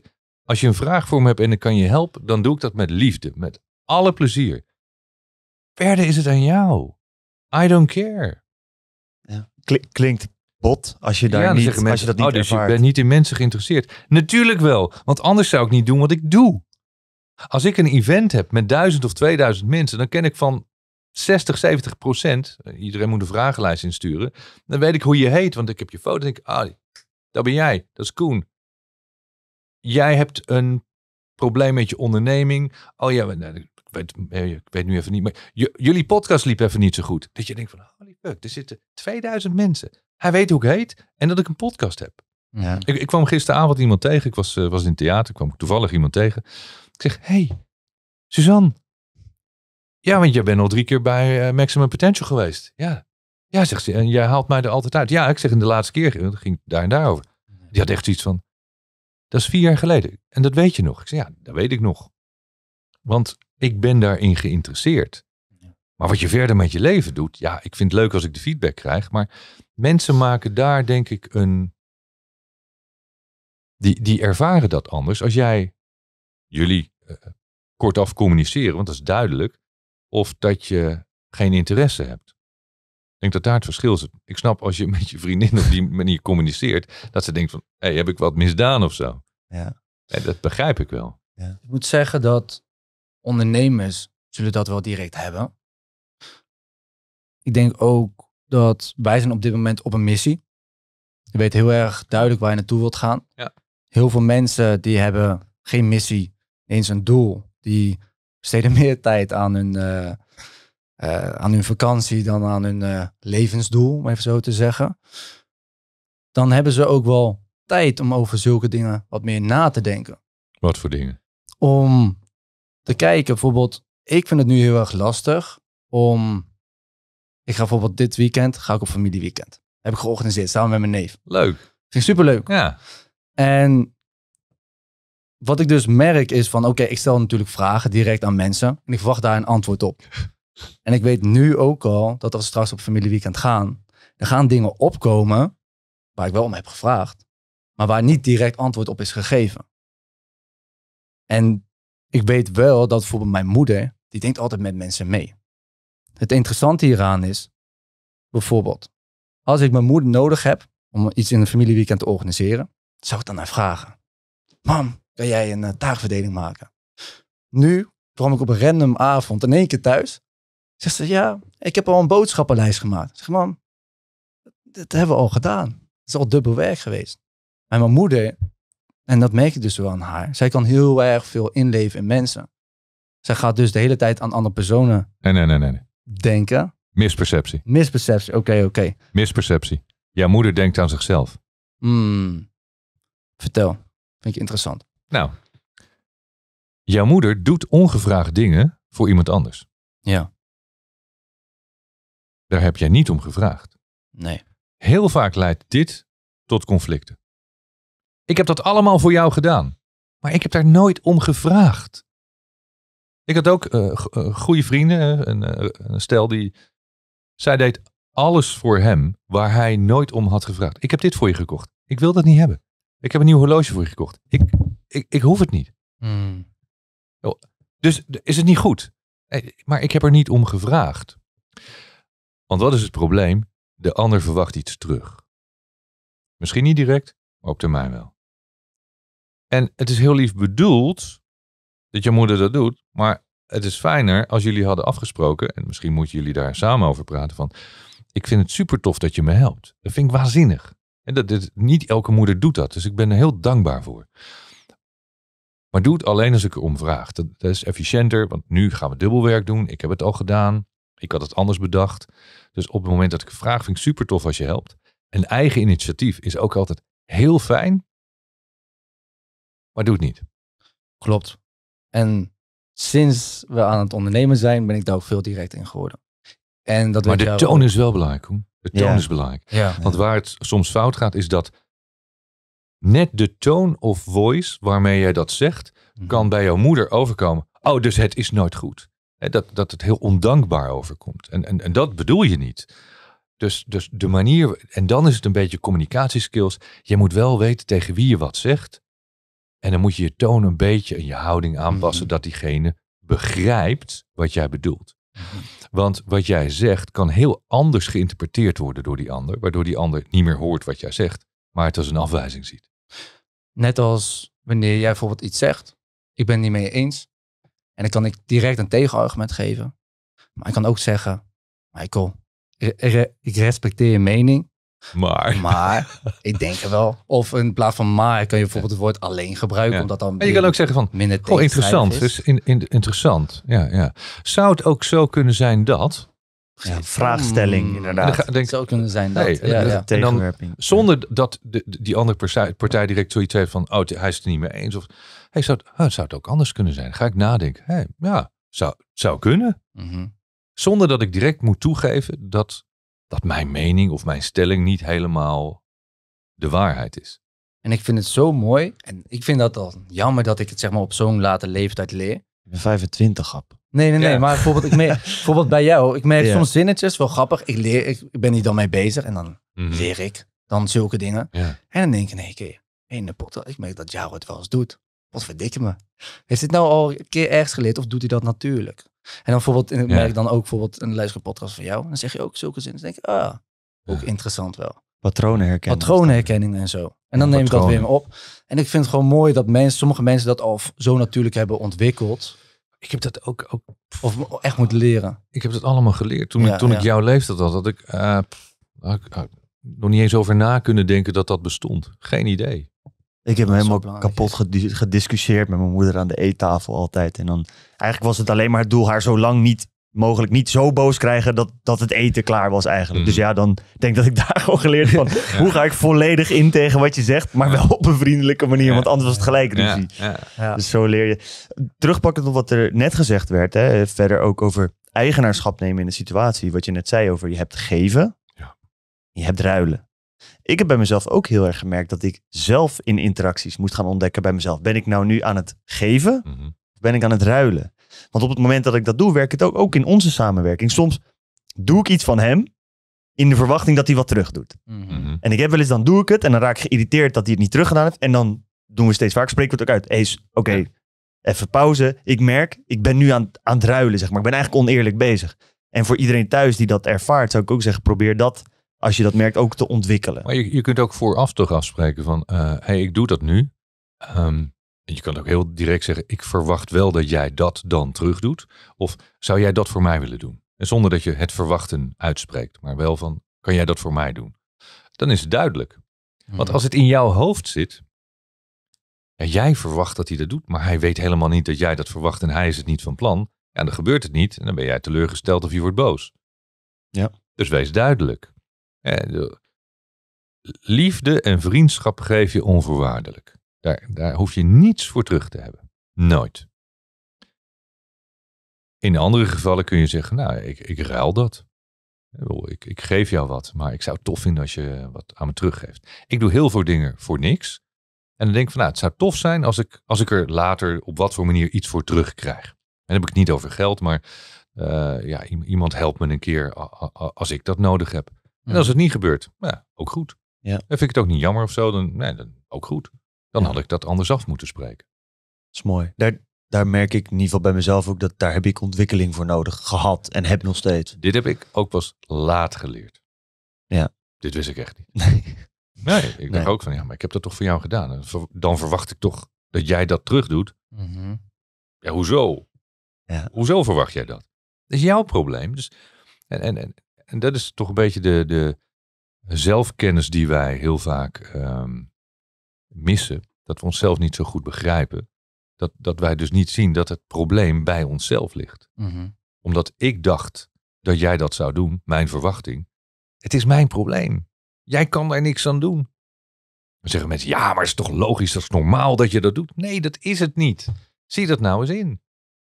Ja, en, en zelfs al zou het normaal zijn, als ik het niet gevraagd heb, dan is het nog steeds een verwachting die Ja. je oplegt. Ja. Zonder dat je het gezegd hebt. is mooi. Goeie om mee te nemen, denk ik. Ja. Michael, iets wat heel veel mensen zich afvragen eh, in onze DM's en dat soort dingen. Uh-uh. Ja, daar ga je. Ehm, jij hebt heel veel ervaring opgedaan in business, in mindset. Nou, daar hebben we net al allemaal over gehad. En dan hebben we de klassieke vraag. En ik ben heel benieuwd naar je antwoord, want ik heb hem nog niet in andere podcasts gehoord. Michael is weer 24. Hij wil een miljoen verdienen. Maar hij weet niet zo goed hoe en wat. Je staat weer eigenlijk op nul. Wat zou jij dan nu doen met de kennis die je nu hebt als je weer 24 was? Maar wel dat ik 24 was en de droom had om bij de radio te werken en ik werkte bij de radio. Niet eens per se. Het mag, daar, daar mag je ook... het had alles mogen zijn. Ja, het is meer van als jij Ja. nu met de kennis die je nu hebt weer zou moeten beginnen aan succes. Zoals veel mensen die luisteren. Dan zou ik eh, wel gaan onderzoeken waar mijn voorliefde zou liggen. Dus mijn, mijn passie, merk ik, is soms een misleidend woord. Eh, Vorige week kwam er iemand naar me toe en zei: Ja, maar je zegt altijd je moet passie. Je passie? Ik zeg: "Maar wat, wat, wat is het probleem? Ja, met passie moet je toch eh, je bed uitspringen. ochtends moet je de hele passie, passie, passie. Ik zeg: Nee, je moet gewoon iets doen wat je leuk vindt. Oh, is dat ook goed? Ja, oh, dus ik ben een beetje gematigd met het woord passie. Maar ja, iets waarvan ik denk: van ja, dat wil ik doen. Weet je, gek. Ik wil niet stoppen. Ik hoef niet naar bed. Ik wil, ik wil hiermee doorgaan. Stel dat, dat radio niet mijn liefde was geweest. eh, met de kennis die ik nu heb, zou ik nu direct een onderneming beginnen. En in jouw geval dan nu, wat zou dat dan zijn? Nou, ik vind, dat is natuurlijk heel moeilijk. Ja, om, omdat ik, ik. ja, ik, ik doe nu wat ik doe. En dat vind ik heel leuk. Anders zou ik dit niet doen. Ehm, ik, ik, ik ben niet heel erg van een handelsonderneming dat ik dingen ga inkopen en verkopen. Ik hou van mooie dingen maken. Dus ja, ik vind de boeken die ik uitgeef zijn altijd mooi. Ik, ik kan meer winst maken door ze goedkoper te produceren, maar ik wil mooie boeken maken. Ik wil mooie events geven, dus ik kan meer winst maken door kosten te snijden en het goedkoper te maken, maar ik wil mooie dingen maken. Dus ja, ik zou, eh, ik zou mooie dingen willen maken. Ik, ik vind nu bijvoorbeeld ehm, in het theater, ik had nooit gedacht dat ik het theater in zou gaan, maar ik vind het fantastisch. Het is sprookjesachtig. Ik sta op podium, mensen luisteren. Er is een bepaalde magie. Ik kan verhaaltjes vertellen. Ik kan verhaaltjes verpakken om boodschappen die ik graag wil overbrengen, ja, op een bepaalde manier te vertellen. Ik vind dat mooi. En dan denk ik van ja, misschien zou ik daar wel iets meer mee doen. Dat ik theaterproducties zou doen, zoals Joop van den Ende gedaan heeft. Dat was ook zijn grote liefde. Televisie was nooit de grote liefde van Joop van den Ende. Dat is, dat is ontstaan. Maar zijn liefde was theater, in carré, mooie dingen maken. Dus dat zou ik denk ik wel doen. En eh, wat ik heel leuk vind, dat doe ik ook. eh, huizen kopen en dan eh, ja, beetje strippen en, en, en opbouwen en mooi maken en, en dan doorverkopen. Dat vind ik mooi. Ik hou ook van. Ik, ik, Cool. ik hou van dingen maken. Ja. Mhm. Ik hou van mooie dingen maken. Dus ja, ik, ik maak dan huizen en dan eh, nu ook onze eigen huis weer. Dat, dat mensen denken van, waarom stop je er zoveel geld in? Dan heb ik mooie kranen gevonden. Echt waanzinnig mooie kranen. Ja, echt belachelijk duur. Maar het is wel heel mooi. En ik vind ja, ik word daar blij van. Dus als mij dat nou blij maakt, nou ja, dan geef ik daar mijn geld aan uit. Ik verspil het niet. Dat- vind ik mooi, dat vind ik leuk. Maar om terug te komen op je vraag. ehm, ik denk dat er zoveel interessante ondernemingen zijn. Eh, er is zoveel online te doen. Waar...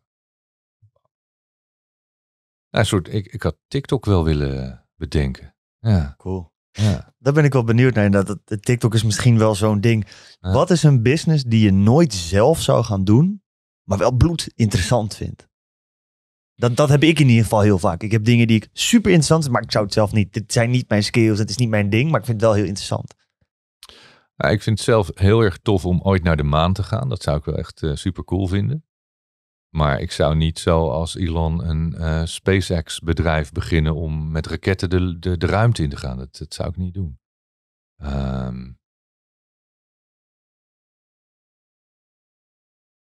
wat, wat zou jij wel interessant vinden, maar wat zou je niet willen of zou je Ja. niet doen? Ik vind, eh, ik vind heel veel dingen interessant. Ik vind vooral het hoe kan ik van een idee iets maken dat veel mensen wat impact heeft op mensen en Mhm. waar geld mee verdiend kan worden. Wat Ja. dus eigenlijk een viable business kan zijn. Ehm, bijvoorbeeld het ontwikkelen van een game. Ik heb heel veel gegamed. Zoiets lijkt me super tof. Of het hebben van een valutahandel broker. Dat zie ik dan mensen doen en denk ik super vet. Allemaal algoritmes en veel geld en Ja, Ja. heel snel wereldje. Ja, dat vind ik dan ook wel. En die marketing is ook heel cheap, weet je wel, met van dure bakken en dat soort dingen. Maar vind ik dan wel toch wel iets dat ik denk, ja, wel grappig. Soort van, ik zie dat trucje wel. Ik ben benieuwd hoe ik dat zelf zou kunnen doen en of het heel anders. Dus dat zie ik veel. Maar dan denk ik wel van, ja, ik merk ook, mijn expertise ligt bij het maken van content. En dat vind ik heel leuk. Dus dat ga ik gewoon blijven doen. Uh, uh, ik- ik merk als het cheap wordt, of eh, show-off, of te, te dure auto's, eh, en dat is niet mijn wereld. Ja, En, en snel geld verdienen, heb ik volgens mij al gezegd, ik geloof er niet in. Ik, Mhm. ik weet dat sommige mensen het doen, ik, ik geloof er niet in, ik, ik kan het niet. En heel veel geld verdienen hoeft ook niet. Ja. Ik geloof wel in, in, ik moet er wel heel veel plezier in hebben. Ja. Stel dat ik nu weer, wat ik, wat ik best wel een tijd gedaan heb, de hele dag eh, zou gaan handelen. Nou, ik zou nu bijvoorbeeld de hele dag in crypto kunnen handelen. Ah, ik, heb- het- nee, het, zou me niet. Al zou ik er heel veel geld mee kunnen verdienen, I don't care. Ja. Ik vind het niet leuk. nee, Mhm. snap ik. Ik denk ook wel dat een van jouw sterkste krachten is natuurlijk ook gewoon je stem. En die gebruik je al sinds jongs af aan. Ja, ja. Jij hebt dat ook. Weet je, Ja. je voelt je echt. Ik denk in een ander leven. eh, als ik zeg maar was opgegroeid en bijvoorbeeld geen HBO-studie had gedaan. Of op de middelbare niet zo eh, had hard had geknokt voor mijn opleiding. Ja. Dat ik iets met mijn handen zou gaan doen. Ja, ja. Weet je wat jou, mijn, va, mijn pa is ook een eh, handyman. Die maakt alles. Ik denk dat, ah, Ik, ik, denk, dat ook wel kunnen. eh, eh, nu hè, in de wereld waarin wij nu leven, dat is een tip die ik meegeef, is het denk ik heel erg handig om met je handen te kunnen werken. Ja. Als straks door whatever reason de shit echt uitbreekt, dan gaan mensen ineens iemand nodig hebben die eh, elektriciteitsdraadjes aan elkaar kan knutselen, een, een, loodgieter die kan zorgen dat er eh, waterleidingen zijn, afvoer. Weet je, handyman. Goud, goud, geld, gouden handel. Want, want daar is straks behoefte aan. Hoe kan ik mijn eigen eten verbouwen? Weet iemand dat? Nee, I don't fucking care. Nee, ik zit te dropship. Ik ben eh, oude schoenen aan het eh, schuiven. Ja, maar straks is dat even niet meer de eerste prioriteit. Straks willen we weten hoe we kunnen eten, hoe we onszelf in leven kunnen houden. Als- er echt een situatie komt dat er, dat er paniek is of dat, er, dat, er, dat het wat moeilijker wordt in de wereld, dan zijn dit belangrijke dingen. Kan jij met je handen, kan je wat? Kan je een huis bouwen? Kan, kan je iets? Dat is trouwens wel een goeie over een business waar ik heel graag in zou gaan. Die, dat is aannemer. Als ik opnieuw zou kunnen beginnen nu en echt 16 zou zijn, en dan, dan zou ik aannemer worden. lijkt me geniaal. Want je bouwt iets, vet. Je maakt echt iets. Je, je bedenkt Ja, iets in je ja. hoofd, maar het is wel ook nog heel ondernemend. Dus je hebt Ja. wel een team en die laat je dat uitwerken. Dus je bent niet met alles echt in. Dat, dat lijkt me echt Maar als je nou slim zou zijn nu, ik weet dat eh, een paar mensen daarmee bezig zijn. Als je, als je slim bent en je ziet dat er vanuit de overheid en alle, alle weet ik veel, overheden in, in de wereld, wordt er opgelegd dat alles duurzaam moet en alles moet eh, eh, geïsoleerd en weet ik veel. je hebt allemaal regelgeving. Dan moet je alle installatiebureaus nu gaan opkopen. Je moet zorgen dat je een heel groot bedrijf hebt dat al die verduurzaming gaat uitvoeren. Want dat moet namelijk. Je weet dat dat moet. Iedereen moet aan die regels gaan voldoen. Dus iedereen moet straks, of het nou wel of niet werkt, zonnepanelen, warmtepompen, alle shit. Dan ga dat dan doen. Vind ik een heel interessant bruggetje naar iets waar ik heel benieuwd naar ben. Jij bent op een gegeven moment bij Dan Peña geweest. Want voor de mensen die dat niet weten, jij had goede centjes verdiend bij de radio. Ja. Jij bent die gaan beleggen in opties. Nee, nee. Oké, beleggen is iets anders. oké. Ik had drie, drie wijze mannen om me heen die zeiden dat moet je beleggen in vastgoed, Ja. stenen. Meneer Kranza en meneer Zegwaard en meneer Bordewijk die zeiden dat moet je in vastgoed, stenen gaan beleggen of in obligaties. En mijn vrienden toen de tijd, een beetje midden eind twintig, die werkte op de optiehandel, op de optiebeurs. En die zeiden nee Mike, je moet in opties. Maar dat is niet investeren, dat is handel. Mhm. En ik, ik vond dat een goed idee. Ik had er geen verstand van. Eh, en ik ging dat doen. En ik was binnen no time al mijn geld kwijt. Ik heb er ook veel mee verdiend, maar veel meer mee verloren. Dus toen, pff, kort verhaal, duizend keer verteld, al, toen was alles weg. Had ik een schuld, 2 miljoen moest ik terugbetalen aan de bank. Bijna 2 miljoen. Gulden. Ja, valt mee, 1 miljoen euro. nou ja, Mhm. maar het klinkt, het, het is veel. Het klinkt veel. Ja, tuurlijk, het is veel. Eh, en toen voor mij eh, uitzichtloos veel. Dat ik echt dacht van, ja, hoe ga ik ooit in mijn leven dit nog goed maken? Maar toen kwam ik Peña tegen. Want ik had het boek van die Bodo Schaefer gelezen. En toen dacht ik, nou, dan ga ik nu naar, eh, naar Schotland, naar Peña. En Peña heeft mij echt in een week geleerd hoe een onder, dat je een onderneming kan kopen. Dat je, dat je hem niet hoeft op te bouwen zelf. Maar je kan gewoon een, bedrijf kopen van iemand anders. Als jij een bedrijf hebt en jij hebt een bedrijf. Denk, en, nou, en ik wil dat kopen. Dan zeg ik, eh, wat kost het? Ga ik onderzoeken. En dan koop ik jullie bedrijven. En die voeg ik samen. En dat doe ik nog een paar keer. Dan heb ik tien bedrijven. En dan ga ik dat in die tijd eh, naar de beurs brengen. Rond eh, 2000 ging elk bedrijf IPO naar de beurs. Of, of je verkoopt het weer. Dat kan ook. En je gaat dan naar de bank toe om Ja, die lening naar- te Ik krijgen. ben naar de bank gegaan, ja. En dan krijg je 500.000 euro. Ja. en Hoe doe je dat? ja, het is meer van, je hebt daarna, loop je de bank uit inderdaad. Je Ja. van, oké, nu heb ik eindelijk weer een beetje geld. Dat Ja. is goed. Ja. En dan moet je inderdaad actie gaan ondernemen om andere bedrijven eh, te gaan opkopen. Ja. Hoe snel is dat gegaan? Heb je gewoon een paar bedrijven gekozen? Heel is dat snel. heel strategisch gegaan? Ehm, ja, dat, dat heb ik wel strategisch eh, gedaan. Ehm, en de Mol was toen eigenlijk de enige grote contentmaker. John de Mol, Joop van Ende, die maakte heel veel content en die deed denk ik iets van een, een, ruim 1 miljard omzet. En ik wilde eigenlijk niet meer terug in de, in de entertainment, in de televisie, radiowereld. Ik vond het gewoon niet meer leuk. Dat was de reden dat ik ermee was gestopt. Maar ik wist wel dat er maar één ding was waar ik een beetje verstand van had. Niet heel veel, maar wel een beetje. Dat was die entertainment. En mensen kenden mij en ik kende mensen. Dus toen dacht ik, als ik nou alle andere bedrijven of heel veel andere televisieproductiemaatschappijen opkoop. En het was de tijd dat internet begon. Ik knutsel daar internet aan, dus ik begin een soort internetbedrijf. En ik heb content en we gaan een soort, ja weet ik veel, een soort YouTube beginnen. Uh, we gaan onze eigen kanalen, je, eigen, ja, je eigen uitzendstraat bouwen. En het enige wat ik had gedacht is, je moet heel niche gaan programmeren. Dus je gaat een kanaal maken voor auto's. Wat, wat nu eigenlijk alles op internet is. Je gaat een kanaal maken voor, voor huizen, voor woninginrichting, voor huisdieren. Gewoon in channels gedacht. En dan dus televisie maken op basis van die thema's op internet. Dat was het idee. En, um, en ik had die 500.000 euro bij de ING gekregen in uh, Amersfoort. En ik vertelde dat aan een paar mensen van, uh, ik ben bezig, dit is mijn idee. Het idee is deze bedrijven kopen. Die voegen we samen en dan gaan we of naar de beurs, of hebben een bedrijf dat, dat heel groot is. Dat had Penja mij geleerd. En toen uh, waren een paar van die jongens die ik kende, die zeiden, oh, maar dan ken ik wel weer iemand, die, daar moet je mee gaan praten en die wil misschien wel investeren. En een van die jongens die, die wil investeren, die kende weer iemand. Dus ging vrij snel. Jij vraagt hoe lang? Eh, Binnen twee maanden. Binnen twee maanden had ik eh, twee partners die 9 miljoen financierden. Ja. En de rest kregen we bij de bank. En ik kende een van de aandeelhouders van een bedrijf dat, in, eh, dat al die autoprogramma's maakte toen de tijd. Het was het bedrijf van Bob de Jong. En ik kende Wim Zegwaard, dat was de, de andere aandeelhouder, of eigenlijk de eigenaar van dat bedrijf. En toen zei ik, Wim, als ik dat bedrijf nou koop, kan jij mij daarbij helpen? Dan, eh, dan heeft Bob direct zijn pensioen. Hij is inmiddels al lang overleden, maar dan, dan betaal ik met, met mijn partners, kopen we het bedrijf, heeft hij zijn pensioen. Jij hebt jouw investering terug wat je ooit in het bedrijf hebt gestopt. En ik heb mijn eerste bedrijf gekocht. Dus ik had denk ik binnen vier maanden mijn eerste bedrijf gekocht. En dat kochten wij voor, ik denk 3 miljoen toen.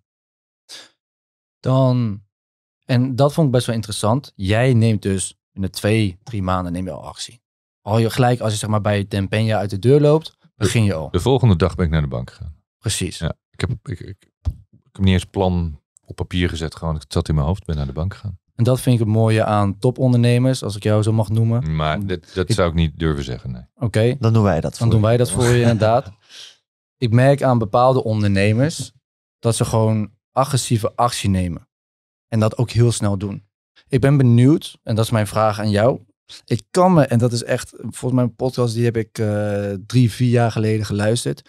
Dat je samen met een compagnon voor Den huis stond Klopt. om naar binnen te gaan. Ja, ja. Hoe is het met hem dan afgelopen? Heeft hij ook gelijk actie ondernomen? Ja, Ja. ja. we zijn met z'n tweeën zijn we naar hem toe gegaan. Sterker nog, eigenlijk, eh Peña gaf een seminar in Amsterdam in het Hilton. Zo'n dagseminar. En daar zijn we naartoe gegaan. En toen eh, dacht ik al van, wauw, dit is tof.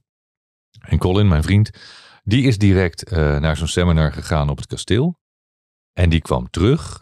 Er was echt heel veel geld toen. Hè? Ik bedoel, eh, hij was toen denk ik 24 of 23 en ik was 28. En dat was toen omgerekend, het, is nu 16.000 euro, dus het zou ongeveer dezelfde waarde zijn geweest. Dat was bizar veel geld. En, en, en hij zei, ja, ik ben daar geweest. Eh, jij moet daar naartoe, dit is te gek, we gaan er samen nog een keer naartoe. En toen zijn we in de auto gestapt naar, naar gegaan en die was ziek. Die belde af, althans de secretaresse belde op dat eh, het seminar ging niet door. En we hadden echt iets van, ja, maar we zijn 1-0 onderweg. En we komen gewoon en eh, we gaan gewoon net zo lang voor de poort liggen totdat, totdat jullie open doen. Nou, ze hebben ons echt wel een dag laten liggen, gewoon echt gewoon niet gereageerd. Maar na die dag was er toch iemand die dacht van ja, die twee mafkezen, die, die gaan echt niet weg. Ik moet wel zeggen, dit heeft mij eh, ook wel wat, wat minder prettige situaties opgeleverd, want mensen gingen dit bij mij ook doen. En die, die dachten, ja, maar jij ging bij Peña voor de deur liggen. En die gingen bij mij, toen, toen ik op Ibiza woonde, gingen ze voor de deur liggen. Of- Toen dacht ik, ja, gast, Mhm. dit werkt natuurlijk niet. En ehm, dus ja, Bij deze. bij deze, doe dat niet. Maar wij deden het en we werden binnengelaten. En toen, toen zijn we uiteindelijk eh, vijf dagen, vier nachten bij Peña geweest. En eh, daar heeft hij me dit geleerd. En Colin is ook direct in, eh, in actie gekomen. En die, ehm, die is toen met een ander maatje, eh zijn ze in de verzekeringen gegaan. Hm. En die hadden binnen, nou, ik denk binnen een jaar, eh 8 mil- miljoen aan verzekeringspremies. Ja. Ja. Heel erg interessant vind ik dit. Want eigenlijk wordt er dus iets uitgelegd in die vier, vijf dagen waar je best wel veel geld voor betaalt. Waarvan de meeste mensen denken van ja, ik ga echt geen 10 of 16k neerleggen voor een weekje coaching krijgen. Ja. Afgebekt worden. worden. Ja. Niet eens lief, Nee. niet eens leuk. Nee, nee. Krijg niet gewoon een kopje koffie en wat Nee. lekkers te eten erbij en zo. En je hoort van als er ruzies zijn, dan wordt er gewoon gevochten daar. Dan ga je gewoon Ja. niet in staan. Dan wordt er Maar ik, gewoon ik heb het ook in mijn boek beschreven. Hij heeft ons met de grond gelijk gemaakt. We waren, ik, nou, ik, was, ik was een vreselijke, eigenwijze, irritante gast die echt dacht van, nou, ik weet het allemaal wel. Nou, ik wist helemaal shit, weet je. Ik had het allemaal verkloot. Hij was toen 52, dus ga na, weet je. Hij was de leeftijd die ik nu heb. En ik zat er een beetje bij de hand te doen. Oh, jij tegen mij dan, eh, ja, en wat weet jij dan allemaal? En heb je dan echt eh, zoveel geld verdiend? Eh, hey, fuck you, weet je. Ga lekker naar huis, man. Dat ik dacht van, oké, ja, misschien moet ik toch even luisteren. Want fucking gast, die heeft dit kasteel niet gehuurd. Die woont hier gewoon. En die heeft een Rolls Royce en drie Ferraris. En, mm. en al die krantartikelen aan de muur. Ja, die heeft hij niet in elkaar zitten Photoshop. Het zal allemaal echt zijn. Er zijn heel veel mensen die zeggen ook, ja, die Dempeña, dat is een fake. Ik zeg, nou ja, I don't care. Weet je, al is die helemaal fake, al heeft die nooit bestaan. Hij mijn leven veranderd. Door hem heb ik nu wat ik heb. Door Ja. hem heb ik al die bedrijven kunnen kopen en verkopen. Dus ja, ehm, en waar ben jij hè? met al je kritiek? Mhm. Dus, dus ja, ik, ik, Vind ik een hele mooie mindset, want wij merken dat ook heel veel. Hè. Dat is natuurlijk nu helemaal in de coaching space, want iedereen verkoopt een cursus. Nou, het maakt niet uit, je kan alles leren tegenwoordig als je er eh, een prijs voor neerlegt. Mensen zijn heel druk met het, ik wil dit misschien wel gaan doen. En dan gaan ze continu op zoek naar, kan ik bewijzen dat die misschien niet legit is?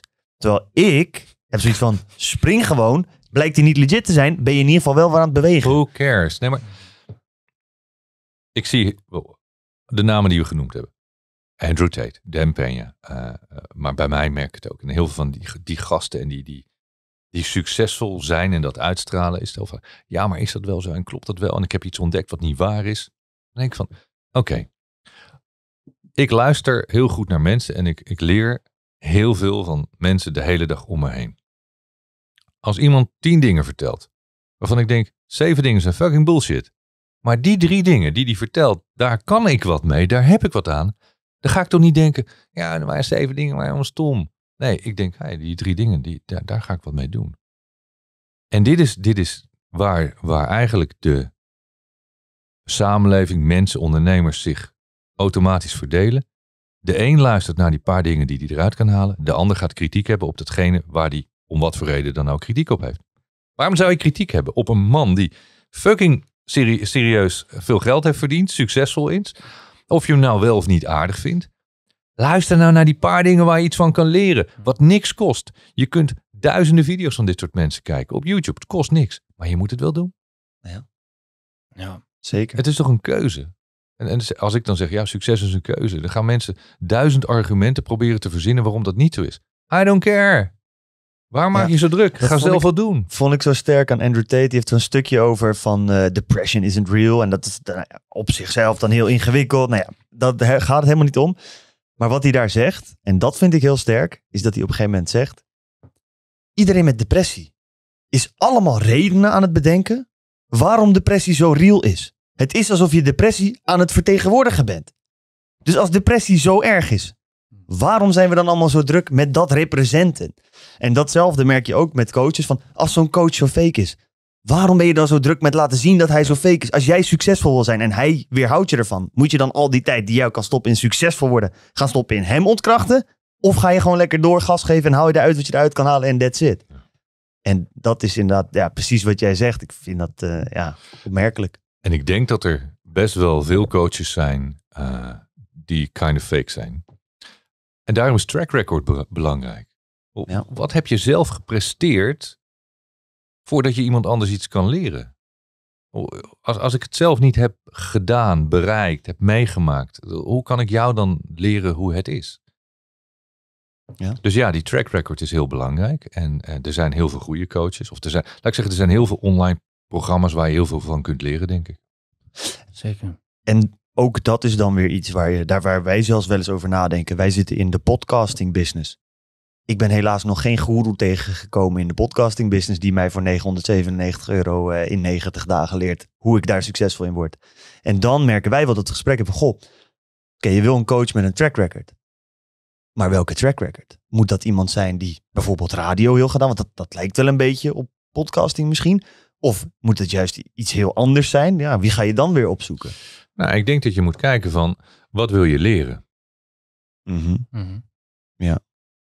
Kijk, die gozer van de radio, die... ehm, is dat de DJ? Die jou uit gaat leggen hoe het technisch werkt? Of is het degene die de commercials heeft verkocht?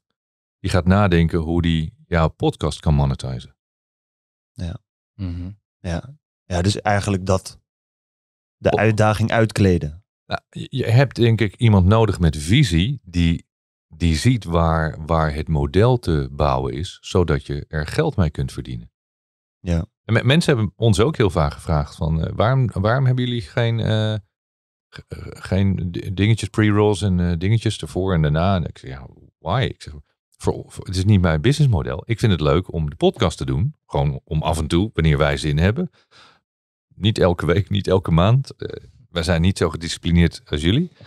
In het begin was dat wel de bedoeling, maar we doen het gewoon wanneer we er zin in hebben. Wanneer wij denken we hebben iets te vertellen. Maar we hoeven daar geen geld mee te verdienen. We doen het gewoon als exposure en we doen gratis iets. Als het je businessmodel is, dan moet je kijken van maar, maar op welke manier kan ik er dan geld mee verdienen? Is dat dan omdat ik heel veel luisteraars heb, dus ik bereik heel veel mensen? Of juist, ik heb jonge ondernemers, hele interessante doelgroep. Oké, als, ik, als ik dat kan aantonen, heb ik waarde. Dan ben ik interessant voor, voor adverteerders.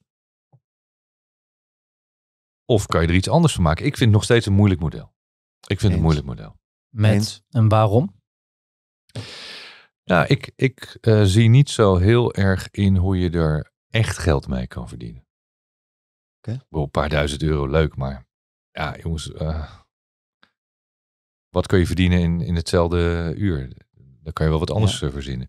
Eh, volgens mij, er zijn een paar mensen wel mee bezig. Giel Belen, die sprak ik van de week, die is ook bezig om, om dan een soort ja, advertentieplatformachtig iets te, te creëren, waardoor je dan advertenties hebt die dan op verschillende podcasten te horen zijn. Een soort, soort de ster van, eh, van de televisie of zo. Weet je. Ja. En toen dacht ik van, ah, dat is misschien wel een interessant idee. Dat er één verkooporganisatie komt voor, voor 100 podcasts. Ja. Dan denk ik, ja, daar, daar zie ik nog wel een model. Dat geloof Ja. ik wel. Ja, ik vind het zelf ook wel echt exciting juist. Omdat we dit vaak te horen krijgen. Ja. En ja, dan ben ik. Dan gaat die hond in mij los. Dan denk ik, Ja. watch me. En, en dan, en dan krijg je de andere en dan denk je, hé, maar wij zijn nu de podcastgoeroes. Wij gaan nu een online programma maken over hoe je een podcast maakt. Net Ja. zoals mensen die dan een programma gaan maken over hoe je online een online programma maakt. En dan vragen mensen serieuze bedragen voor. Dat is vaak toch wel eh 2, 3, 4.000 euro. Ja. En ik verbaas mij dan altijd dat dat heel snel verkoopt.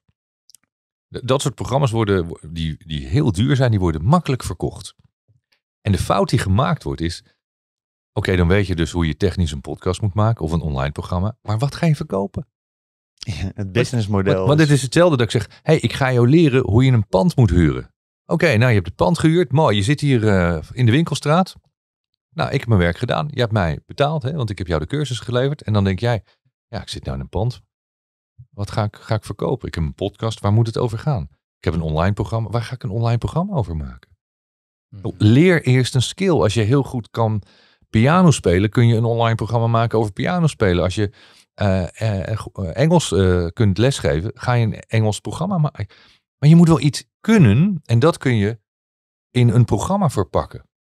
Dus mensen die iets kunnen, die ergens goed in zijn, die specialist zijn, die hebben iets te verkopen. Maar als je denkt, ja, ik ga een podcast beginnen, maar waarover? Dat is de verkeerde, verkeerde denkrichting. Ja, klopt. Dat, dat was bij ons ook wel. Het was, podcast was denk ik gewoon het middel dat zich wordt van toediende op met wat wij, het klopte met wat wij wouden doen of zo. We zagen het ook nooit als main business. Nee, Het is totaal niet. en- nu en sinds twee maanden. Sinds, sinds twee maanden. Ja. We zijn al drie, vier jaar bezig. Ja. Daarin ben ik wel benieuwd.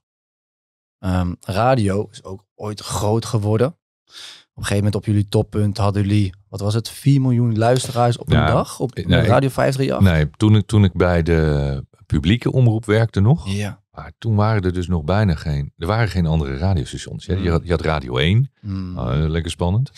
Toen, hè, bedoel, als je jong bent, vind je dat niet boeiend. En Radio 2 vond ik ook niet heel spannend. En, en Radio 3 en 4, klassiek. Dus ja, eh, als je naar popradio wilde luisteren, dan had je geen andere keuze. Hmm. Dus ik, ik, had toen, ik, ik deed een programma dat heette Muziek Terwijl U Werkt. Op Radio 2, woensdagochtend van 9 tot 12. En dan draaide ik echt ABBA en James Last. En echt, nou ja, echt dat je denkt van, hoe kan je dit verzinnen? Maar daar luisterden 4 miljoen mensen naar.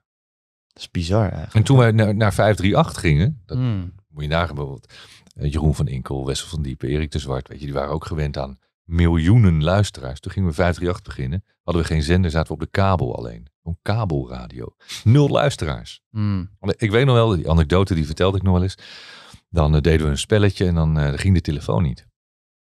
En we hadden, we hadden één telefoon en een fax. En dan moest je, je moest de kabel echt omprikken. Als je, als je moest faxen, dan dacht ik, oh, er wordt niet gebeld, iemand heeft de fax gebruikt. En dan ging ik kijken, denk, oh nee, de fax is niet gebruikt, de telefoon staat aan. Maar als er niemand belt, en ik geef een spelcomputer weg, en er belt niemand. Hmm, zou het dan kunnen zijn dat gewoon niemand luistert? Ja, dat was wel de conclusie. Dus Ja. je moet je voorstellen, toen 538 begon, hadden we bijna geen luisteraars. Gewoon bijna niet. Toch zijn jullie heel groot geworden. Uiteindelijk voor een mooi bedrag kunnen verkopen. Nou, ik niet hè, Jij niet. maar zij wel. Ja. Ja. Heb, Daar hebben ze goed gedaan trouwens. Precies. En voor hoeveel, wat was het bedrag? Volgens mij was het toen eh, iets boven de 200 miljoen. Dat is echt insane, hè? Ja. En dat komt omdat... Hè, Tien jaar dus later? Tien jaar later. Vind ik, Zeker weten. Vind ik snel. ontstaan uit een idee. Ja. Het idee om een radiostation te beginnen. Ja. En een groep mensen die allemaal wel de skill hebben om dat verder te ontwikkelen. Goeie mensen. Goeie Dream mensen. team. Daarom, wat jij zegt. Het is binnen tien jaar gebeurd. Als het niet zeg maar, de mensen waren met de juiste skills, had het misschien wel langer geduurd. Vind jij 200 miljoen binnen 10 jaar veel en snel? Ik vind, ik vind 200 miljoen heel veel. Ja, ja ik ook hoor. Ik ook. Ik vind ti- tien jaar, zeker toen, vind ik heel veel. Ik denk als je nu een bedrijf begint. eh, als je, stel dat je een hele goede app zou hebben. Er zijn natuurlijk een miljoen apps. Maar als je een hele goede app hebt. Dan denk ik dat je binnen. Als je het echt goed doet. Binnen vier, vijf jaar, zes jaar. Ook wel een bedrijf tussen de 100, 200 miljoen kan bouwen. Ja. Ja. Ja. Ja, dat is echt bizar snel. Vind jij dat... ehm, ik weet niet of steeds minder, minder mensen de radio luisteren. Ik weet niet of dat een ding is. Ik denk het wel. Ik weet wel dat ik weet steeds het niet, minder... maar ik denk het wel. Ja, ik weet wel dat steeds meer, minder mensen de tv, Ja. tv kijken. En meer, steeds meer YouTube gaan kijken. En steeds meer Spotify luisteren. En steeds meer On podcast. demand is het ding. hè? Dan verple- ja, dus de aandacht wordt dus verplaatst. En verdeeld. en verdeeld. Dat zorgt er wel voor dat de waarde misschien wat minder is of fluctueert misschien wat meer. Je ziet wel dat Spotify graag wil dat een Joe Rogan echt exclusief is voor Spotify en betaalt daar 100 miljoen voor. Helemaal geweldig. Een podcast zoals dit. Als je op een gegeven moment voor heel veel aandacht zorgt, dan heeft het een bepaalde waarde. Tuurlijk. Hoe kan je die waarde op een gegeven moment gaan inschatten? Want met een radio heb je op een gegeven moment, oké, we hebben zoveel bereik en dat is dus blijkbaar 200 miljoen waard. Met, je hebt heel veel podcastshows. Hoe kan je daar op een gegeven moment een waarde aan hechten? En je kent een waarde toe. Eh, normaal ga je een bedrijf, ga je, eh, noem je dat? Je gaat het waarderen. Dus je gaat kijken van wat is de waardering van een bedrijf. Dat is relatief, eh, relatief, want het is niet makkelijk, maar relatief makkelijk. Want je weet gewoon wat is de omzet, wat is de cashflow, wat is de winst, eh, wat zijn de verwachtingen, zijn er contracten, zijn er abonnementen. Op basis van een formule kan je, kan je dat wel berekenen. Ehm, dan kijk je naar wat gebeurt er in de benchmark en in de markt. Dan maak, je, maak je een realistische inschatting van, van de waarde van een bedrijf. Bij een podcast is het natuurlijk moeilijk. Als Spotify zegt, eh, wij zijn bereid om 100 miljoen voor Joe Rogan te betalen, is de waarde 100 miljoen. Eens. Dat is dan de waarde. Je, je hebt maar één, één bieder nodig, die bepaalt de waarde. En voor Spotify was het de deal van hun leven. Ja, ik denk dat ze dat goed gedaan hebben. Aandelen waren, eh, eh, de koers was direct, het bedrijf was een miljard meer waard in Ja. 24 uur. Dus Ja, Ja, ik denk dat dat is een hele goede. Dus op, ook, ook dit is weer zoiets. Hè, zo van, ja, is dat nou veel geld? Of was het een hele slimme investering? Nu achteraf zegt iedereen, ja, goede deal. Maar misschien straks niet meer. Want eh, er komt misschien een moment dat mensen denken, nou, we zijn die Joe Rogan wel zat. En het, eh, we kennen het nu wel. Dat kan, dat weet je niet. Ja. En wat gebeurt als Joe Rogan een eh, jaar geen podcast maakt? Hmm. Gaat de boel eh, flink dalen. Eh, Het is natuurlijk een, een, een, een bedrijf dat om één man heen is gebouwd. Dat, dat, het is een artiest. Het is geen bedrijf. Het, is- het is natuurlijk, hij, hij verkoopt feitelijk zijn licentie als artiest van zijn rechten. Maar als hij niks doet, is er, is er niks. Niks. Nee. Terwijl als jij een bedrijf hebt, ja, Tesla draait zonder Elon ook wel door.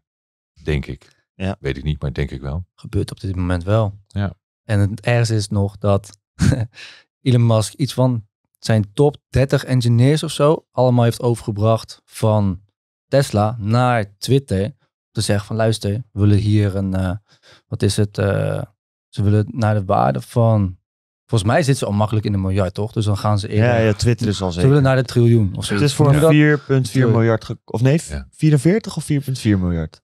44. Ja. 44 is dan voor goed, dus het is Ja. al sowieso. eh, Ja. Ze willen naar, inderdaad, ze willen zeg maar keer 100 Maar gaan of keer Het zijn 1000. allemaal astronomische bedragen. Ja, in- ah, in het- insane. Het, het is ook echt de universe. Weet je, het is helemaal niet de league waar wij in spelen natuurlijk. Nee. Ik, jij zegt topondernemer. Ik doe altijd kleine ondernemingjes. Ik heb, ik heb bedrijfjes die doen een, een miljoen tot een paar miljoen omzet. 10 miljoen max. eh, soms iets meer. Eh, dat vind ik een heel overzichtelijk speelveld. Dat, dat lijkt misschien heel veel, maar dat is natuurlijk niet veel. Als je kijkt naar eh, Pieter Zwart met Coolblue of naar Won Jip. Eh, ja, dat, dat is wel een ander speelveld. Of Hemolly, bijvoorbeeld dat soort dingen. Mhm. Maar dit is, dit is wel een heel, een heel leuk MKB-bedrijf. Wij zijn gewoon een MKB-bedrijf. Nou, dan misschien wat groter, maar we zijn niet een groot bedrijf. We zijn geen corporate. Maar jij zei net van, wat is dan de waarde van zo'n podcast? Hoe waardeer je dat? Ja. Ja, dat is natuurlijk heel moeilijk. Eén, één podcast is heel moeilijk. Want ja, als jullie de waarde zijn... Nou, stel jullie krijgen ruzie. Nick en Simon, ja, fijne we wedstrijd. krijgen ruzie. Ja, wie gaat er door met de podcast? Ja. Je bent heel kwetsbaar. Het is eigenlijk geen bedrijf. Heel, heel veel ZZP'ers denken ook dat ze een bedrijf hebben. Maar een ZZP'er is geen bedrijf. Die werkt voor zichzelf. Ja. Een bedrijf is waar andere mensen in werken. Mhm. Denk je dat een radio, en dat kan ik beter aan jou vragen, je hebt, dat, je hebt erin gezeten, je hebt natuurlijk de DJ. Ja. En mensen hebben natuurlijk een hele persoonlijke relatie met zo'n DJ. Soms wordt dit dan... Is dat nog steeds zo? Vroeger wel natuurlijk, maar nu? Eh, ik, moet geen- zeggen, ik heb niet vaak genoeg naar de radio geluisterd om echt eh, fanatiek fan te worden van een bepaalde DJ. Maar Ed- ik kan Ed- wel Edwin begrijpen dat het een Evers. artiest is. Edwin Evers was toch een icoon? Mhm. Ja. Is toch, iedereen stond op met Edwin Evers. ja. Het is echt de, de man. De, de, de allerbeste ochtendjog ever. En je ziet ook wat er gebeurd is toen Edwin Evers opstapte. En dan zie je hoe kwetsbaar een radiostation als 538 zelfs is. Ja. Ja. Toch, dus toch afhankelijk van het talent. Van het talent. Ja. Ja. Ja, en dat zie je nu nog steeds wel. Met eh, Bram Krikke bijvoorbeeld. eh, Om Maar het, iemand het zijn ook de spelers in het voetbalelftal natuurlijk. En toch heeft een voetbalclub zelf een bepaalde waarde. Dan wordt het wel gekocht. Terwijl, Ja, en, en een radiostation heeft dus ook een bepaalde Ja. waarde. Ja. En Ja. een podcast dan ook tot een bepaalde mate. En ik vind dat gewoon heel erg interessant hoe dat zeg maar, zich wel verplaatst, maar aan de andere kant heel erg onzeker is. En wij zitten nu zelf erin en wij denken ook, je wilt een bedrijf bouwen, maar we zijn tegelijkertijd ook de artiesten in het bedrijf. Maar, maar, je, maar je kunt de podcast kun je niet verkopen zonder jullie. ja, Nee, klopt. klopt inderdaad. dus wat je doet is feitelijk je licentieert. Eigenlijk ga je werken voor degene die jullie gaat Ja. betalen. Nu ben je zelfstandig en dan zeg je, ja, betaal me maar vooruit. Mhm. En dat is ook de reden dat wij heel erg kijken naar brand lotgenoten. Ja. En dat, dat, dat wil je eigenlijk Dat weer je breder gaan trekken. En Ja. dan springplank. Eigenlijk is de podcast en het bereik weer dan een springplank voor Ja. whatever. Precies. Het, het- het- in de wereld is het heel belangrijk om gelijkgestemde mensen bij elkaar te brengen. Eh, alle dating sites, Tinders en al die dingen. Je, matchmaker. Je zoekt de mensen die, die je bij elkaar wil brengen. En dat vertegenwoordigt een bepaalde waarde. Dus op het moment dat jullie zeggen van wij kunnen die doelgroep met jonge ondernemers die gedreven zijn, innovatief, die vrijheidsdenkers, gamechangers, die willen we bij elkaar brengen. En dat kunnen we ieder jaar doen. Dat doen we omdat we ze bereiken met die podcast. Weet ik veel, we gaan events organiseren, we gaan bijeenkomsten doen. Je gaat iets doen waardoor je waarde kunt creëren. En vroeger zou je zeggen, je gaat een magazine uitgeven of je, je begint een soort eh, club. Ja. Ja. Als ik nu goed nadenk, hè, de podcast komt over een aantal weken uit, dan komt hij net voor of net na het evenement. Voor, ik zeg Voor? 10 Echt januari. Uit mijn hoofd. Ja, 10 januari komt deze uit. Dus vier dagen voor. Op de dinsdag, ja, ja, ja. Ja. Wat wel leuk dat je het zegt. We hebben dan een paar maanden geleden hebben we ons eerste evenement georganiseerd voor 50 man, 50 euro. Gewoon lekker agressief actie ondernemen om ervoor te zorgen dat we gewoon een eerste ervaring hebben met hoe dat is en of we dat überhaupt leuk vinden. Want dat was ook maar de vraag van vindt het überhaupt wel leuk om een evenement te organiseren? En gaan dan in januari inderdaad, we hebben gemerkt dat er heel veel positieve reacties waren, gaan we echt dubbel down erop. Dus we hebben in plaats van 50 mensen gaan we richting de 150 mensen, misschien wel 200. Ligt heel erg aan de locatie. Ehm, en dan willen we echt uitpakken. Dus we willen echt onze branding meenemen. We zijn nu op dit moment ook aan drie branden. Dus mensen die dus deze podcast kijken, zitten net in die overgang waarin ze zien van oké, zijn we met die branding bezig. En het is dus wel interessant wat jij dus zegt. De community, het samenbrengen van die mensen, dat is geld waard. En dat is wel iets waar wij dus steeds meer naartoe werken. Want we zien dat de podcast alleen niet genoeg is en niet de verlangen vervult van de mensen. En dat ze dat niet alleen nodig hebben. Jullie hebben het over ondernemen. Ja. En het allerbelangrijkste is dat je begrijpt wat ondernemen is. Wat betekent dat nou eigenlijk, ondernemen? Ja, mensen die ook zeggen van ja, ik zou wel willen ondernemen, ik wil gaan ondernemen. Maar je moet een andere vraag stellen. Welk probleem los jij op voor iemand anders? Dat is ondernemen. Ja. De schilder lost het probleem voor me op dat ik niet zelf mijn huis hoef te schilderen. De timmerman die is nu mijn kozijnen aan het maken thuis. Die lost mijn probleem op, anders moet ik het doen en ik kan het niet. Mijn loodgieter die is alle, eh, alle infrastructuur voor de, voor, de, eh, weet ik, voor de airco's en de vloervorming aan het doen. Die lost een probleem voor mij op. Dus als je vanuit die visie gaat redeneren, welk probleem los ik op voor iemand anders? En je gaat daar invulling aan geven en je voegt waarde toe, dan heb je business. merk wel bij content, en ik ben heel benieuwd naar jouw visie erop, dat het al snel abstract wordt. Want er zijn meer mensen die ondernemers interviewen. Dus als je het plat slaat, nou, ja, ik, wil, ik ben een podcastluisteraar, ik wil dingen horen van ondernemers. Nou, dan heb ik tien stuks. Ja. En wat maakt ons dan uniek? Ja, wij zijn mensen weg, we zijn heel authentiek. We stellen vragen zoals mensen dat zelf zouden willen of zo. Ja, in jullie geval ben je de artiest, dus stel je betere vragen. Heb je een leukere podcast om naar te luisteren? En dan gaat het om, het gaat om jullie, wat jullie Ja. inbrengen. Of het gaat om de gasten die je hebt. Dat zijn eigenlijk de, de, de twee variabelen die je hebt. Nou, als die allebei goed zijn, nou, dan heb je kans dat je gaat winnen. Ja, ja precies. Ja. Ja, ja, eigenlijk vrij eenvoudig dan. Maar je lost nog steeds geen probleem voor mij op. Je biedt iets aan, eigenlijk omdat je het zelf leuk vindt. En als ik voorbij kom en ik luister daarnaar, dan denk ik van, ah, dat is leuk, leuk. Luister ik Ja. misschien volgende keer nog een keer, weet ik niet. Mm. Maar je lost niet echt een probleem op. Ja. Hij met zijn antieke voetbalschoenen lost niet echt een probleem op. Het is leuk, het is nice to have. Mm. Hij lost niet echt een probleem op. Zit jij enkel in de probleemoplosbusiness? Ik, ik hoor wel eens van mensen die dat een soort van regel hebben. eh, Van, ik doe alleen businesses waar ik daadwerkelijk een probleem oplos. Omdat daar de urgency vaak een stuk hoger is dan bijvoorbeeld in deze business. Nou ja, als, je, als, je, als je iets doet wat de ander eigenlijk niet echt nodig heeft. En je lost niks op. Ja, dan moet je heel erg je best gaan doen om die ander te overtuigen dat hij van jou moet gaan kopen wat jij zo graag kwijt wilt. Ja. Ja, dat is een moeilijke wedstrijd. Waarom zou je dat doen? Wat, ja, waarom? Kost heel veel tijd.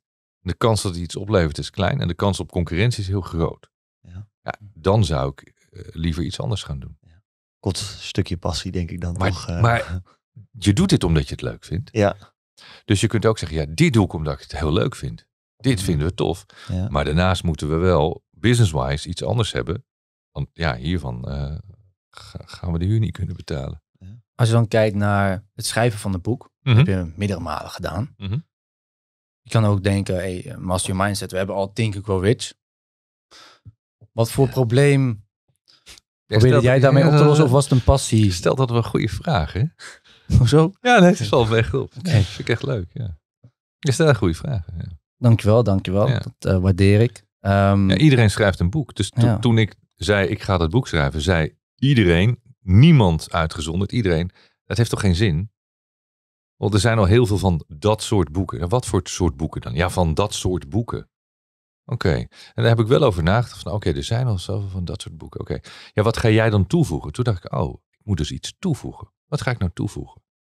Nou, ik, ik ga mijzelf toevoegen. Nou, zei mijn vader ook, ja, waarom zou iemand een boek van jou gaan lezen? Is toch niet interessant? Ik zei, nou ja. Oké, als dat niet interessant is, hoe kan ik het dan wel interessant maken? En toen zei Peña, hij zegt, kijk, ik ja, maar ik ben toch ook niet een eh, topondernemer? Dat zei ik ook letterlijk. Dat ben ik, ik ben niet Richard Branson. Ik, ik ben niet. Hij zegt niet, maar jij bent wel dat ventje van de straat, dat net zijn HAVO heeft afgemaakt, die heel gemiddeld is, die met vijf en halfjes is geslaagd. Weet je, je was echt niet mega intelligent, geen Einstein. Je was eigenlijk net te stom om te gaan studeren. Maar je had wel passie en drive en doorzettingsvermogen en, en al die capaciteiten samen. Plus het resultaat wat je hebt bereikt, dat jij financieel vrij was toen je 37 was, is een verhaal. Jij kan gewoon zeggen, ik was, ik was jij, ik was jij, ik was, ik was 25, ik, ik, ik kom uit Polen, ik ben een mannetje uit Polen. Toen ik in Nederland kwam, sprak ik geen Nederlands. Ik heb moeten leren praten, ik heb het alles, alles moeten leren. En toen zei hij, "D- dat is het verhaal. En als je, als je dat nou goed kunt overbrengen, daar kunnen mensen zich in herkennen. En dan moet je dus, je moet mensen raken. Er worden heel veel van dit soort boeken geschreven, dat klopt. Na mij zijn er heel veel mensen geweest.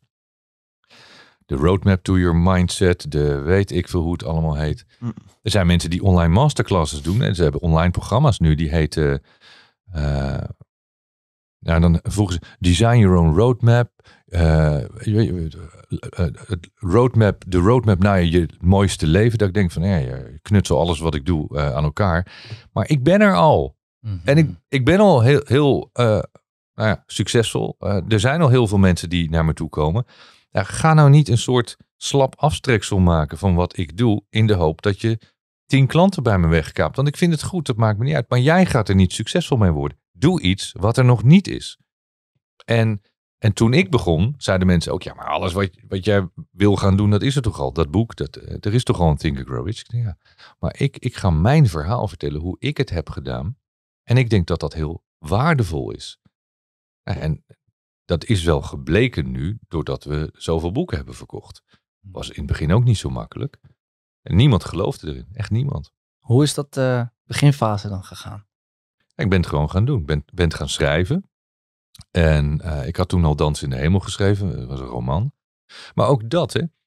Dat, dat, ehm, ik wilde een verhaal schrijven over alle ellende die ik had meegemaakt in mijn, in mijn privéleven. Maar vooral dat hele zakelijke verhaal, dat alles naar de kloten ging. en Zo. Dat, als ik dat aan mensen vertelde, dan zeiden ze, nou, dat lijkt wel een film, man. Dat moet je opschrijven. Dat, is, dat is echt te grappig. Ik zei, nou, ik vond het niet zo grappig, maar oké, nou, ga ik het opschrijven. En ik wilde het ook opschrijven.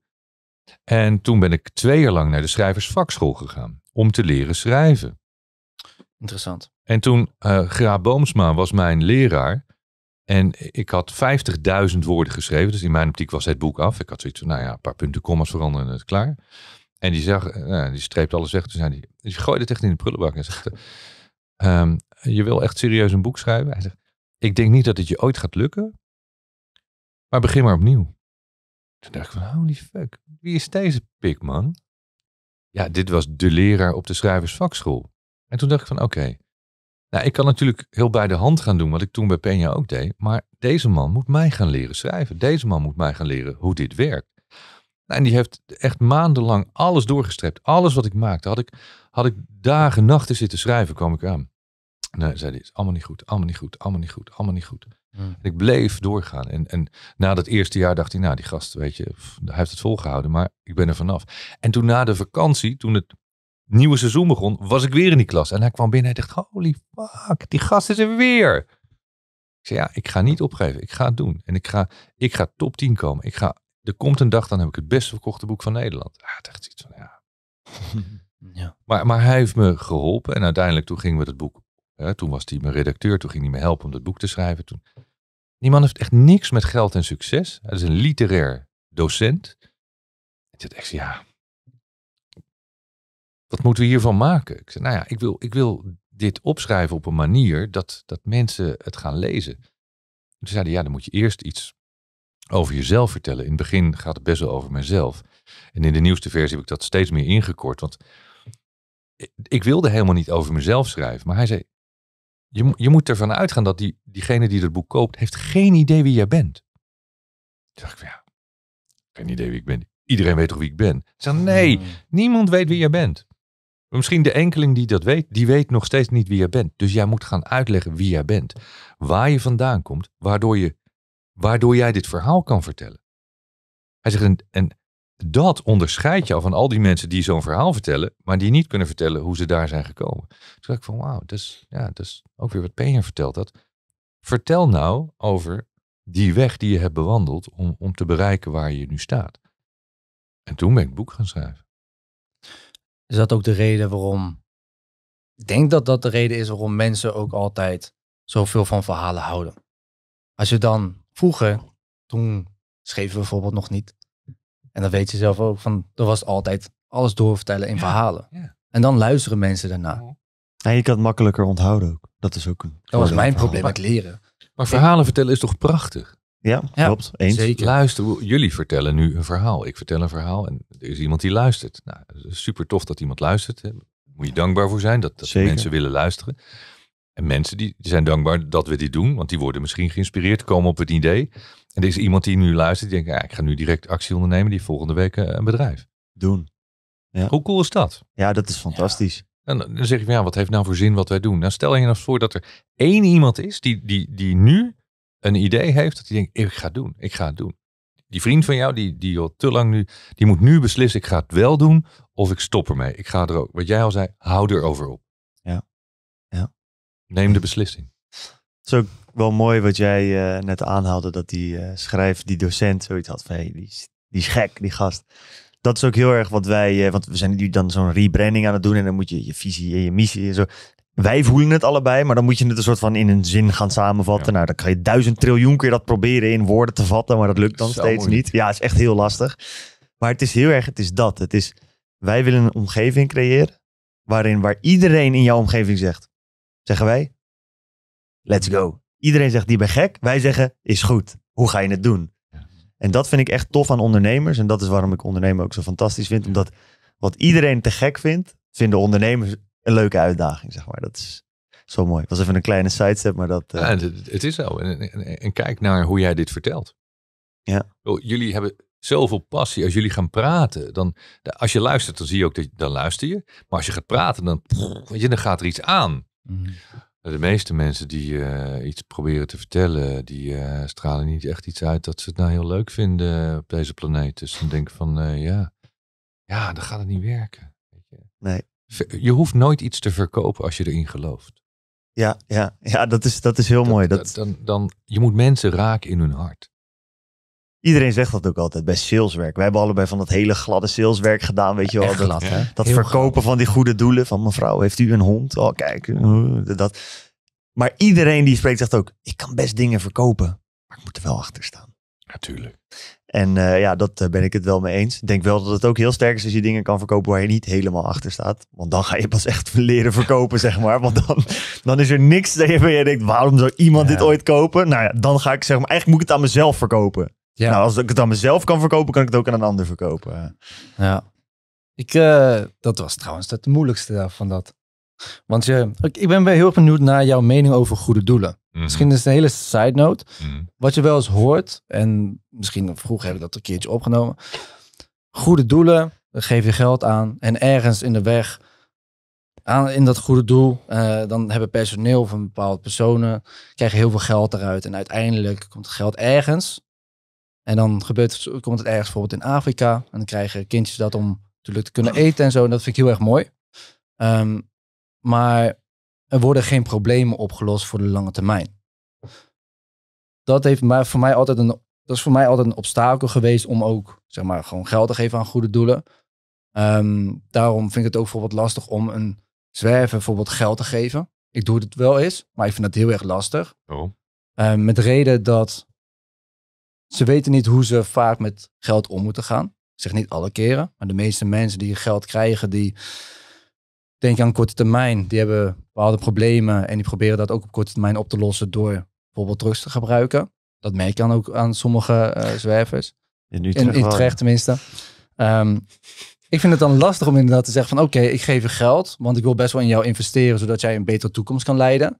Alleen, misschien juist door het geven van dat geld, dan zorg je ervoor dat zij in hun eigen zone blijven, omdat ze toch wel het geld krijgen. Van, als ik een voorbeeld mag geven, ehm, een kind die nooit nee te horen krijgt, die zal altijd zeg maar een soort van verwend worden. Want die is niet gewend om nee te horen. Dus op latere leeftijd kan zo'n kind bijvoorbeeld ook heel moeilijk een discussie voeren of werken voor een baas. Denk je dan niet dat ook met een, bijvoorbeeld een zwerver met goed doel, hè, want daar had ik het eigenlijk oorspronkelijk over, ehm, dat het investeren daarin best wel ehm, doelloos kan voelen? Ik ben er best wel benieuwd naar hoe jij daarnaar kijkt. Wij, ehm, wij geven aan best wel wat eh, goede doelen. Ja, Waarvan wij denken en hopen dat het geld goed terechtkomt. Mhm. Maar ik, ik, geef, ik geef bijvoorbeeld wel heel vaak aan eh, mensen die op straat leven eh, geld. Niet in Utrecht, maar waar ik woon. Ja. Ehm, en dat, dat is ook een goed doel. Die mensen, die, ik, ik begrijp heel goed wat je zegt. En dat is soms ook wel eens de discussie die ik heb. Want mensen in mijn omgeving weten hoeveel geld ik daar aan, aan geef. En dan zeggen ze, waarom geef je zoveel geld? Nou ja, die man of vrouw die daar op straat zit nu, die zit daar niet voor zijn plezier. Als dat een, eh, een jonge gast is zoals jij of ik, waarvan ik denk van, daar is niet zo heel veel mee mis. Ehm dan wil ik ook nog wel eens helpen, maar dan kan ik wel eens een praatje maken. Maar als ik zie dat, dat er iemand op straat zit, die eh, in Spanje is het wat minder goed geregeld dan in Nederland. Eh, die man heeft geen benen. Of die is misvormd, die heeft geen armen. Of eh, weet je, echt, echt wel dat je, nou je, je moet echt wel blind zijn om te zien dat, dat, dat het echt niet goed gaat met zo iemand. Of een heel oud vrouwtje. Of een, mannetje dat ik denk van, holy fuck, weet je. En eh, ik denk altijd, wat nou als ik dat was? En er loopt iemand langs. En die heeft net bij Louis Vuitton een of ander veel te duur ding gekocht. Of die heeft, weet ik wel, bij de Zara, al is het voor, voor twee tientjes iets gekocht. Die heeft daar net staan pinnen. Ja, ik, ik, ik, kan, ik kan dan niet doorlopen. Mhm. Ik, ik, ik, dus ik heb altijd eh, niet heel veel geld contant bij me. Maar ik heb altijd, voor die reden, heb ik altijd tientjes en twintigjes en vijftigjes in mijn zak. En dan denk ik van, oké, pak altijd blind iets uit mijn zak en dan geef ik dat. Omdat ik geloof, uit, ik geloof in de goedheid van mensen. En ik geloof echt dat die mensen daar niet voor niks zitten, omdat ze, omdat ze het makkelijk vinden om. En al- als het wel zo is, ook goed. En dan, Mhm. dan, ja, dan, dan is dat zo. Ja. Maar ik, ik, ehm, ik denk dat die mensen daar niet voor niks zitten. En natuurlijk, dat is geen structurele oplossing. Maar ik hoop dat ze op die dag daarvan kunnen eten. Ja. En morgen zitten ze er weer. Want eh, ik, ik loop daar morgen weer of de week daarna en dan zitten ze er weer, dat weet ik. Dus dan moet je structureel kijken van wat kan ik doen? Kan ik een opleiding voor je betalen? Kan ik een huis voor je gaan huren? Kan ik een baan voor je gaan zoeken? Ja, maar dat doen we niet. Mhm. Dus ja, het is een korte termijn oplossing. Maar toch zegt iets in mij dat dat beter is dan voorbijlopen en denken van, nou, ik doe dat niet. Ik, ik, ik vind dat moeilijk. Ik probeer die mensen te helpen. Dat is wel interessant. Hè? Ik zou daar wat eh, in terug willen gooien. Kan het misschien ook een ding zijn dat het jouzelf minder schuldgevoel Nee, of, of nee, wrijving geeft? nee, dat is het echt Nee? Oké, interessant. Nee, ik, ik geloof. Ik vind, kijk, ik heb het heel goed. En ik heb het heel goed omdat ik heel veel shit heb doorstaan en heel veel tegenslagen heb overwonnen. En omdat ik heel hard werk, verdienen wij geld. Omdat we ook heel veel mensen helpen. En mensen zijn bereid ervoor te betalen, want wat ze eruit halen is meer dan, dan wat ze investeren in mij. Althans, dat hoop ik wel. En ik geef dan graag wel iets terug aan de samenleving, aan de maatschappij, aan mensen die het heel hard nodig hebben. Wij steunen heel veel eh, kleine stichtingjes, want ik, ik ben het wel een beetje met je eens met die grote organisaties en zo. Dus wij geven bijvoorbeeld heel veel geld aan ehm, van, van die dierenopvang, eh, die, die eh, honden, katten, paarden, ezels, Mhm. ja, van de straat halen, goed voor zorgen, zorgen dat, dat die beesten weer onderdak krijgen. Maar in, in de tijd dat, dat ze daar zijn, moeten die beesten eten, die mensen moeten eten, betaald krijgen. Dus, maar dan weet ik gewoon, ik geef dat geld direct aan die mensen. Ik ken die mensen. Mhm. En soms ken ik ze via Insta alleen maar, maar ik, ik betaal rechtstreeks. Dus ik weet, ik hoop dat het goed besteed wordt. En dat doen wij met meerdere projecten. Laatst nu eh, Iris Hond, die deed in eh, Den Haag voor de daklozen een, een kerstdiner. Nou, daar was niet heel veel geld voor nodig, ik geloof 6000. Toen dacht ik van, nou, daar een beetje aan kan bijdragen, dan doe ik dat. Dat is mooi. Dat, dat zou ik wel echt, dat is wel ook een deel waarvoor ik. Maar dan kun je direct of bij. zo. Ik weet gewoon, Ja. hè, ik weet, wel, daar gaan straks eh, nou, ja, heel veel mensen gaan eten. Ja. En die hebben in Ja. ieder geval. En dan denk ik, ja, lossen we een structureel probleem op? Nee. Mhm. Maar mogen we die, moeten we die mensen dan ook die avond nog afnemen? Dan denk ik, Ja. nee toch? Nee, ik vind het inderdaad mooi en dat doet me ook wel een beetje denken aan wat Tony Robbins ook altijd doet. Dat hij vroeger iets heeft meegemaakt, dat hij met Thanksgiving eh, niet kon eten. Dat hij iemand hem eten gaf op zo'n avond en dat hij dat over tijd dus ook eh, terug is gaan doen. Dat hij steeds meer gezinnen eten gaf op, met Thanksgiving. Dat vind ik heel erg mooi en dat gaat echt in, nu in, volgens mij echt in de miljoenen. bizar, echt bizar. Dat, zulke dingen vind ik heel erg mooi inderdaad. Eh, ik, inderdaad, en ik denk dat je dat de, de snaar goed raakte toen je zei van de corporate bedrijven of de grotere bedrijven daarin. Eh jou en ik hebben ervoor gewerkt. ik geloof daar helemaal niet meer in. Omdat je weet wat het achtergrond is van, van zulke bedrijven en waarom ze het doen. Maar wat, wat wel helpt, eh, een hele goede vriend van me, die heeft bijvoorbeeld een school opgericht ergens in Afrika. Ja, met, met, Heel met tof. vier mensen hebben ze een school opgericht. En ze, ze, ze hebben ook gezorgd dat er leerkrachten komen. En ze gaan daar ook ieder jaar naartoe om te kijken hoe dat dan gaat. En dan denk ik van, wauw. Dan kun je zeggen, het is heel kleinschalig. Maar het is wel iets. En zeer impactvol op die En- kleine en- en- schaal. Ja, als je op die manier helpt. eh, kijk, het is misschien heel klein. Maar voor die kinderen die daar op school zitten, is het life changing. klopt. Dat is belangrijk. Ja. Michael, ik heb nog een eh, laatste onderwerp dat ik, eh, waar ik heel eh, benieuwd naar ben. Mhm. Ehm, we hebben het gehad over het, het kopen van bedrijven. Die voeg je dan bij elkaar. Die kun je dan eigenlijk, daar voeg je extra value aan toe eigenlijk. En dat kun je dan verkopen. Dat is een beetje de Dan Peña methode. Daar ben jij succesvol mee geweest. Nou, ik heb het ook maar één keer gedaan. Oké, ja, duidelijk. Dus, maar wel succesvol. Hoe kies je daarna? Want daarna heb je andere ondernemingen weer opgericht. Ja. Kies je dan weer voor een andere strategie? Ehm, Hm. We hebben toen die mediabedrijven eh, opgekocht, bij elkaar gevoegd. Uiteindelijk ging, ging dat niet helemaal zoals ik had gehoopt. Want het, het- ik was gewaarschuwd dat ik daar geen verstand van had. En da- daar had Penja ook weer gelijk in. Dus, dus wees niet te eigenwijs. Goed advies. Luister naar mensen die uit ervaring weten waar ze over spreken. Als, als als de weerman de tsunami ziet eh, aankomen en die kondigt dat aan, blijf niet op het strand liggen. En ik luisterde niet. Ik dacht dat ik het toch weer beter wist. Dus het ging niet helemaal goed.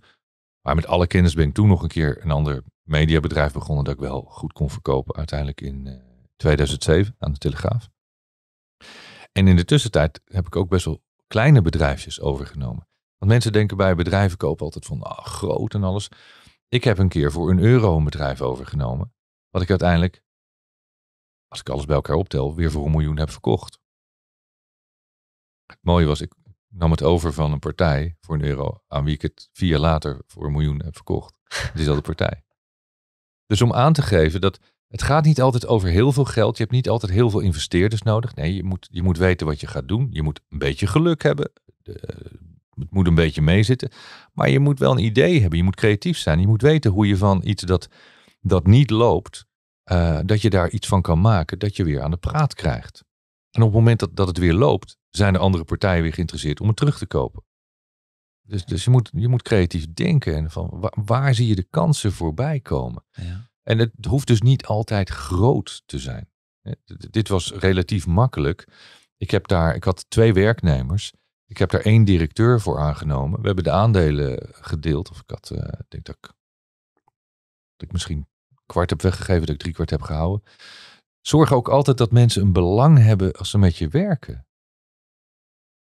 Niet alles voor jou. Nee, ook, ook met Meditation Moments nu. Het hele MT is aandeelhouder. Het is ook hun belang dat het bedrijf goed gaat. Dat is belangrijk. Dat, dat mensen hetzelfde belang hebben. In hetzelfde doel willen scoren. Dus je moet, je moet iets weg durven geven. Ja. Dat is belangrijk. En, eh, en daarna heb ik gezegd dat ik nooit meer wilde werken. Omdat ik was die shit allemaal zo. Ik was er zo klaar mee. Maar omdat ik het weer leuk vond wat ik, wat ik ging doen. De verhalen die we al gedeeld hebben. Van ja, eh, als niemand mijn boek wil uitgeven, richt ik wel mijn eigen uitgeverij op.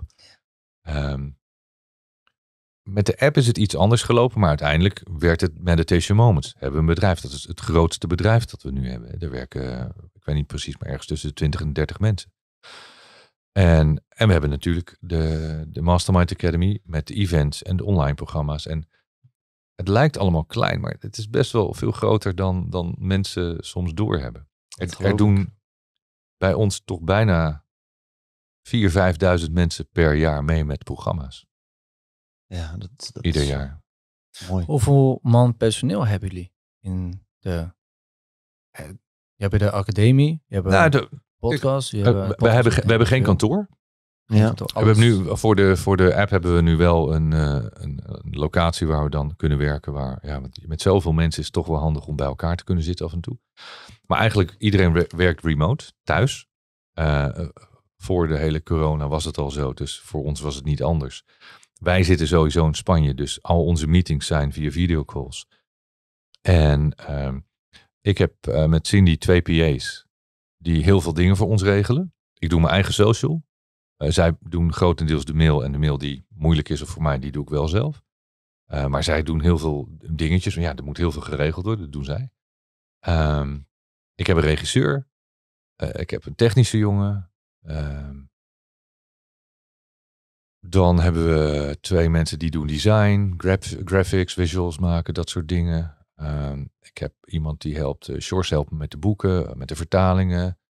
Uh, en hoe is Shores bij me gekomen? Soms denken mensen, hoe doe je dat? Maar ook nogmaals, ga niet allemaal berichtjes sturen. Wees origineel in je eigen nou ja, eh, manier. Shores stuurde mij via... Um, ik zal je vertellen hoe ons team in elkaar zit.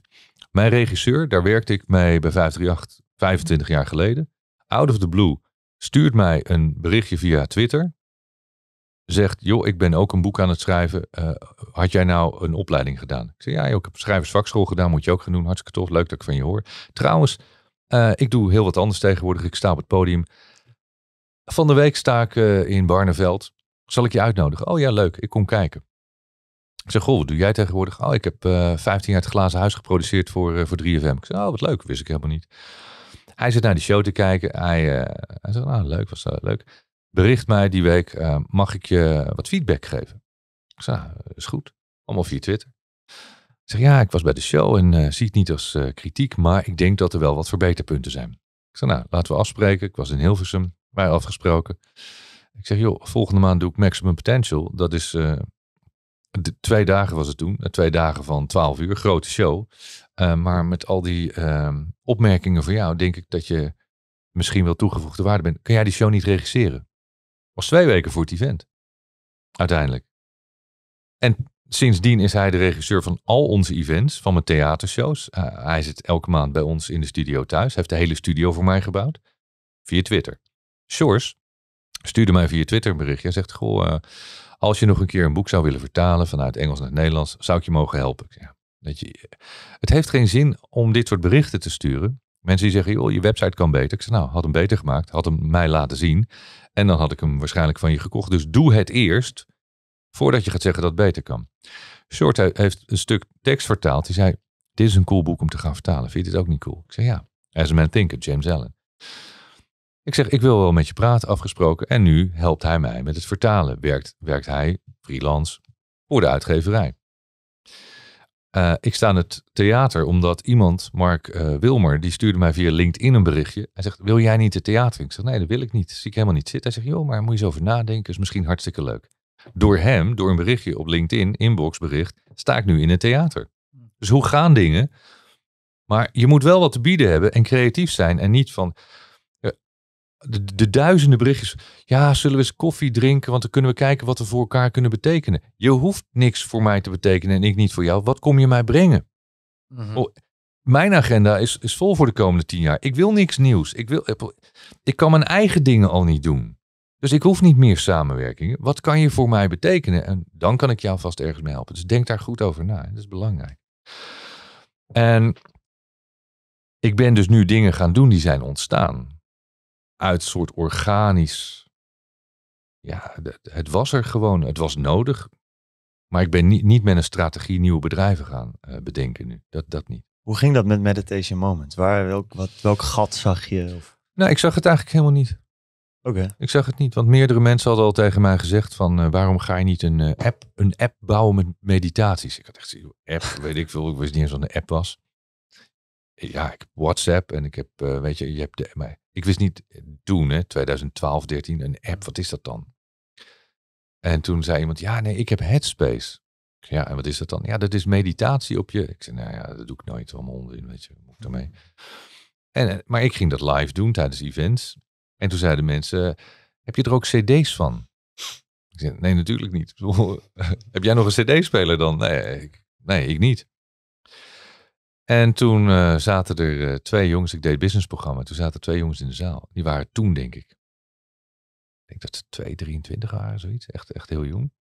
Mike en Joey, en die zeiden, hé, hey, wij, uh, wij bouwen apps. We hebben de app voor Wim Hof gebouwd. Ik zei, oh, nou, dan wil ik wel even met je praten. Moet jij niet een app hebben? Ik zei, nee, ik zou niet weten waarom. Ja, maar dan eh, kan je heel je programma in een app stoppen. Ja, geen idee. En van het een kwam het ander. En toen zeiden we, ja, programma is moeilijk, maar kunnen we met die meditaties misschien iets doen? En Cindy had toen inmiddels, eh, kijk, je moet een beetje onderzoek doen. Cindy had een onderzoekje gelezen of gewoon een krantenbericht, eh, weet ik veel, CNBC of iets. Headspace werd gewaardeerd op 250 miljoen. Toen. Toen dacht ik van, oké, daar wil ik wel heel hard voor gaan werken. en, niet de intentie van ik wil een bedrijf bouwen om het te verkopen, want dat was helemaal niet mijn intentie. De Nog steeds niet. hoog. Maar ik zag wel van, oké, als een bedrijf zo gewaardeerd wordt, dat betekent dat dat er een enorme vraag is. En ik merkte natuurlijk al dat er heel veel vraag was, want mensen hebben te veel stress, te weinig rust in hun hoofd. Ik denk, oké, ik ga een bijdrage leveren aan minder stress, minder burn-out, meer helderheid in je hoofd, meer rust in je hoofd. Ik ga mijn meditaties in die app bouwen. En twee jongens bouwden die app. Ik vind het wel grappig, want ik heb dat toen, eh, laat ik zeggen, was een van de eerste downloaders. Of in ieder geval, ik heb dat toen Mhm. vrij snel gedownload, want ik was De app.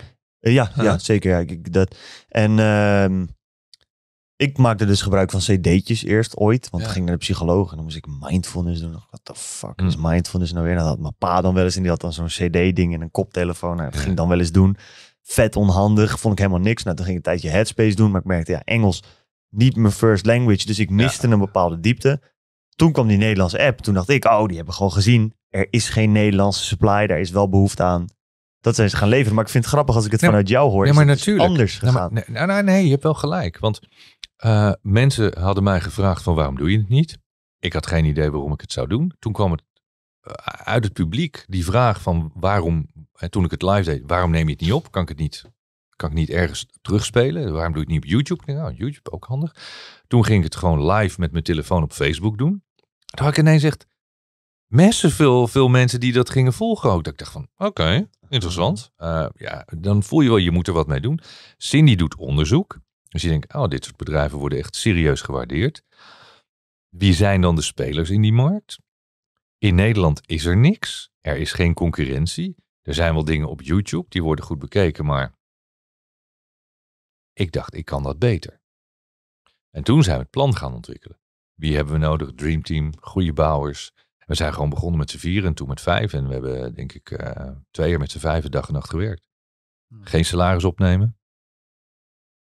Hadden we allemaal niet echt nodig. Die paar jongens wel, dus die hebben denk ik wel een klein salaris gekregen. Maar weinig, weinig betaald. Wij kregen niks. Het was gewoon alleen maar werken. Rammen, rammen, rammen. Dag en nacht rammen. Meditaties maken. App moest gebouwd worden. Ik wist niet dat een app zo complex was, joh. Ik dacht, je bouwt een app en als die klaar is, dan is die af. Maar, en toen was die af. Toen, ja nee, we hebben vier, zes developers nodig. Die moeten elke maand aan die app blijven werken. Voor wat? Ja, omdat bij elke update moet, moet, moet de app geüpdate worden. En we moeten ontwikkelen. En nou ja, je, je ziet wat een ontwikkeling erin zit. En er gaat er geld in. Want zo'n zo'n app developer kost gewoon 10, 15.000 euro per maand. Nou ja, zet er even zes aan het werk. Dan, dan, dan tikt het lekker hard door. Dat wil wel. Dat wil wel, ja. Ja. En, en, en ik heb hem daar wel op verkeken, laat ik zo zeggen. Ik heb te weinig onderzoek gedaan om te weten hoe die app-business werkte. Ja. En dat je Apple 30% moest betalen. Ik dacht van, wat is dit voor onzin? Apple zijn echt criminelen inderdaad. Mm. Dat is bizar. Als je het vergelijkt met een Samsung en dat soort dingen, de manier waarop Apple je Ja, inlokt, maar ook als iemand een abonnementje afsluit, ze daar gewoon lifetime van blijven kapen. Mhm. Daar is in ieder geval, Ja. ik heb daar, ja, ik ben, ik ben een YouTube rap, rabbit hole-achtige gozer, dus dan Ja. heb ik een keer helemaal zo'n rabbit hole ingedoken. het, het, het is, het is mooi om te zien. Ik ben blij dat we het gedaan hebben. Dat, dat er nu echt een bedrijf staat. Echt een serieus bedrijf. En toen zijn we international gegaan met, eh, met Engels. Dat heb ik een beetje op, op hold gezet eh, in december. Want ik, ik zag dat we in, in Nederland te veel te doen hadden. En we hadden niet de tijd om international uit te rollen. En het ging over echt tientallen miljoenen investering. Wat niet het probleem was. Maar als jij tientallen miljoenen investering hebt. Dan moet je ook wel nog harder gaan werken om dat waar te maken. En ik had daar de tijd niet voor. Toen heb ik gezegd, we gaan even een jaar alleen maar focussen op Nederland en, eh, en België. En daarna gaan we de rest van de wereld weer doen. Dus nu pakken we langzaam eh, international weer op. Cool. Wat is nu de waardering van, eh, van Meditation Moments? I don't know. Interessant. Want als je zegt, je keek naar die 250 miljoen, als je nu Ja, internationaal gaat kijken en zo, dan... Nou, kijk, waar ik, waar ik bijvoorbeeld heel blij mee ben, is dat we eh, die internationale uitrol niet hebben gedaan vorig jaar. Omdat er heel veel geld in was gegaan. En dan zit je met verplichtingen en je hebt verwachtingen. En als je nu kijkt dat ehm, Meta, ver, even kijken, ze doen 13% van het eh, personeel weg. Google gaat heel veel van het personeel eruit gooien. Calm en Headspace moeten heel erg snijden in het personeel. Ik, ik geloof dat ze 90 mensen ontslaan van de 220. Dus echt serieus snijden in, de, in de personeelskosten. Dat doe je niet omdat het heel goed gaat. Er is natuurlijk een burn rate die is, is oneindig met, uh, met marketing en advertising. Wij zien dat ze in, in Nederland hebben ze het al opgegeven. Want ze zien, ja, die markt is niet meer, die is van ons. Hè, dat, dat, dat ga je niet meer inhalen. Ja. Je, je moet heel flink zijn met hele diepe zakken als je in Nederland nog in die markt wil gaan stappen. Ik, zou het iedereen afraden en dat is een mooie uitdaging, maar je gaat erop failliet. Ik weet wat het kost. Maar wij doen het heel goed. En we doen het, uh, we doen het ook goed omdat we het, we menen ook wat we doen. Begrijp ik wat ik bedoel? Ja. Ja, ja, je staat, dit is niet een verdienmodel. Het is, nou, echt, het, het is ook wel een verdienmodel. achter. Ja, maar het is een purpose. Het is ontstaan om, eh, omdat ik zag dat het heel veel mensen hielp. En nog steeds. En, en nu met de kindermeditaties, hoeveel kinderen daar baat bij hebben. Dat ik denk van, holy fuck, weet je. Ik probeer op mijn, op onze manier met het hele bedrijf, bij te dragen aan minder gedoe bij een hoop mensen. Die hoeven nu even niet meer 18 weken te wachten bij de GGZ en bij de psycholoog, waar, waar ze allemaal gewoon niet aan, aan bod komen, om- omdat er zo'n wachtlijst is. En als mensen dan zeggen, oh, ik vind het zo fijn, ik, ik, ik was al drie jaar aan de slaapmedicatie en nu ben ik daarvan af, want ik gebruik de app. Of ik had altijd eh, paniekaanvallen en angststoornissen en oh, dat is, het, ik heb er af en toe nog wel last van, maar zoveel minder sinds ik de app gebruikte. Ik denk van, wauw, dan, dan dragen we iets zinvols bij aan, aan de samenleving. Ja, Heb ik heel mooi. Mijn laatste Mhm. vraag. Ik weet niet of dat de laatste wordt van eh, de podcast. Ik denk het. We zijn nog even onderweg. De disc is vol. Ja, ja, ja. Nee, de disc die kan niet vol. De disc kan die niet gaat vol. Die kan niet kan Daar hebben we nog twee uur de tijd. En hier, Dit is volgens mij de langste podcast die ik ooit heb gedaan. dat Nee, zou echt waar? Ja, Ja, ik weet niet. Ik weet niet hoe lang we bezig zijn. Weet ik ook niet. Ik heb geen flauw idee. drie uur. Echt Iets meer dan drie uur. Ja, Gaat echt iemand dit allemaal luisteren? ja zeker. als, je, als, je, als je hier uitkomt, dan ben je echt een hero. Ja, zeker. Ik- veel Voor meerdere dus mensen. nog ja. luistert en Als je kijkt, dit luistert, ben je echt een hero. Ja, nee, er zijn wel een paar duizend mensen die dat gaan Ja, doen. wat ja. tof. Ja, zeker. Ik ben heel erg benieuwd, Michael. Want ehm, er zijn eh, heel veel mensen die problemen ervaren, mentale obstakels. En ehm, ze leren natuurlijk van jou hoe ze dat moeten overkomen. Ehm, nou ben jij zelf ook een, gewoon een mens. En je hebt zelf ook obstakels, mentale Ja. obstakels. Eh, nou verwachten mensen dat jij al die obstakels al hebt opgelost voor jezelf. Nou ben ik best wel benieuwd als je wat meer de persoon eh, van je, naar- als je wat meer naar jezelf kijkt. Wat voor obstakels merk je dan in je eigen leven? Gewoon over de misschien de laatste jaren, maanden, weken.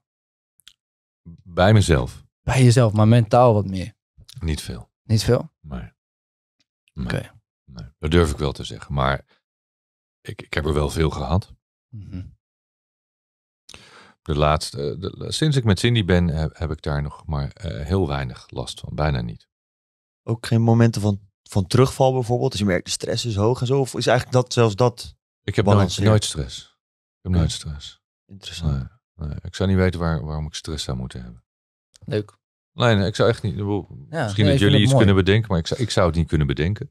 Ik kan stress verzinnen voor jezelf. Ja? En je kan je Ja. druk maken om dingen die Oh, je kan je druk zijn. maken. Ja, kijk.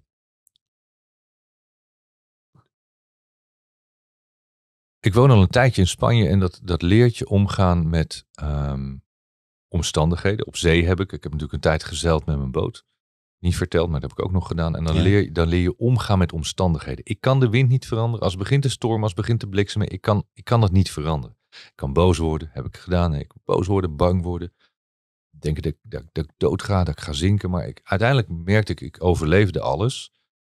Maar ik moest alleen leren omgaan met de omstandigheden. En hoe vaker je iets meemaakt, hoe meer je eraan gewend raakt, hoe beter je met iets kan omgaan. Dus leermoment. Ik, ik, ik heb eigenlijk nooit stress, maar in Spanje kan het wel eens zijn dat dingen langzaam gaan. En zeker als jij huizen verbouwt en met Spaanse aannemers en Spaanse werkers gaat het, nou ik zou zeggen wel eens, maar gaat het vaak niet zoals je hoopt. Gaat het heel vaak niet zoals het is afgesproken. Dus je moet, je moet er continu bij zijn. Je moet bijsturen. En uiteindelijk gaat het op het eindresultaat. Je kan heel boos worden. Ik kan boos worden op die jongens, maar ik kan ook denken, gasten, laat kijk even. denk je dat dit goed is? Ja, denk het wel. Oh, ik denk het niet. En, dan ga ik uitleggen waarom. Dan ga ik niet zeggen, ja, maar... eh, Kijk, vroeger zou ik zeggen, ja, jij, dat zie je toch. En dan denk ik van, nee, als hij had gezien dat het niet goed is, had hij het niet zo gedaan.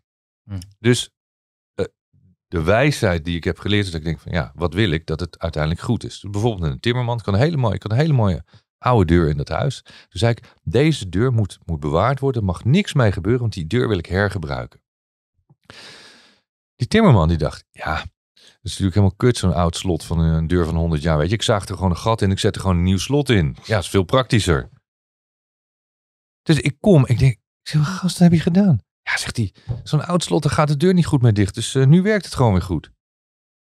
Ik zeg, ik heb, deze deur heb ik maanden speciaal bewaard. Die staat op een speciaal plekje om, om opnieuw te gebruiken. Ja, zegt hij, maar nu kan je hem gebruiken. Ik zeg, ja, maar je hebt, je hebt er een gat in gemaakt.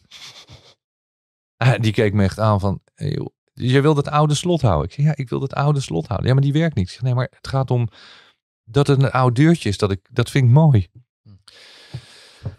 Nou ja, dat heb ik hem aan zijn verstand gebracht. En hij heeft het wonder boven wonder, heeft hij het weten te soort van herstellen, dat het bijna niet meer opvalt dat hij het gesloopt had. En nu begrijpt hij dat. Dus bij alle ramen die hij nu maakt, maakt hij het op de manier zoals ik wil hebben. Ja. Dus je moet mensen onderwijzen, als je, als je het anders wil, moet je zeggen, dit was niet goed. Als je het nou zo doet, ja, kost misschien meer tijd. Hè? Want er zijn ook mensen die zeggen, ja, maar dan wordt het wel duurder. Ik zeg, maar ik heb toch niet gezegd dat het goedkoop moet? Ik wil het mooi hebben. Hm. Oh, dus het moet mooi. Nou ja, en dan ga je het uitleggen en dan, ja, dan de communicatie en begrip vanuit mij, dat ik, dat, dat ik meer begrip heb. En ook dat ik het begrip heb dat het langzamer gaat, dat het nog steeds wel eens fout gaat. En dan denk ik van, nou, dan doe het nog een keer.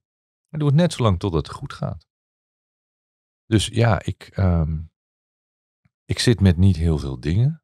Nee. Ehm, natuurlijk, we, we het, is een, het is niet dat mijn leven altijd super leuk is en eh, lachen. En, nee, er zijn elke dag, zeker als je onderneemt en je bedrijven, gaan er dingen fout. Er gaan dingen wel eens niet zoals jij wilt. Mensen komen afspraken niet na. Eh, mensen doen wel eens achter je rug om dingen opzettelijk die niet de bedoeling zijn. Waar je achter komt, ik kan je melden, dan word ik wel boos. Mhm. Ik hou van oprechtheid en eerlijkheid. En dat vertel ik ook meestal als ik met mensen ga samenwerken. Je kan met mij alle kanten op. Maar er is één kant waar je nooit met mij mee op wil. En dat is de verkeerde kant voor jou. Want ik heb nog nooit een rechtszaak verloren. Dus blijf, blijf ver van, van mij af als we die kant op gaan. En er is toch weer iemand die het gepresteerd heeft. Dat hij dacht van, nou, ik ga dat toch proberen. Dat wordt een hele vervelende wedstrijd voor. Want ik ga echt door tot het einde. Dan word ik echt een killermachine. En dat is niet aardig, maar ik waarschuw je, naai me niet. Hm. Ik hou van oprechtheid en eerlijkheid. Maar als je mij fuckt, wow. Je kleinkinderen gaan het nooit meer vergeten. Dat opa mij heeft gefukt. Never's nooit. Dat, dat, daar ben ik echt meedogenloos in. Dat moet je niet doen. Ik vind dat niet oké. Ben je dan ook het type going down with the ship, zeg maar? Van, dat merk ik wel. Ik heb ook wel een soort van juridisch conflict gehad. En dat ik op een gegeven moment ook gewoon was van... Het maakt me niet meer uit. Zeg maar, dat je, je hebt wel eens in rechtszaken, je kunt het oplossen... of je kunt de, zeg maar, naar het rechtvaardige eind gaan. Dus of iemand kan je bij wijze van spreken afbetalen... en dan zeg je, nou, dan is het allemaal goed. Of je zegt, nee, ik wil dat de rechter zegt... jij het fout hebt gedaan. Maar dan neem je wel eens risico mee. Welke keus maak je dan? Maak je dan de zakelijke keus of de...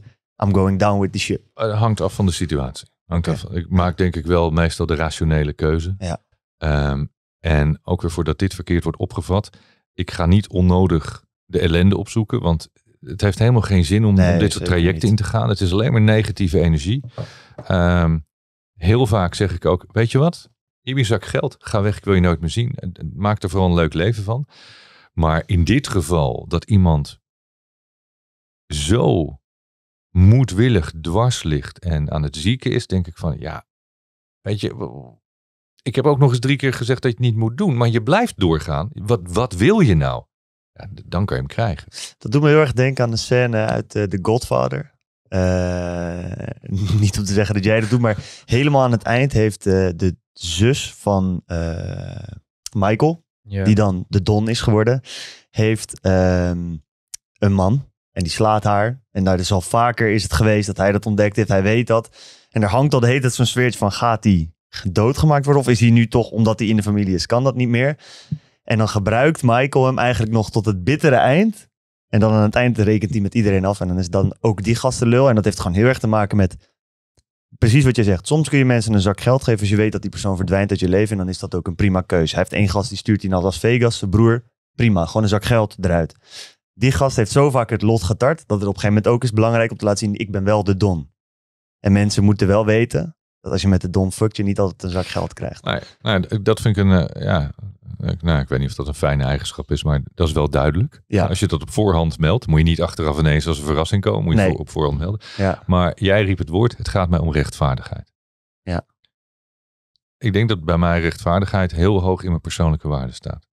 Nu, Ja. ik, nu ik aan denk, denk van, hij staat er niet in. in, in- als je naar mijn lijstje kijkt, staat hij niet in. Maar hij staat zo hoog, omdat hij voor mij zo vanzelfsprekend is, dat hij er niet eens in staat, maar ik ga hem er wel bij zetten. ja. Nou, Mooi. dan, dan, dan raakt het bij mij iets dat, ja, dat, Mhm. ja. interessant. Hey, ik pak nog even mijn lijstje erbij, want ik had Hm. ook allemaal vragen voordat ik er eentje verlies. Want dat, eh, Maar die mentale problemen, wat je zei, dat is wel een ding in de, in de samenleving. Ik merk met heel veel jongeren die bij me komen of berichtjes sturen, dat ik denk van, wow, dit, er speelt wel iets nu hoor. ja, Ja. ook, ook Ja. het stukje, Onzekerheid. En de- Ja. de, de, wat ik veel hoor is de, dat de druk zo hoog is en de, de, de, er wordt zoveel van me verwacht. De prestatiedruk, dat ik denk van, wauw. Ben ik heel benieuwd naar. Ik heb daar toevallig afgelopen weekend een story over gemaakt, omdat ik dat ineens dan een soort van YouTube had. Blijkbaar het idee dat ik daar behoefte aan had om daar meer over te zien. Het viel pittig tegen, maar toch wat dingetjes gekeken. Dacht ik, ja, ik, bij prestatiedruk merk ik nu dat de oplossing die veel wordt aangeboden, hè, wat krijg je ervan? Faalangst is een, is een ding dat je krijgt. eh, en wat is het nog meer? Eh burn-out. eh, wat was het nog meer? Nou, het zijn een slecht zelfbeeld. En zat ik dat te kijken en de, wat er eigenlijk vaak aan, gekoppeld wordt is aan prestatiedruk. Nou, laten we dan eh, wat minder doen. Hè? Onszelf minder opleggen. Dan denk ik, maar faalangst en slecht zelfbeeld. En, maar die prestatiedruk, dat ligt denk ik helemaal niet zo heel erg aan het feit dat je zoveel aan het doen bent. Het ligt aan het feit dat jij niet gewend bent dat als jij dingen aan het doen bent en ze mislukken.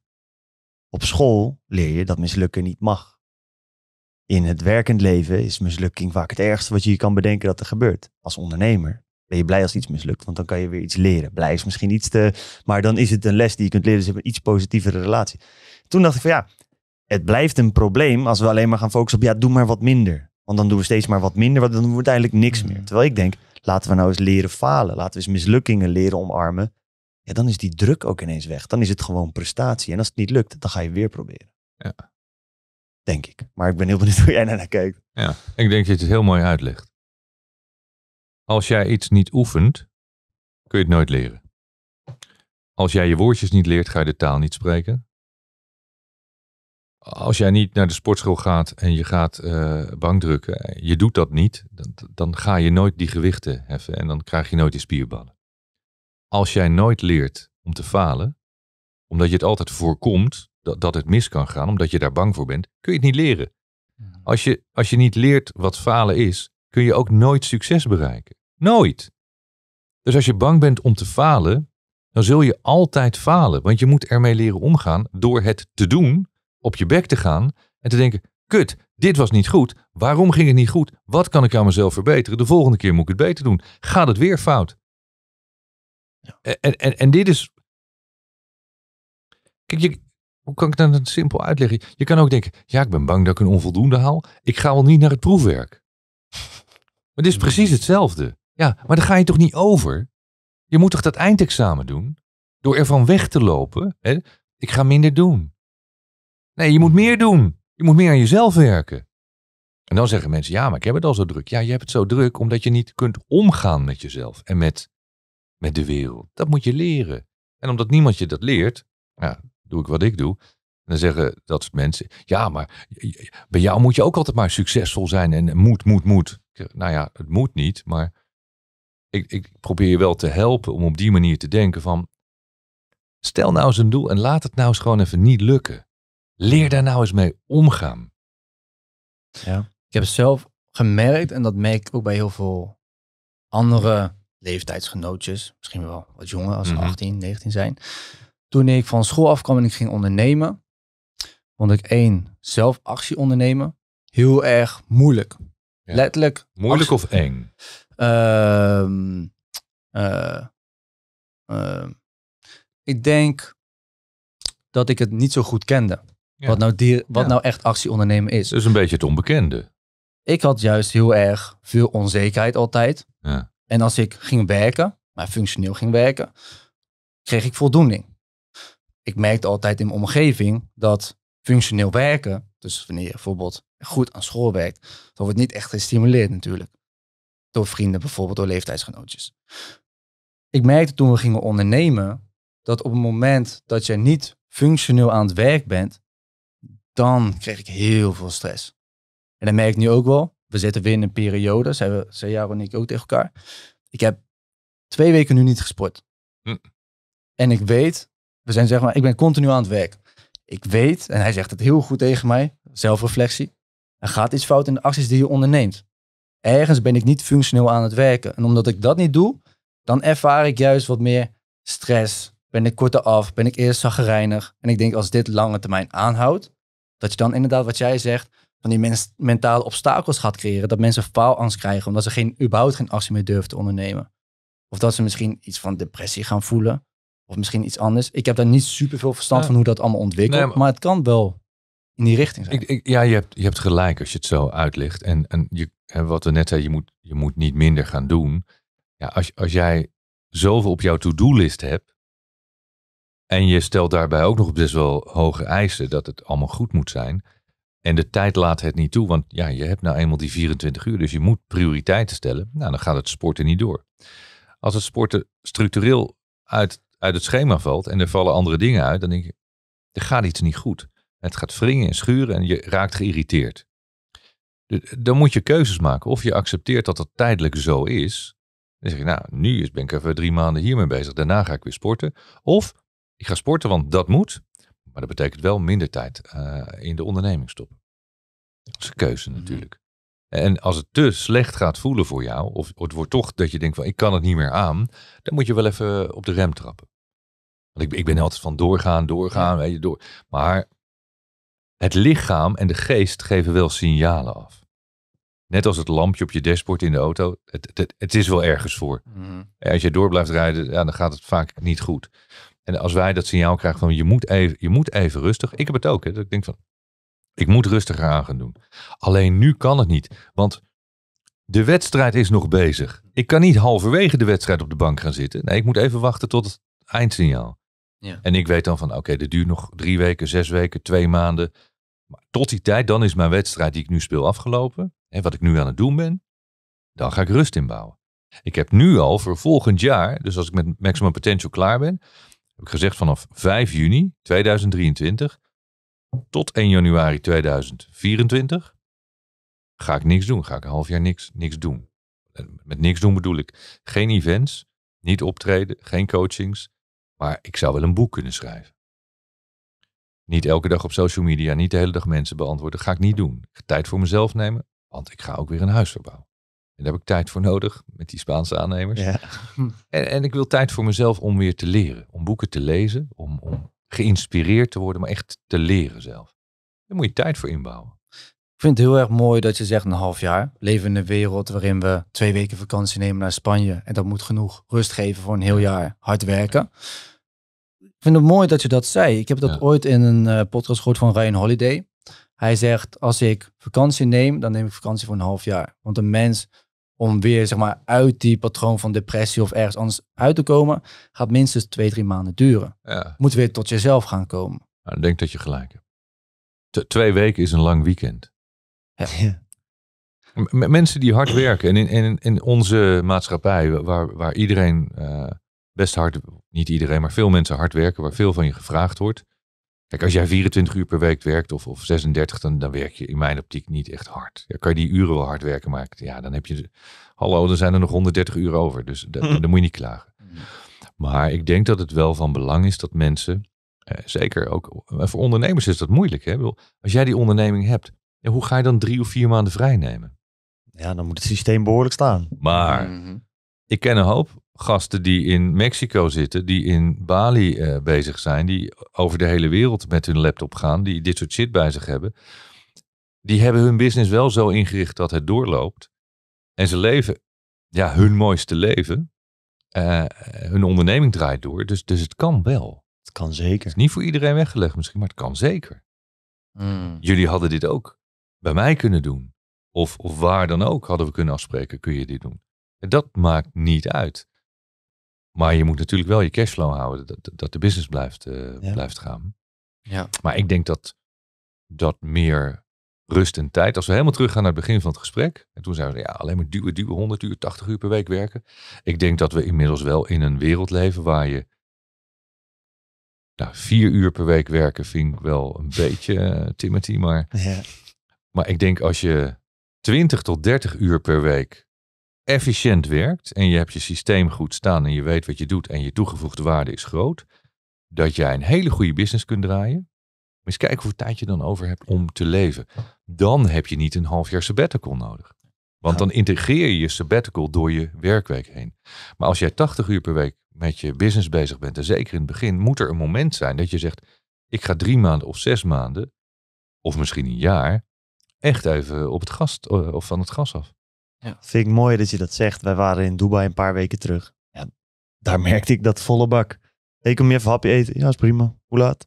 Moet je niet werken? Nee, pik. Ik krijg elke dag een rapportje van mijn team. Dat Ja. lees ik door. Ja, en als er perioden zijn dat we gas moeten geven, dan doe ik meer. Ja. Maar als ik wil, doe ik niks. Ja. Oh, Ja. maar hoeveel doe je? Ja, ik verdien een ton per maand. Hoe oud ben je? Ja. 22. Oh. Ja. Oké.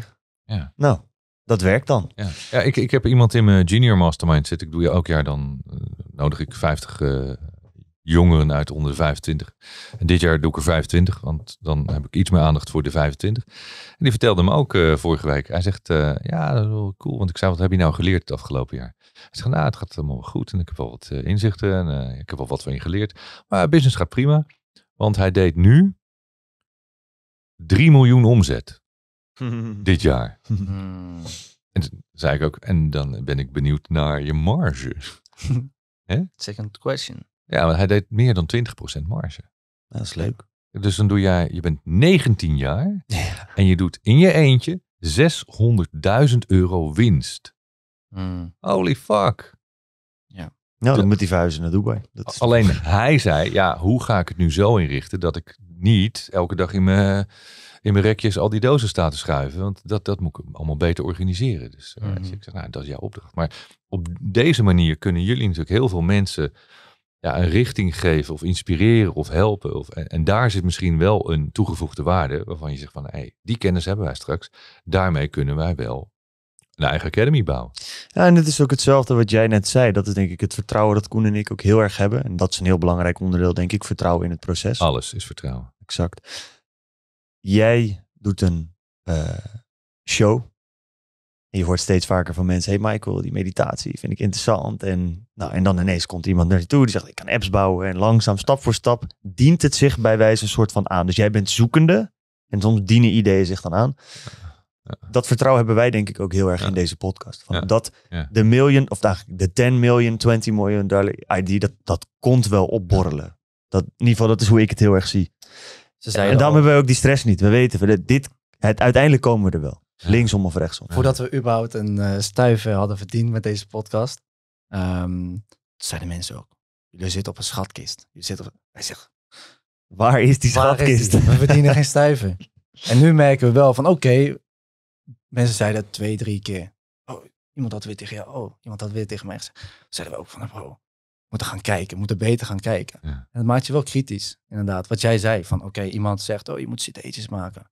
Oké, ja, echt, ergens in je achterhoofd blijft het wel hangen. Maar, maar, maar kansen komen voorbij. Mhm. En eh, als, ik, als ik kijk wat jullie doen, wat ik deed. Ik, ik ging televisieprogramma's maken in, in, in 2000. Omdat niemand begreep internet en e-mail en computers. Dat was allemaal nog zo van... eh.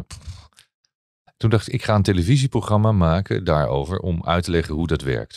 En toen ging ik naar meneer Kranzen toe en eh, een van mijn eh, mentoren die, die zei, toen zei ik van, eh, ja, dan heb ik bedacht, ga ik dit doen en dan ga ik eh, naar Microsoft, die ging dat sponsoren en Ericsson en Philips. Ja, zei hij, zei, maar waarom ga je dat programma nou maken? Ik zei, nou, dan ga ik dat uitleggen aan kijkers, hoe, hoe je met een computer om- omgaat en met eh, Word en al dat soort dingen. Zegt hij, oh, dus die mensen begrijpen niet hoe ze met een computer moeten omgaan. Nee, hij zegt, maar waarom ga je dan geen computerles geven? Ja, omdat ik een televisieprogramma wil maken. Hij zegt, ja, maar wil je nou een televisieprogramma maken of wil je geld verdienen? Ja, nou, allebei. Dus zeg maar, als je geld wil verdienen, dan huur je gewoon een zaaltje. Dan zet je 30 stoelen neer. En dan ga je computerles geven hoe mensen met Word moeten omgaan en Excel en al die shit, eh, weet je dat. Zeg dan, dan laat je een klasje komen op een avond. En dan vraag je 25 euro. En dat doe je ja, keer 20, keer 50, keer 100. En dan hou je een half uurtje pauze, doe je het nog een keer. En dat ga je elke avond doen. En dat, dat is geld verdienen. Hij zegt, jij gaat nu heel veel tijd investeren om een televisieprogramma te maken. Dat je uit, krijg je een beetje sponsorgeld en daarnaast weg moet je weer opnieuw beginnen. Toen dacht ik van, en toen zei hij, kijk, en als je nou, een beetje LOE gedacht is dit hè. Ja, hij zegt, als jij dus straks de opleider bent van computerprogramma's, dat mensen bij jou terecht kunnen om met computers om te gaan. Heb je straks een bedrijf, dan kan je verkopen. Want uiteindelijk sta jij natuurlijk niet meer zelf elke avond al die lesjes te geven, maar ga je in het hele land dat soort avonden organiseren. En dat is hoe een visionair, een slimme ondernemer, met een andere visie kijkt naar de kansen die er zijn. En ik ging een televisieprogrammaatje maken. Ja, en nu is het voorbij. Mhm. Snap je? Klopt. Dus ook voor jullie, ja, wil je nou die podcast maken? Of komt dat idee voorbij dat je denkt, hé, hey, dit gaan wij doen. Ik denk dat we al met het idee bezig zijn. Ja. Kunnen we nog niet over, te veel Nee, over kwijt. En- en het zijn is- dat nog... Het is ook leuk om erover na te denken. Zeker. Zeker. Zeker. Ja, ja. Ja, Dat maakt het ook wel leuk, toch? Ik denk Ja. dat het, dat het, het maakt de podcast ook honderd keer leuker. Omdat je weet dat we straks ergens, misschien gewoon over een jaartje, zitten we heel ergens anders. Ja, en wat wij ook heel erg merken, en dat moet natuurlijk dan nog wel getest worden, maar wij spreken heel veel ondernemers die financieel verder zijn dan wij. Ja.